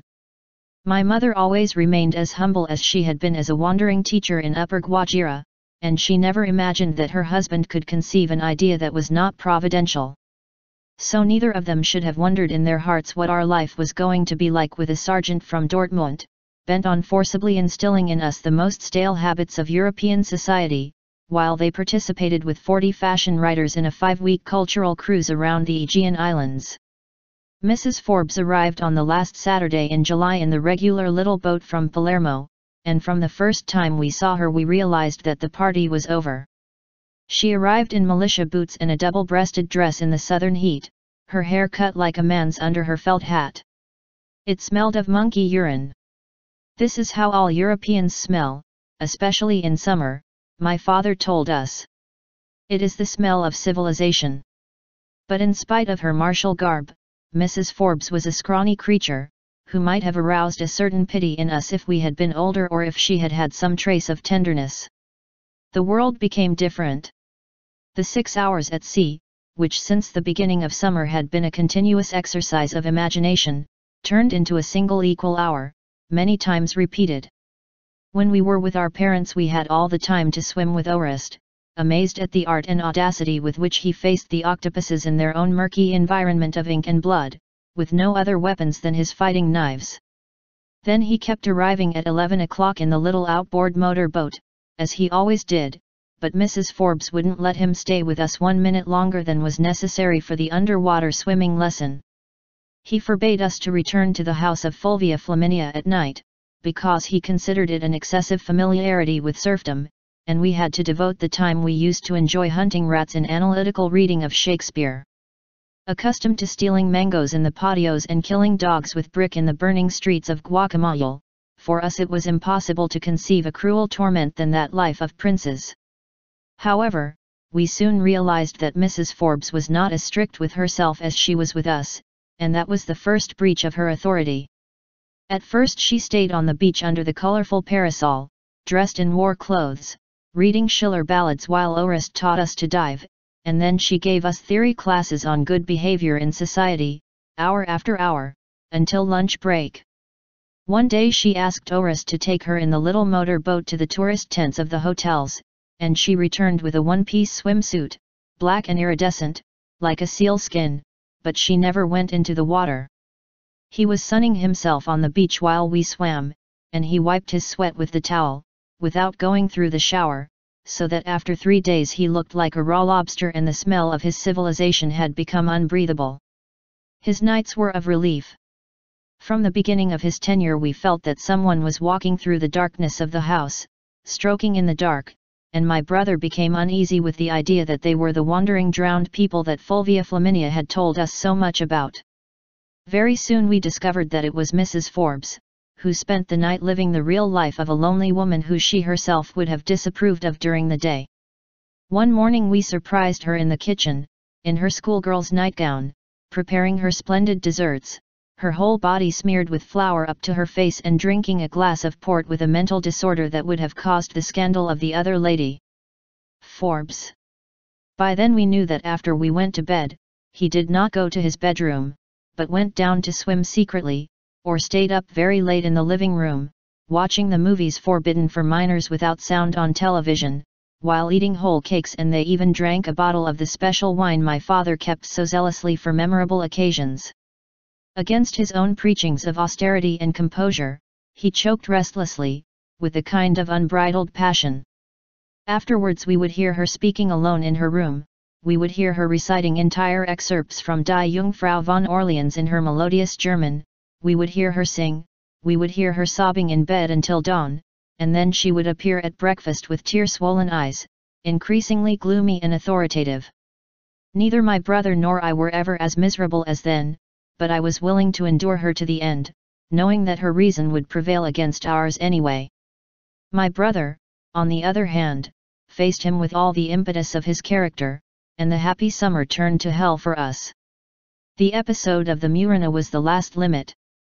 That same night, as we listened to the incessant bustle of Mrs. Forbes in the sleeping house from our beds, my brother suddenly let go of all the burden of resentment that was rotting in his soul. I'm going to kill her, he said. I was surprised, not so much by his decision, as by the chance that I had been thinking the same thing since dinner.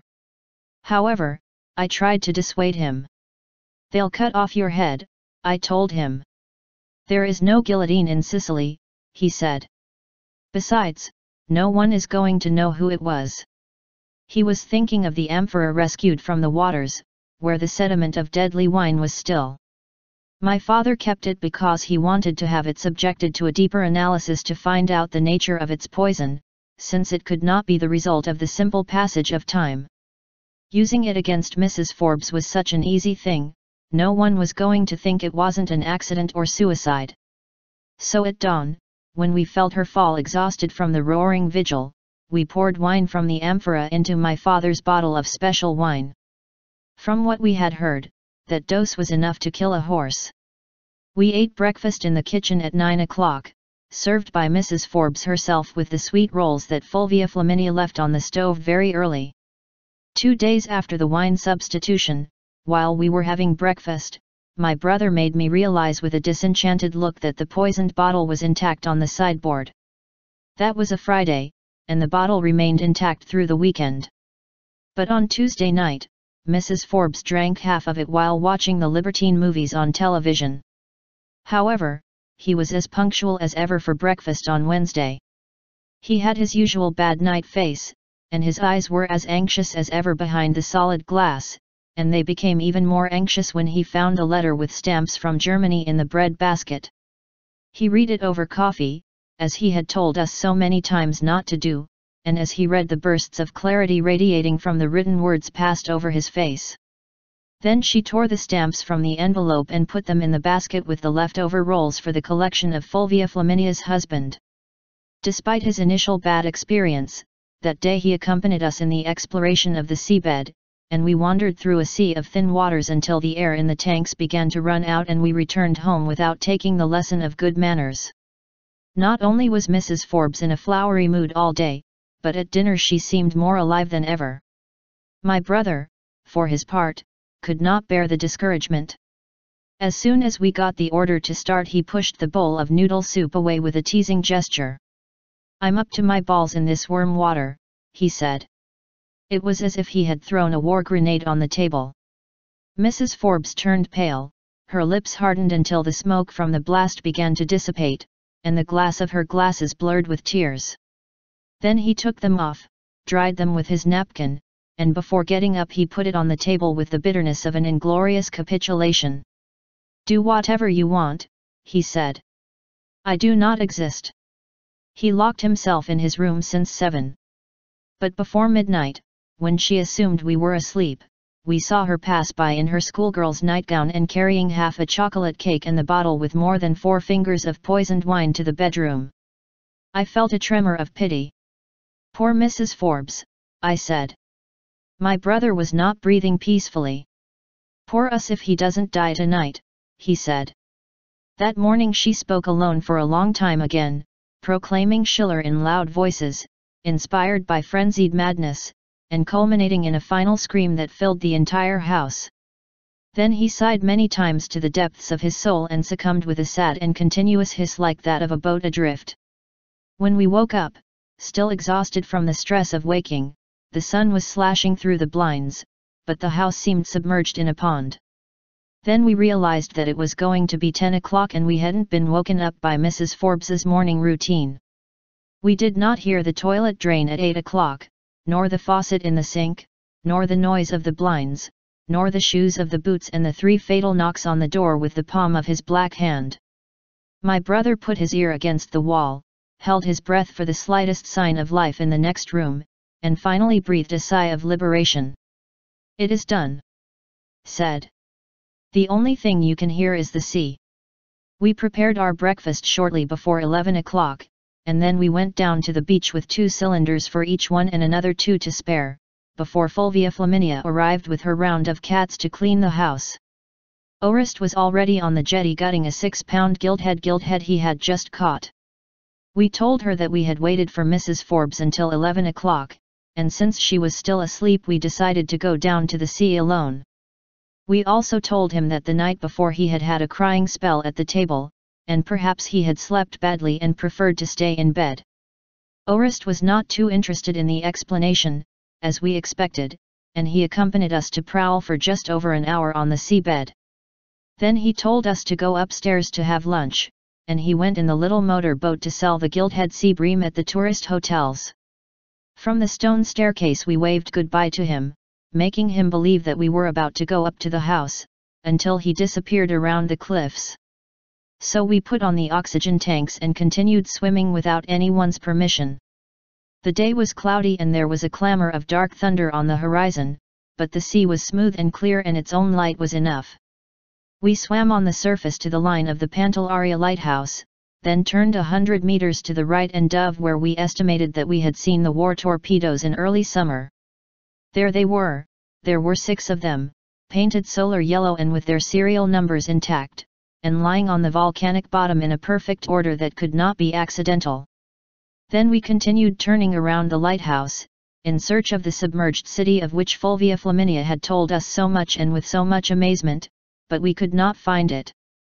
After two hours, convinced that there were no new mysteries to discover, we surfaced with the last sip of oxygen. A summer storm had come down as we were swimming, the sea was rough, and a crowd of butcher birds fluttered with ferocious shrieks over the trail of dying fish on the beach. But the afternoon light seemed just done, and life was good without Mrs. Forbes.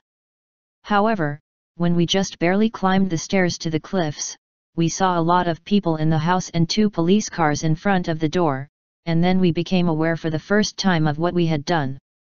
My brother was shaken and tried to go back. I'm not going in, he said. I, on the other hand, had the confused inspiration that just by seeing the corpse we would be safe from all suspicion. Take it easy, I said. Take a deep breath, and think only one thing, we don't know anything. Nobody paid attention to us. We left the tanks, masks and fins in the portal, and entered through the side gallery, where two men were sitting smoking on the ground next to a field stretcher. Then we realized that there was an ambulance at the back door and several soldiers armed with rifles. In the living room, the women of the neighborhood prayed in dialect seated in the chairs that had been put against the wall, and their men were huddled in the patio talking about anything that had nothing to do with death. I tightened my grip on my brother's hand, which was hard and cold, and we stepped into the home through the back door. Our bedroom was open and in the same state we left it in the morning. In Mrs. Forbes's, which was next, there was an armed policeman controlling the entrance, but the door was open. We peeked inside with heavy hearts, and we barely had time to do so when Fulvia Flaminia stormed out of the kitchen and shut the door with a cry of horror. For the love of God, Figlioli, don't see her. It was late. Never, in the rest of our lives, were we to forget what we saw in that fleeting moment. Two men in plain clothes were measuring the distance from the bed to the wall with a tape measure, while another took pictures with a black blanket camera like those taken by park photographers. Mrs. Forbes was not on the rumpled bed. She was lying on her side on the floor, naked in a pool of dried blood that had completely stained the floor of the room, and her body was sifted with stab wounds. There were 27 fatal injuries, and from the amount and the severity it was obvious that they had been struck with the fury of a love without rest, and that Mrs. Forbes had received them with the same passion, without even crying out, without crying, reciting Schiller in his beautiful soldier's voice, aware that it was the inexorable price of his happy summer. The light is like water. At Christmas the children again asked for a rowboat. Okay, Dad said, we'll buy it when we get back to Cartagena. Nine-year-old Toto and seven-year-old Joel were more determined than their parents realized. No, they said in chorus. We need now and here. To begin with, said the mother, there is no more navigable water here than the one coming out of the shower. Both she and her husband were right. In the house in Cartagena de Indias there was a patio with a dock over the bay, and a shelter for two large yachts. On the other hand, here in Madrid they lived crammed together on the fifth floor of number 47 of Paseo de la Castellana. But in the end neither he nor she could refuse, because they had been promised a rowboat with its sextant and compass if they won the laurel of the third year of primary school, and they had earned it. So the dad bought everything without saying anything to his wife, who was the most reluctant to pay gambling debts. It was a beautiful aluminum boat with a golden thread on the waterline. The boat is in the garage, Dad revealed at lunch. The problem is that there is no way to get it up either by elevator or by stairs, and there is no more space available in the garage. However, the following Saturday afternoon the children invited their classmates to take the boat up the stairs, and they managed to take it to the utility room. Congratulations, said the father. Now what?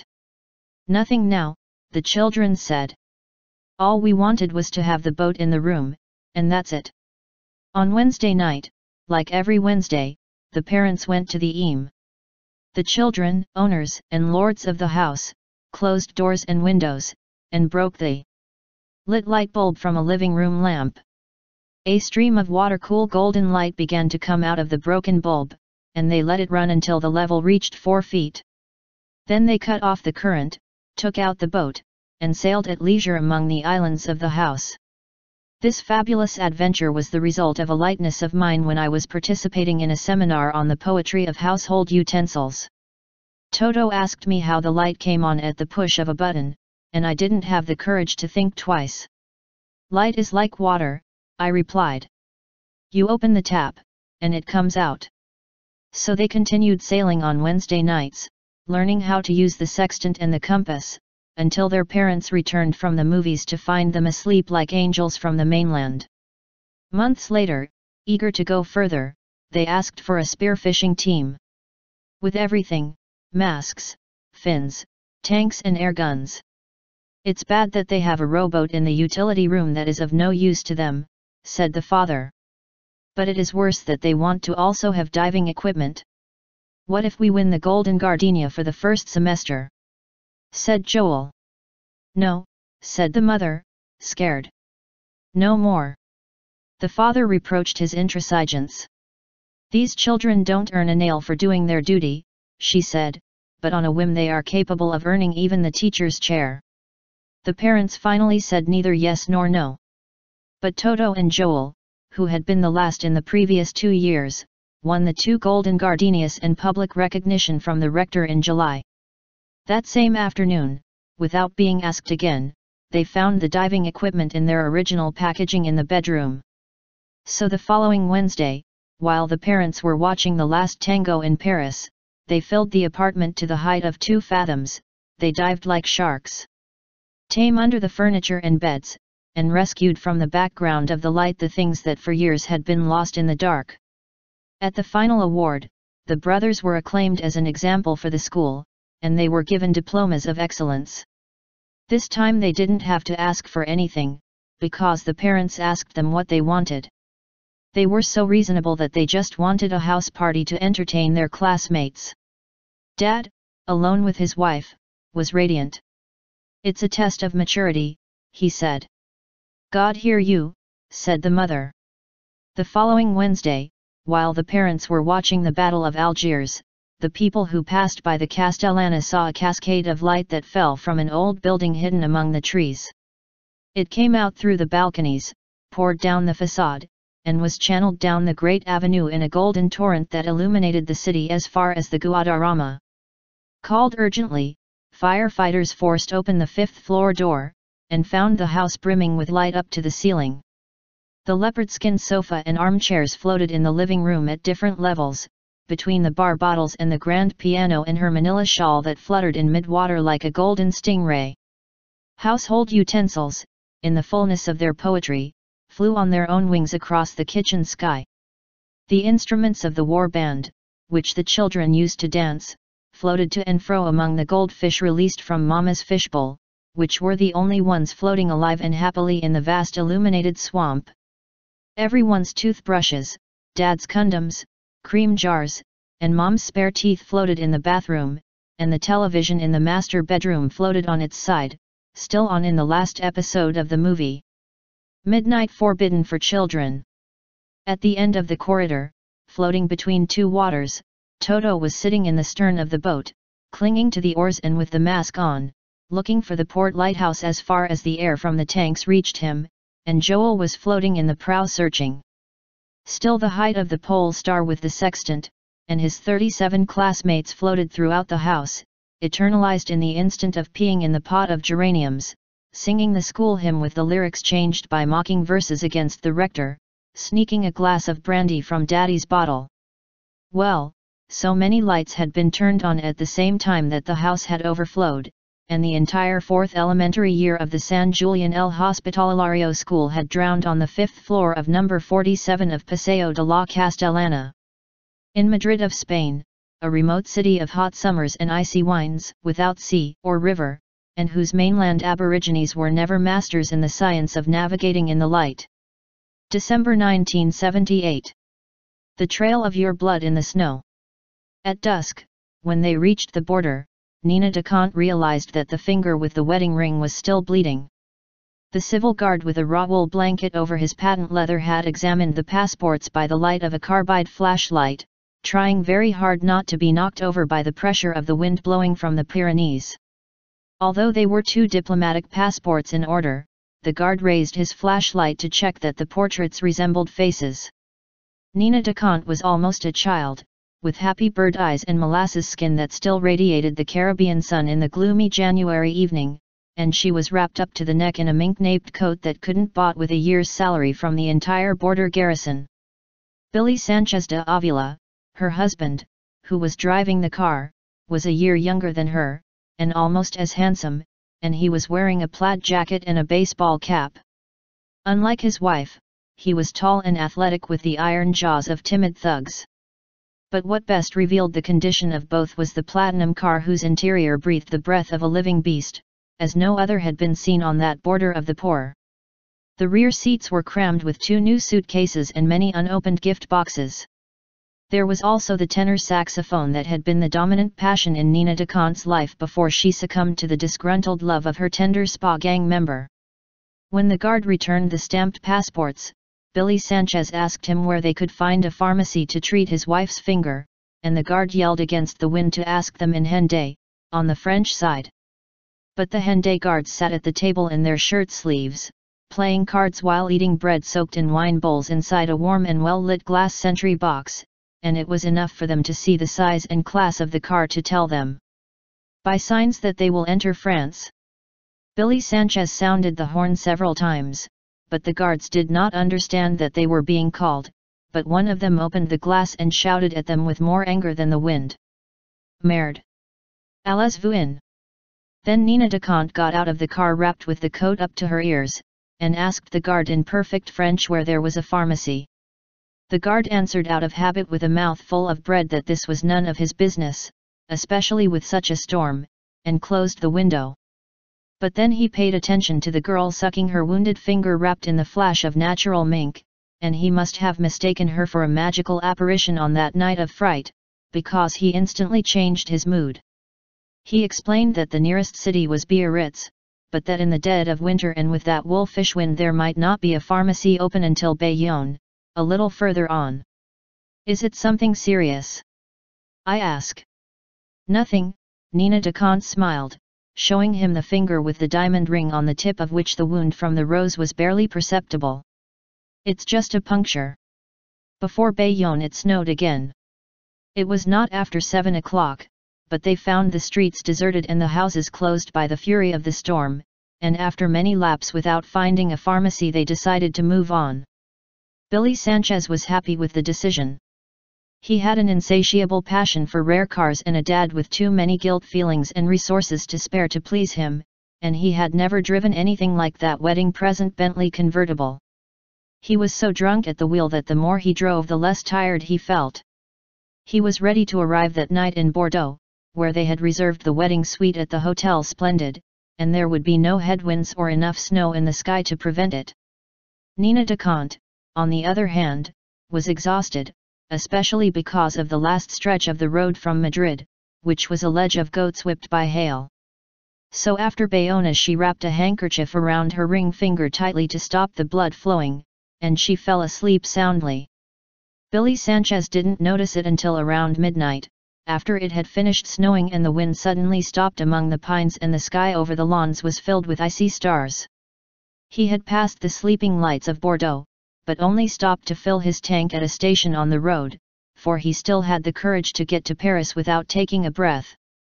She was so happy with her 25,000 pounds large toy that she didn't even wonder if the radiant creature that slept beside her in the blood-soaked ring band, and whose teenage dream, for the first time, was traversed by bursts of uncertainty. They had been married three days before, 10,000 kilometers from there, in Cartagena de Indias, to the amazement of his parents and the disappointment of hers, and the personal blessing of the Archbishop Primate. No one, except themselves, understood the real foundation or knew the origin of this unpredictable love. It had started three months before the wedding, on a Sunday at sea when Billy Sanchez's gang stormed the women's locker rooms of the Marbella spas. Nina Daconte had just turned 18, had just returned from the Châtellenie boarding school in St. Blaise, Switzerland, speaking four languages without an accent and with a masterful command of the tenor saxophone, and this was her first Sunday at sea since her return. She had stripped completely to put on her bathing suit when the stampede of panic and shouts of boarding began in the neighboring booths, but she did not understand what was happening until the knocker on her door splintered and saw the man standing in front of her. Most beautiful bandit that could be conceived. The only thing she was wearing was a linear boxer shorts of faux leopard skin, and she had a gentle, springy body and the golden color of a seafarer. In his right fist, where he had a metal Roman gladiator's slave, he wore an iron chain wound that served him as a deadly weapon, and he had a medal without a saint hanging around his neck that beat silently with the fright of his heart. They had been together in elementary school and had broken many pinatas at birthday parties, since both belonged to the provincial lineage that had managed the fate of the city at their discretion since colonial times, but they had stopped seeing each other for so many years that they were not recognized at first glance. Nina Daconte stood motionless, doing nothing to hide her intense nudity. Billy Sanchez then carried out his puerile ritual, he lowered his leopard briefs and showed him his upright, respectable animal. She looked straight at him without astonishment. I've seen them bigger and firmer, he said, mastering his terror. So think carefully about what you are going to do, because with me you have to behave better than a black man. In reality, Nina Daconte was not only a virgin, she had never seen a naked man before, but the challenge proved effective. The only thing Billy Sanchez could think of was to throw a fist of rage against the wall with the chain wound in his hand, splintering his bones. She drove him to the hospital, helped him cope with his convalescence, and in the end they learned together to make love the good way. They spent the difficult June afternoons on the interior terrace of the house where six generations of Nina Daconte's family had died, she playing fashionable songs on the saxophone, and he, with his hand in a cast, gazing at her from the hammock with a blank amazement. Relief. The house had numerous full-length windows overlooking the bay's rotting pool, and it was one of the largest and oldest in the manga neighborhood, and certainly the ugliest. But the checkered tile terrace where Nina Daconte played the saxophone was a haven in the four o'clock heat, and it overlooked a large shady courtyard with mango sticks and banana bushes, under which was a grave with a nameless slab. Prior to the house and the memory of the family. Even the least knowledgeable in music thought that the sound of the saxophone was anachronistic in a house of such ancestry. Sounds like a ship, Nina Daconte's grandmother had said when she first heard it. His mother had tried in vain to get him to touch him in a different way, and not the way she did for comfort, with her skirt pulled up to her thighs and her knees parted, and with a sensuality that did not seem essential to music. I don't care what instrument you play, he would tell her, as long as you play it with your legs closed. But it was those airs of goodbyes from ships and that fierce love that allowed Nina Daconte to break the bitter shell of Billy Sanchez. Beneath the sad reputation of brute that he had very well sustained by the confluence of two illustrious surnames, she discovered a scared and tender orphan. They got to know each other so much while the bones of his hand were being welded that he himself was amazed at the fluidity with which love happened when she took him to her maiden's bed one rainy afternoon when they were alone in the house. Every day at that time, for almost two weeks, they frolicked naked under the astonished gaze of the portraits of civil warriors and insatiable grandmothers who had preceded them in the paradise of that historic bed. Even in the pauses of love, they remained naked with the windows open, breathing in the breeze from the rubble of ships in the bay, the smell of shit, and listening in the silence of the saxophone to the daily noises of the patio, the unique note of the toad under the bushes of banana, the drop of water on the grave of no one, the natural steps of life that they had not had time to know before. When Nina Daconte's parents returned home, they had progressed so much in love that the world could no longer reach them for anything else, and they did it at any time and anywhere, trying to invent it again each time they did it. At first they did the best they could in the sports cars with which Billy Sanchez's father tried to appease his own guilt. Later, when the cars became too easy for them, they would sneak into the deserted huts of Marbella at night where fate had confronted them for the first time, and they even hid in disguises during the November carnival in the rental rooms of the old neighborhood. Of slaves from Getsemaní, under the protection of the Mama Santos that until a few months ago had to suffer Billy Sanchez with his gang of chain workers. Nina Daconte indulged in furtive loves with the same frenzied devotion she used to squander on the saxophone, to the point that her tame bandit came to understand what she meant when she told him that he had to behave like a black man. Billy Sanchez responded to him always and well and with the same joy. Once married, they fulfilled the duty of loving each other while the flight attendants slept in the middle of the Atlantic, locked up with difficulty and more dead with laughter than with pleasure in the airplane toilet. Only they knew then, 24 hours after the wedding, that Nina Daconte had been pregnant for two months so when they arrived in Madrid they felt a long way from being two satisfied lovers, but they had enough reserves to behave like pure newlyweds. Both parents had planned everything. Before disembarking, a protocol officer went up to the first-class cabin to bring Nina de Daconte the white mink coat with luminous black stripes, which was her parents' wedding gift. He brought Billy Sanchez a lamb jacket that was the novelty of that winter, and the unbranded keys to a surprise car waiting for him at the airport. The diplomatic mission of his country received him in the official hall. The ambassador and his wife were not only longtime friends of their family, but he was the doctor who had attended the birth of Nina Daconte, and he waited for her with a bouquet of roses so radiant and fresh that even the dewdrops they seemed artificial. She greeted them both with mocking kisses, uncomfortable with her slightly premature newlywed status, and then received the roses. As he picked them up, he pricked his finger on a thorn on the stem, but he dodged the mishap with a charming resource. I did it on purpose, he said, so they would notice my ring. Indeed, the entire diplomatic mission admired the splendor of the ring, which must have cost a fortune, not so much for the class of diamonds as for its well-preserved age. But no one warned that the finger began to bleed. Everyone's attention then shifted to the new car. The ambassador had had the good humor to take him to the airport and have him wrapped in cellophane with a huge gold bow. Billy Sanchez didn't appreciate his wit. He was so eager to see the car that he tore the wrapping off in one go and gasped. It was that year's Bentley convertible with real leather upholstery. The sky looked like a blanket of ash, the Guadarrama was blowing a biting and icy wind, and it wasn't good out in the open, but Billy Sanchez still didn't have the notion of cold.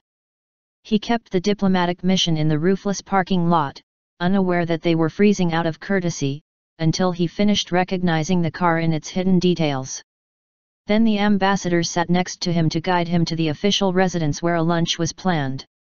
Along the way, he pointed out the best known places in the city, but he only seemed attentive to the magic of the car. It was the first time he had left his land. He had gone through all the private and public schools, always repeating the same course, until he was floating in a limbo of heartbreak. The first sight of a city other than his own, the ashen blocks of houses with the lights on in the middle of the day, the bare trees, the distant sea, everything was increasing a feeling of helplessness that he struggled to keep out of the heart. However, shortly thereafter, he inadvertently fell into the first forgetfulness trap. An instant and silent storm had set in, the first of the season, and when they left the ambassador's house after lunch to set out for France, they found the city covered in radiant snow. Billy Sanchez then forgot about the car, and in the presence of everyone, shouting with joy and throwing handfuls of snow powder on his head, rolled in the middle of the street with his coat on. Nina Daconte noticed for the first time that her finger was bleeding when they left Madrid on an afternoon that had become clear after the storm. He was surprised, because he had accompanied the ambassador's wife on the saxophone, who liked to sing opera arias in Italian after official lunches, and he hardly noticed the discomfort on the ring finger. Later, while she was showing her husband the shortest routes to the border, she unconsciously sucked her finger every time it bled, and only when they reached the Pyrenees did she think of looking for a pharmacy. Then he succumbed to the overdue dreams of the past few days, and when he awoke suddenly with the nightmare impression that the car was driving through the water, he did not remember for a long time the handkerchief tied around his finger. He saw in the luminous clock on the board that it was after three, did his mental calculations, and only then did he realize that they had gone on a long way through Bordeaux, and also through Angoulême and Poitiers, and were passing the Loire dike flooded by the floodwaters. The moonlight filtered through the haze, and the castles among the pines looked like fairy tales. Nina de Daconte, who knew the region by heart, calculated that they were already about three hours from Paris, and Billy Sanchez remained undaunted at the wheel. You are a savage, she told him. You have been driving for more than 11 hours without eating anything. He was still held in suspense by the drunkenness of the new car. Despite the fact that he had slept little and badly on the plane, he felt awake and with the strength to spare to reach Paris at dawn. I still have lunch at the embassy, he said. And he added without any logic. After all, in Cartagena they are barely leaving the cinema. It must be about 10 o'clock. Still, Nina de Daconte was afraid that he would fall asleep while driving. He opened a box among the many gifts that had been given to them in Madrid and tried to put a piece of sugar orange in his mouth. But he dodged her. Males don't eat sweets, he said. Shortly before Orleans the haze lifted, and a very large moon illuminated the snow-covered fields, but the traffic was made more difficult by the confluence of the huge trucks of vegetables and wine tanks heading to Paris. Nina Daconte would have wanted to help her husband on the wheel, but she didn't even dare to suggest it, because he had warned her from the first time they went out together that there is no greater humiliation for a man than to be led by his wife. She felt lucid after almost five hours of good sleep, and she was also glad that she had not stopped at a hotel in the province of France, which she had known from a very young age on numerous trips with her parents. There are no more beautiful landscapes in the world, he said, but you can die of thirst without finding anyone to give you a free glass of water. So convinced was she that at the last minute she had put a soap and a roll of toilet paper in her handbag, because there was never soap in hotels in France, and the toilet paper was the newspapers from the previous week cut into squares and hanging from a hook. The only thing she regretted at that moment was having wasted an entire night without love. Her husband's reply was immediate. Right now I was thinking it must be the hell to throw in the snow, he said. Right here, if you want. Nina Daconte thought it seriously. At the roadside, the snow under the moon looked soft and warm, but as they neared the suburbs of Paris the traffic was heavier, and there were lighted factory clusters and many workers on bicycles. If it hadn't been winter, they would already be in broad daylight. Better wait until Paris, said Nina Daconte. Very warm and in a bed with clean sheets, like married people. This is the first time you've failed me, he said. Sure, she replied. It's the first time we're married. Shortly before dawn they washed their faces and urinated in a diner on the road, and drank coffee and hot croissants at the counter where the truckers had breakfast with red wine. Nina Daconte had noticed in the bathroom that she had blood stains on her blouse and skirt, but she did not try to wash them. He threw the soaked handkerchief in the trash, changed the wedding ring for his left hand, and washed his injured finger thoroughly with soap and water the puncture was almost invisible. However, as soon as they got back to the car it bled again, so that Nina Daconte left her arm hanging outside the window, convinced that the icy air of the fields had the qualities of cautery. It was another futile recourse, but he still hasn't been alarmed. If someone wants to find us, it will be very easy, he said with his natural charm. You will only have to trace my blood in the snow. Then he thought better of what he had said, and his face blossomed in the first light of dawn. Imagine, he said, a trail of blood in the snow from Madrid to Paris. Isn't that beautiful for a song? He didn't have time to think again. In the suburbs of Paris, the finger was an irrepressible spring, and she really felt that her soul was draining from the wound. He had tried to mow the flow with the roll of toilet paper in his briefcase, but it took longer to bandage his finger than to throw the bloody strips of paper out the window. The clothes she was wearing, the coat, the car seats, were getting soaked little by little, but irreparably.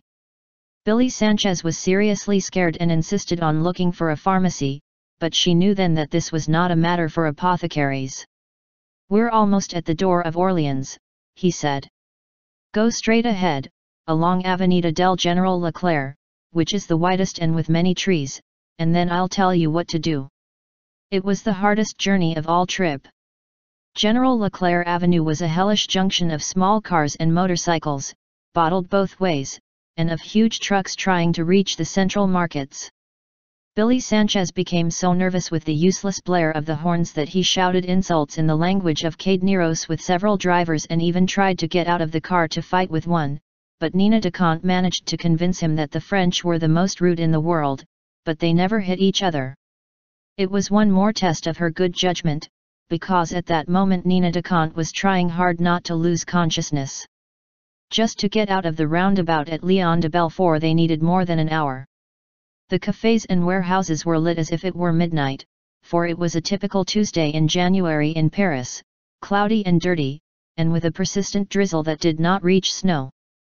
But Denfert-Rochereau Avenue was clearer, and after a few blocks Nina Daconte directed her husband to turn right, and parked in front of the emergency entrance of a huge and shady hospital. She needed help getting out of the car, but she didn't lose her composure or clarity. While the doctor on duty arrived, lying on the rolling stretcher, she answered the nurse a routine questionnaire about her identity and health history.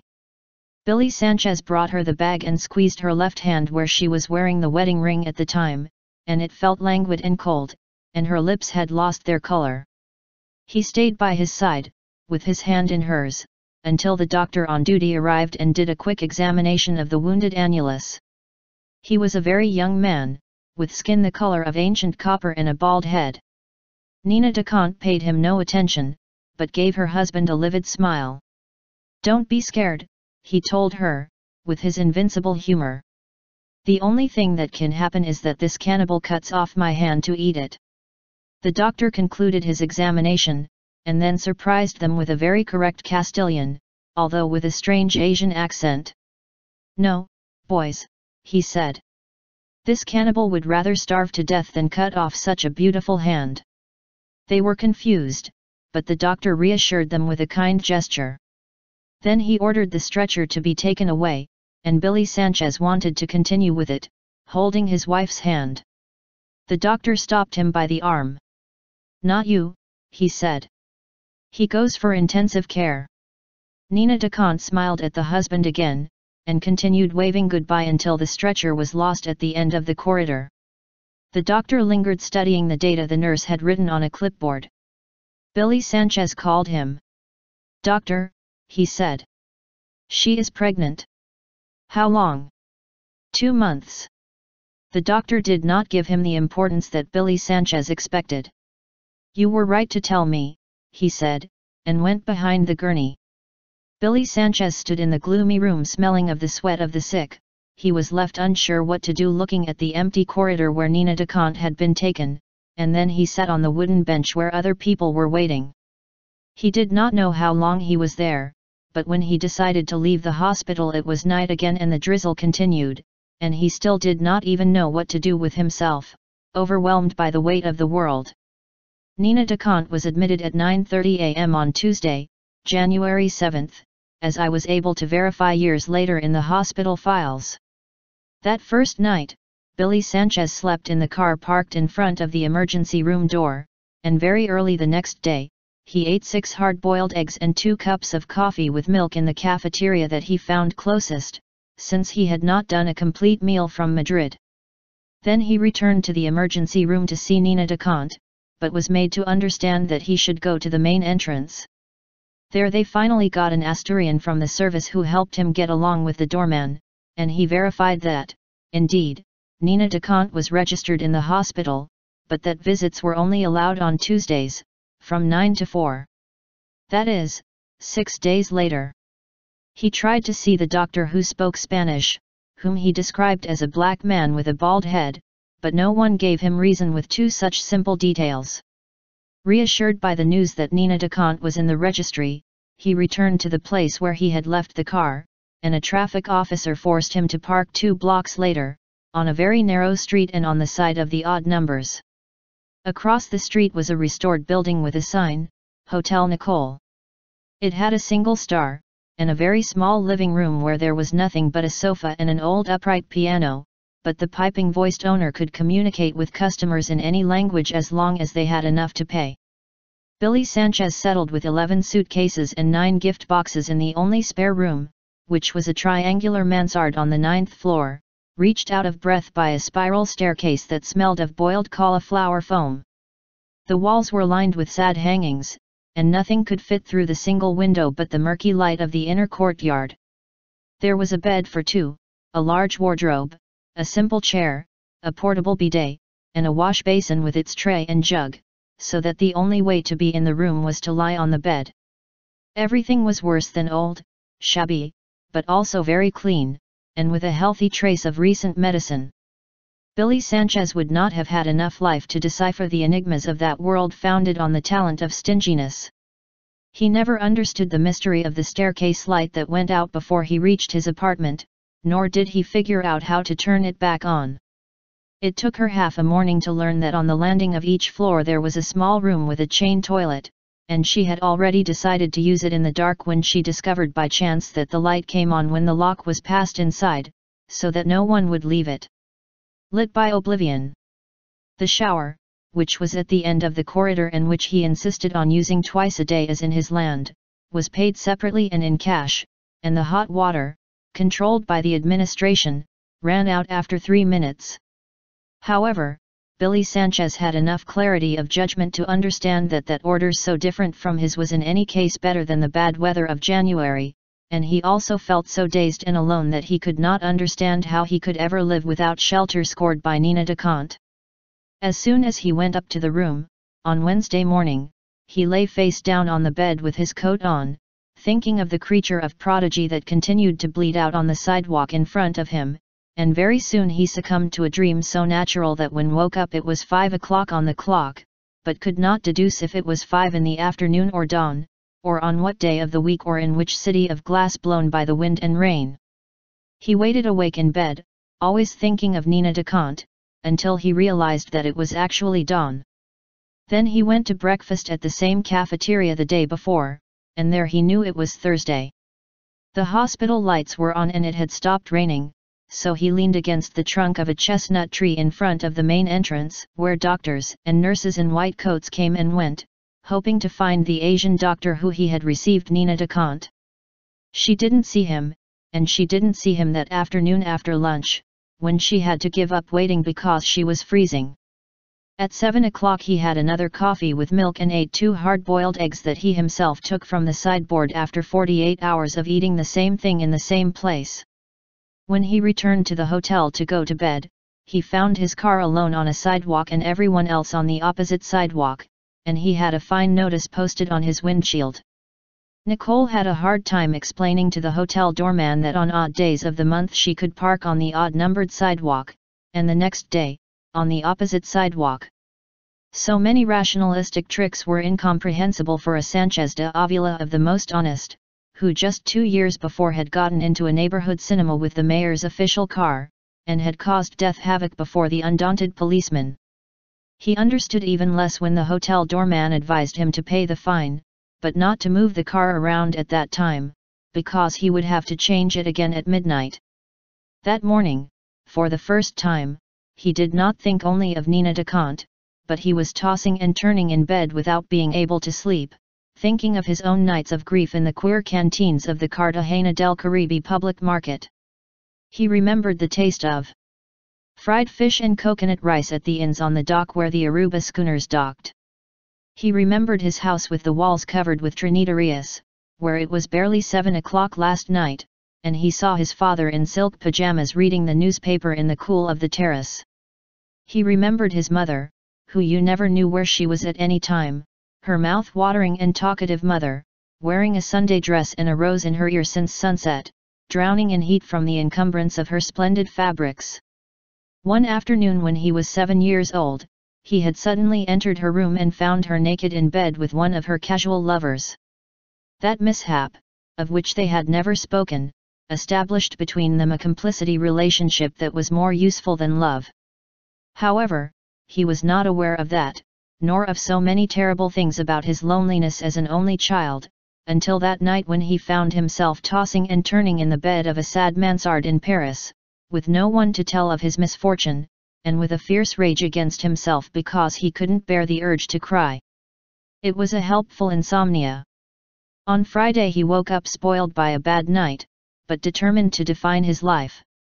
She finally decided to break the lock on her suitcase to change her clothes, since everyone's keys were in Nina Daconte's handbag, with most of the money in the phone book where she might have found the phone number.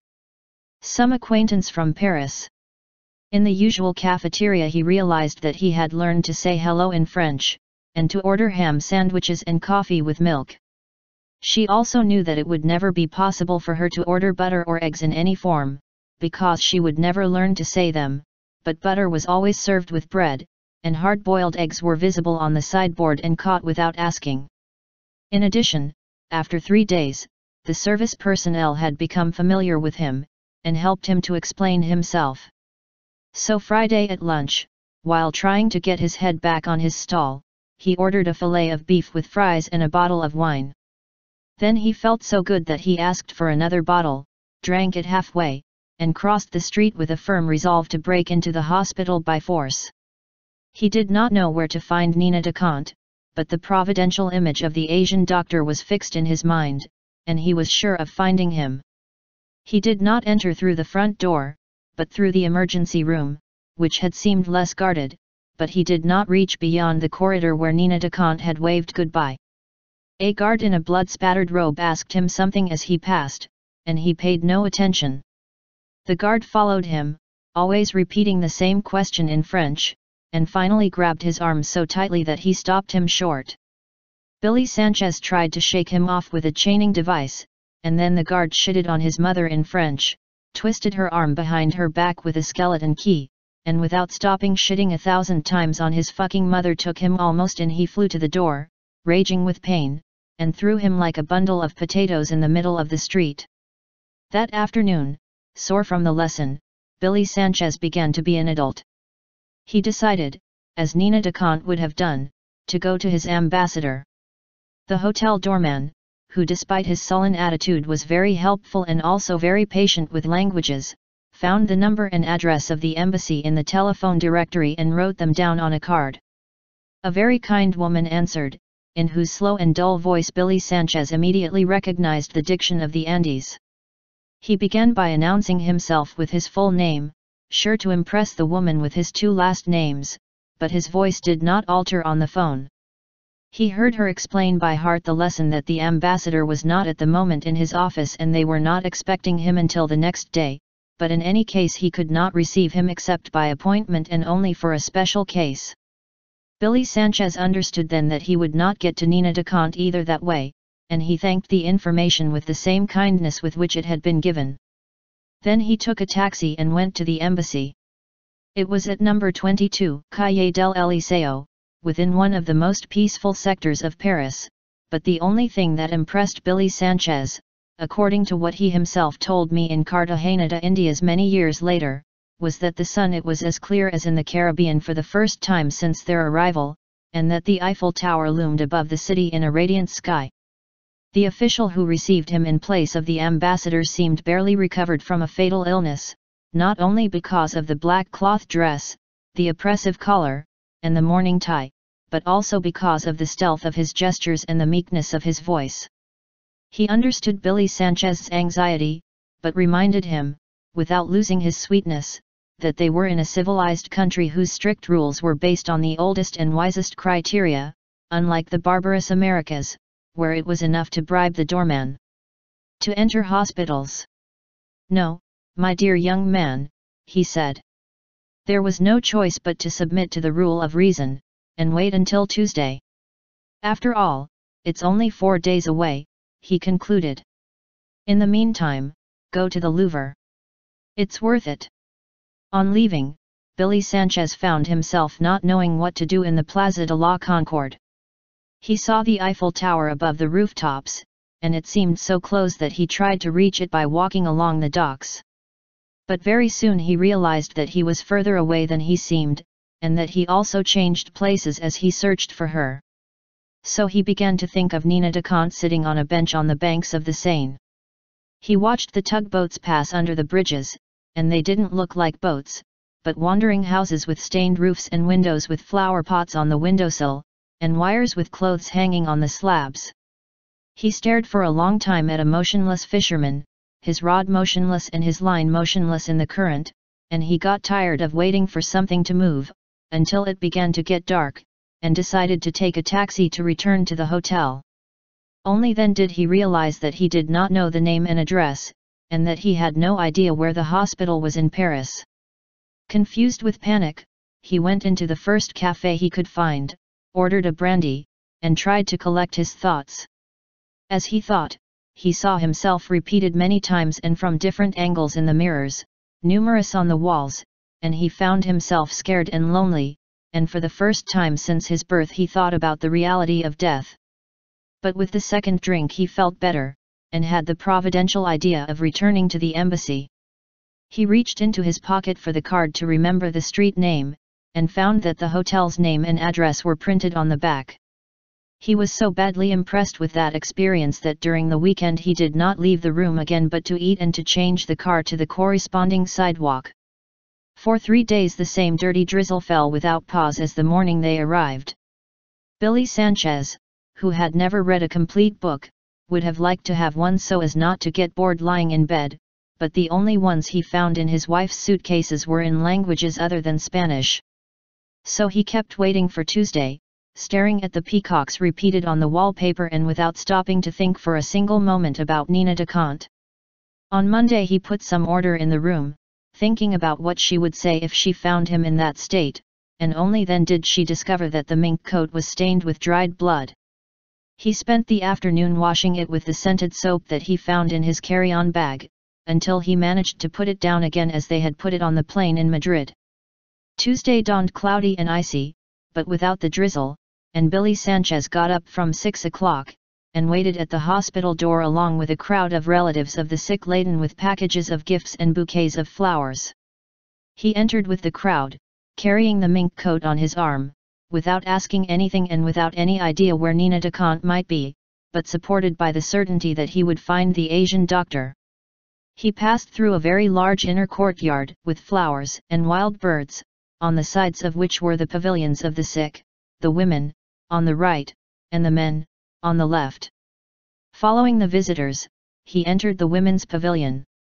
He saw a long line of sick women sitting on the beds in the hospital rag nightgown, illuminated by the big lights from the windows, and he even thought that it was all more cheerful than he could imagine from outside. She reached the end of the corridor, and then went back down it again, until she was convinced that none of the sick women was Nina Daconte. Then he walked the outer gallery again, looking out the window at the men's wards, until he thought he recognized the doctor he was looking for. It was him, indeed. He was with other doctors and several nurses, examining a sick man. Billy Sanchez entered the ward, pushed one of the group's nurses aside, and stood in front of the Asian doctor, who was bent over the patient. He called it. The doctor raised his desolate eyes, thought for a moment and then recognized him. But where the hell have you been? said. Billy Sanchez was perplexed. At the hotel, he said. Here, around the corner. Then he knew. Nina Daconte had bled to death at 7.10 pm on Thursday, January 9, after 70 hours of useless efforts by the best qualified specialists in France. Until the last moment she had been lucid and serene, and she gave instructions for them to look for her husband at the Plaza Athénée Hotel, where they had a room reserved, and gave the information for them to contact her parents. The embassy had been informed on Friday by an urgent cable from its foreign ministry, when Nina Daconte's parents were already flying to Paris. The ambassador himself handled the embalming and funeral procedures, and remained in contact with the Paris police prefecture to locate Billy Sanchez. An urgent call with his personal data was transmitted from Friday night to Sunday afternoon via radio and television, and during those 40 hours he was the most wanted man in France. His portrait, found in Nina Daconte's bag, was displayed everywhere. Three Bentley convertibles of the same model had been located, but none were his. Nina Daconte's parents had arrived on Saturday at noon, and they watched over the body in the hospital chapel, waiting until the last minute to find Billy Sanchez. His parents had also been informed, and they were ready to fly to Paris, but in the end they gave up because of a confusion of telegrams. The funerals took place on Sunday at 2 in the afternoon, just 200 meters from the sordid hotel room where Billy Sanchez was dying of loneliness for the love of Nina Daconte. The official who had attended him at the embassy told me years later that he himself received the telegram from his chancellery an hour after Billy Sanchez left his office, and that he had been looking for him in the stealthy bars of Faubourg St. Honoré. He confessed that he had not paid much attention to it when he received it, because he would never have imagined that that coastal man, stunned by the novelty of Paris, and with such a badly worn lamb coat, would have such an illustrious origin in his favour. On the same Sunday night, while he endured the urge to cry with rage, Nina Daconte's parents gave up the search and took the embalmed body inside the metal coffin, and those who saw it continued to repeat for many years that they had not never seen a more beautiful woman, neither alive nor dead. So when Billy Sanchez finally entered the hospital, on Tuesday morning, the burial had already been consummated in the sad pantheon of La Manga, a few meters from the house where they had deciphered the first keys to happiness. The Asian doctor who informed Billy Sanchez of the tragedy wanted to give him some painkillers in the hospital room, but he refused. He left without saying goodbye, with nothing to be grateful for, thinking that the only thing he needed urgently was to find someone to whom he could break his mother with chains to get even for his misfortune. When he came out of the hospital, he did not even realize that there was falling from the sky a snow without traces of blood, whose crisp, tender flakes looked like the feathers of doves, and that there was an air of celebration in the streets of Paris, because it was the first big snowfall in ten years. 1976. End. 12 Pilgrim Tales. Gabriel Garcia Marquez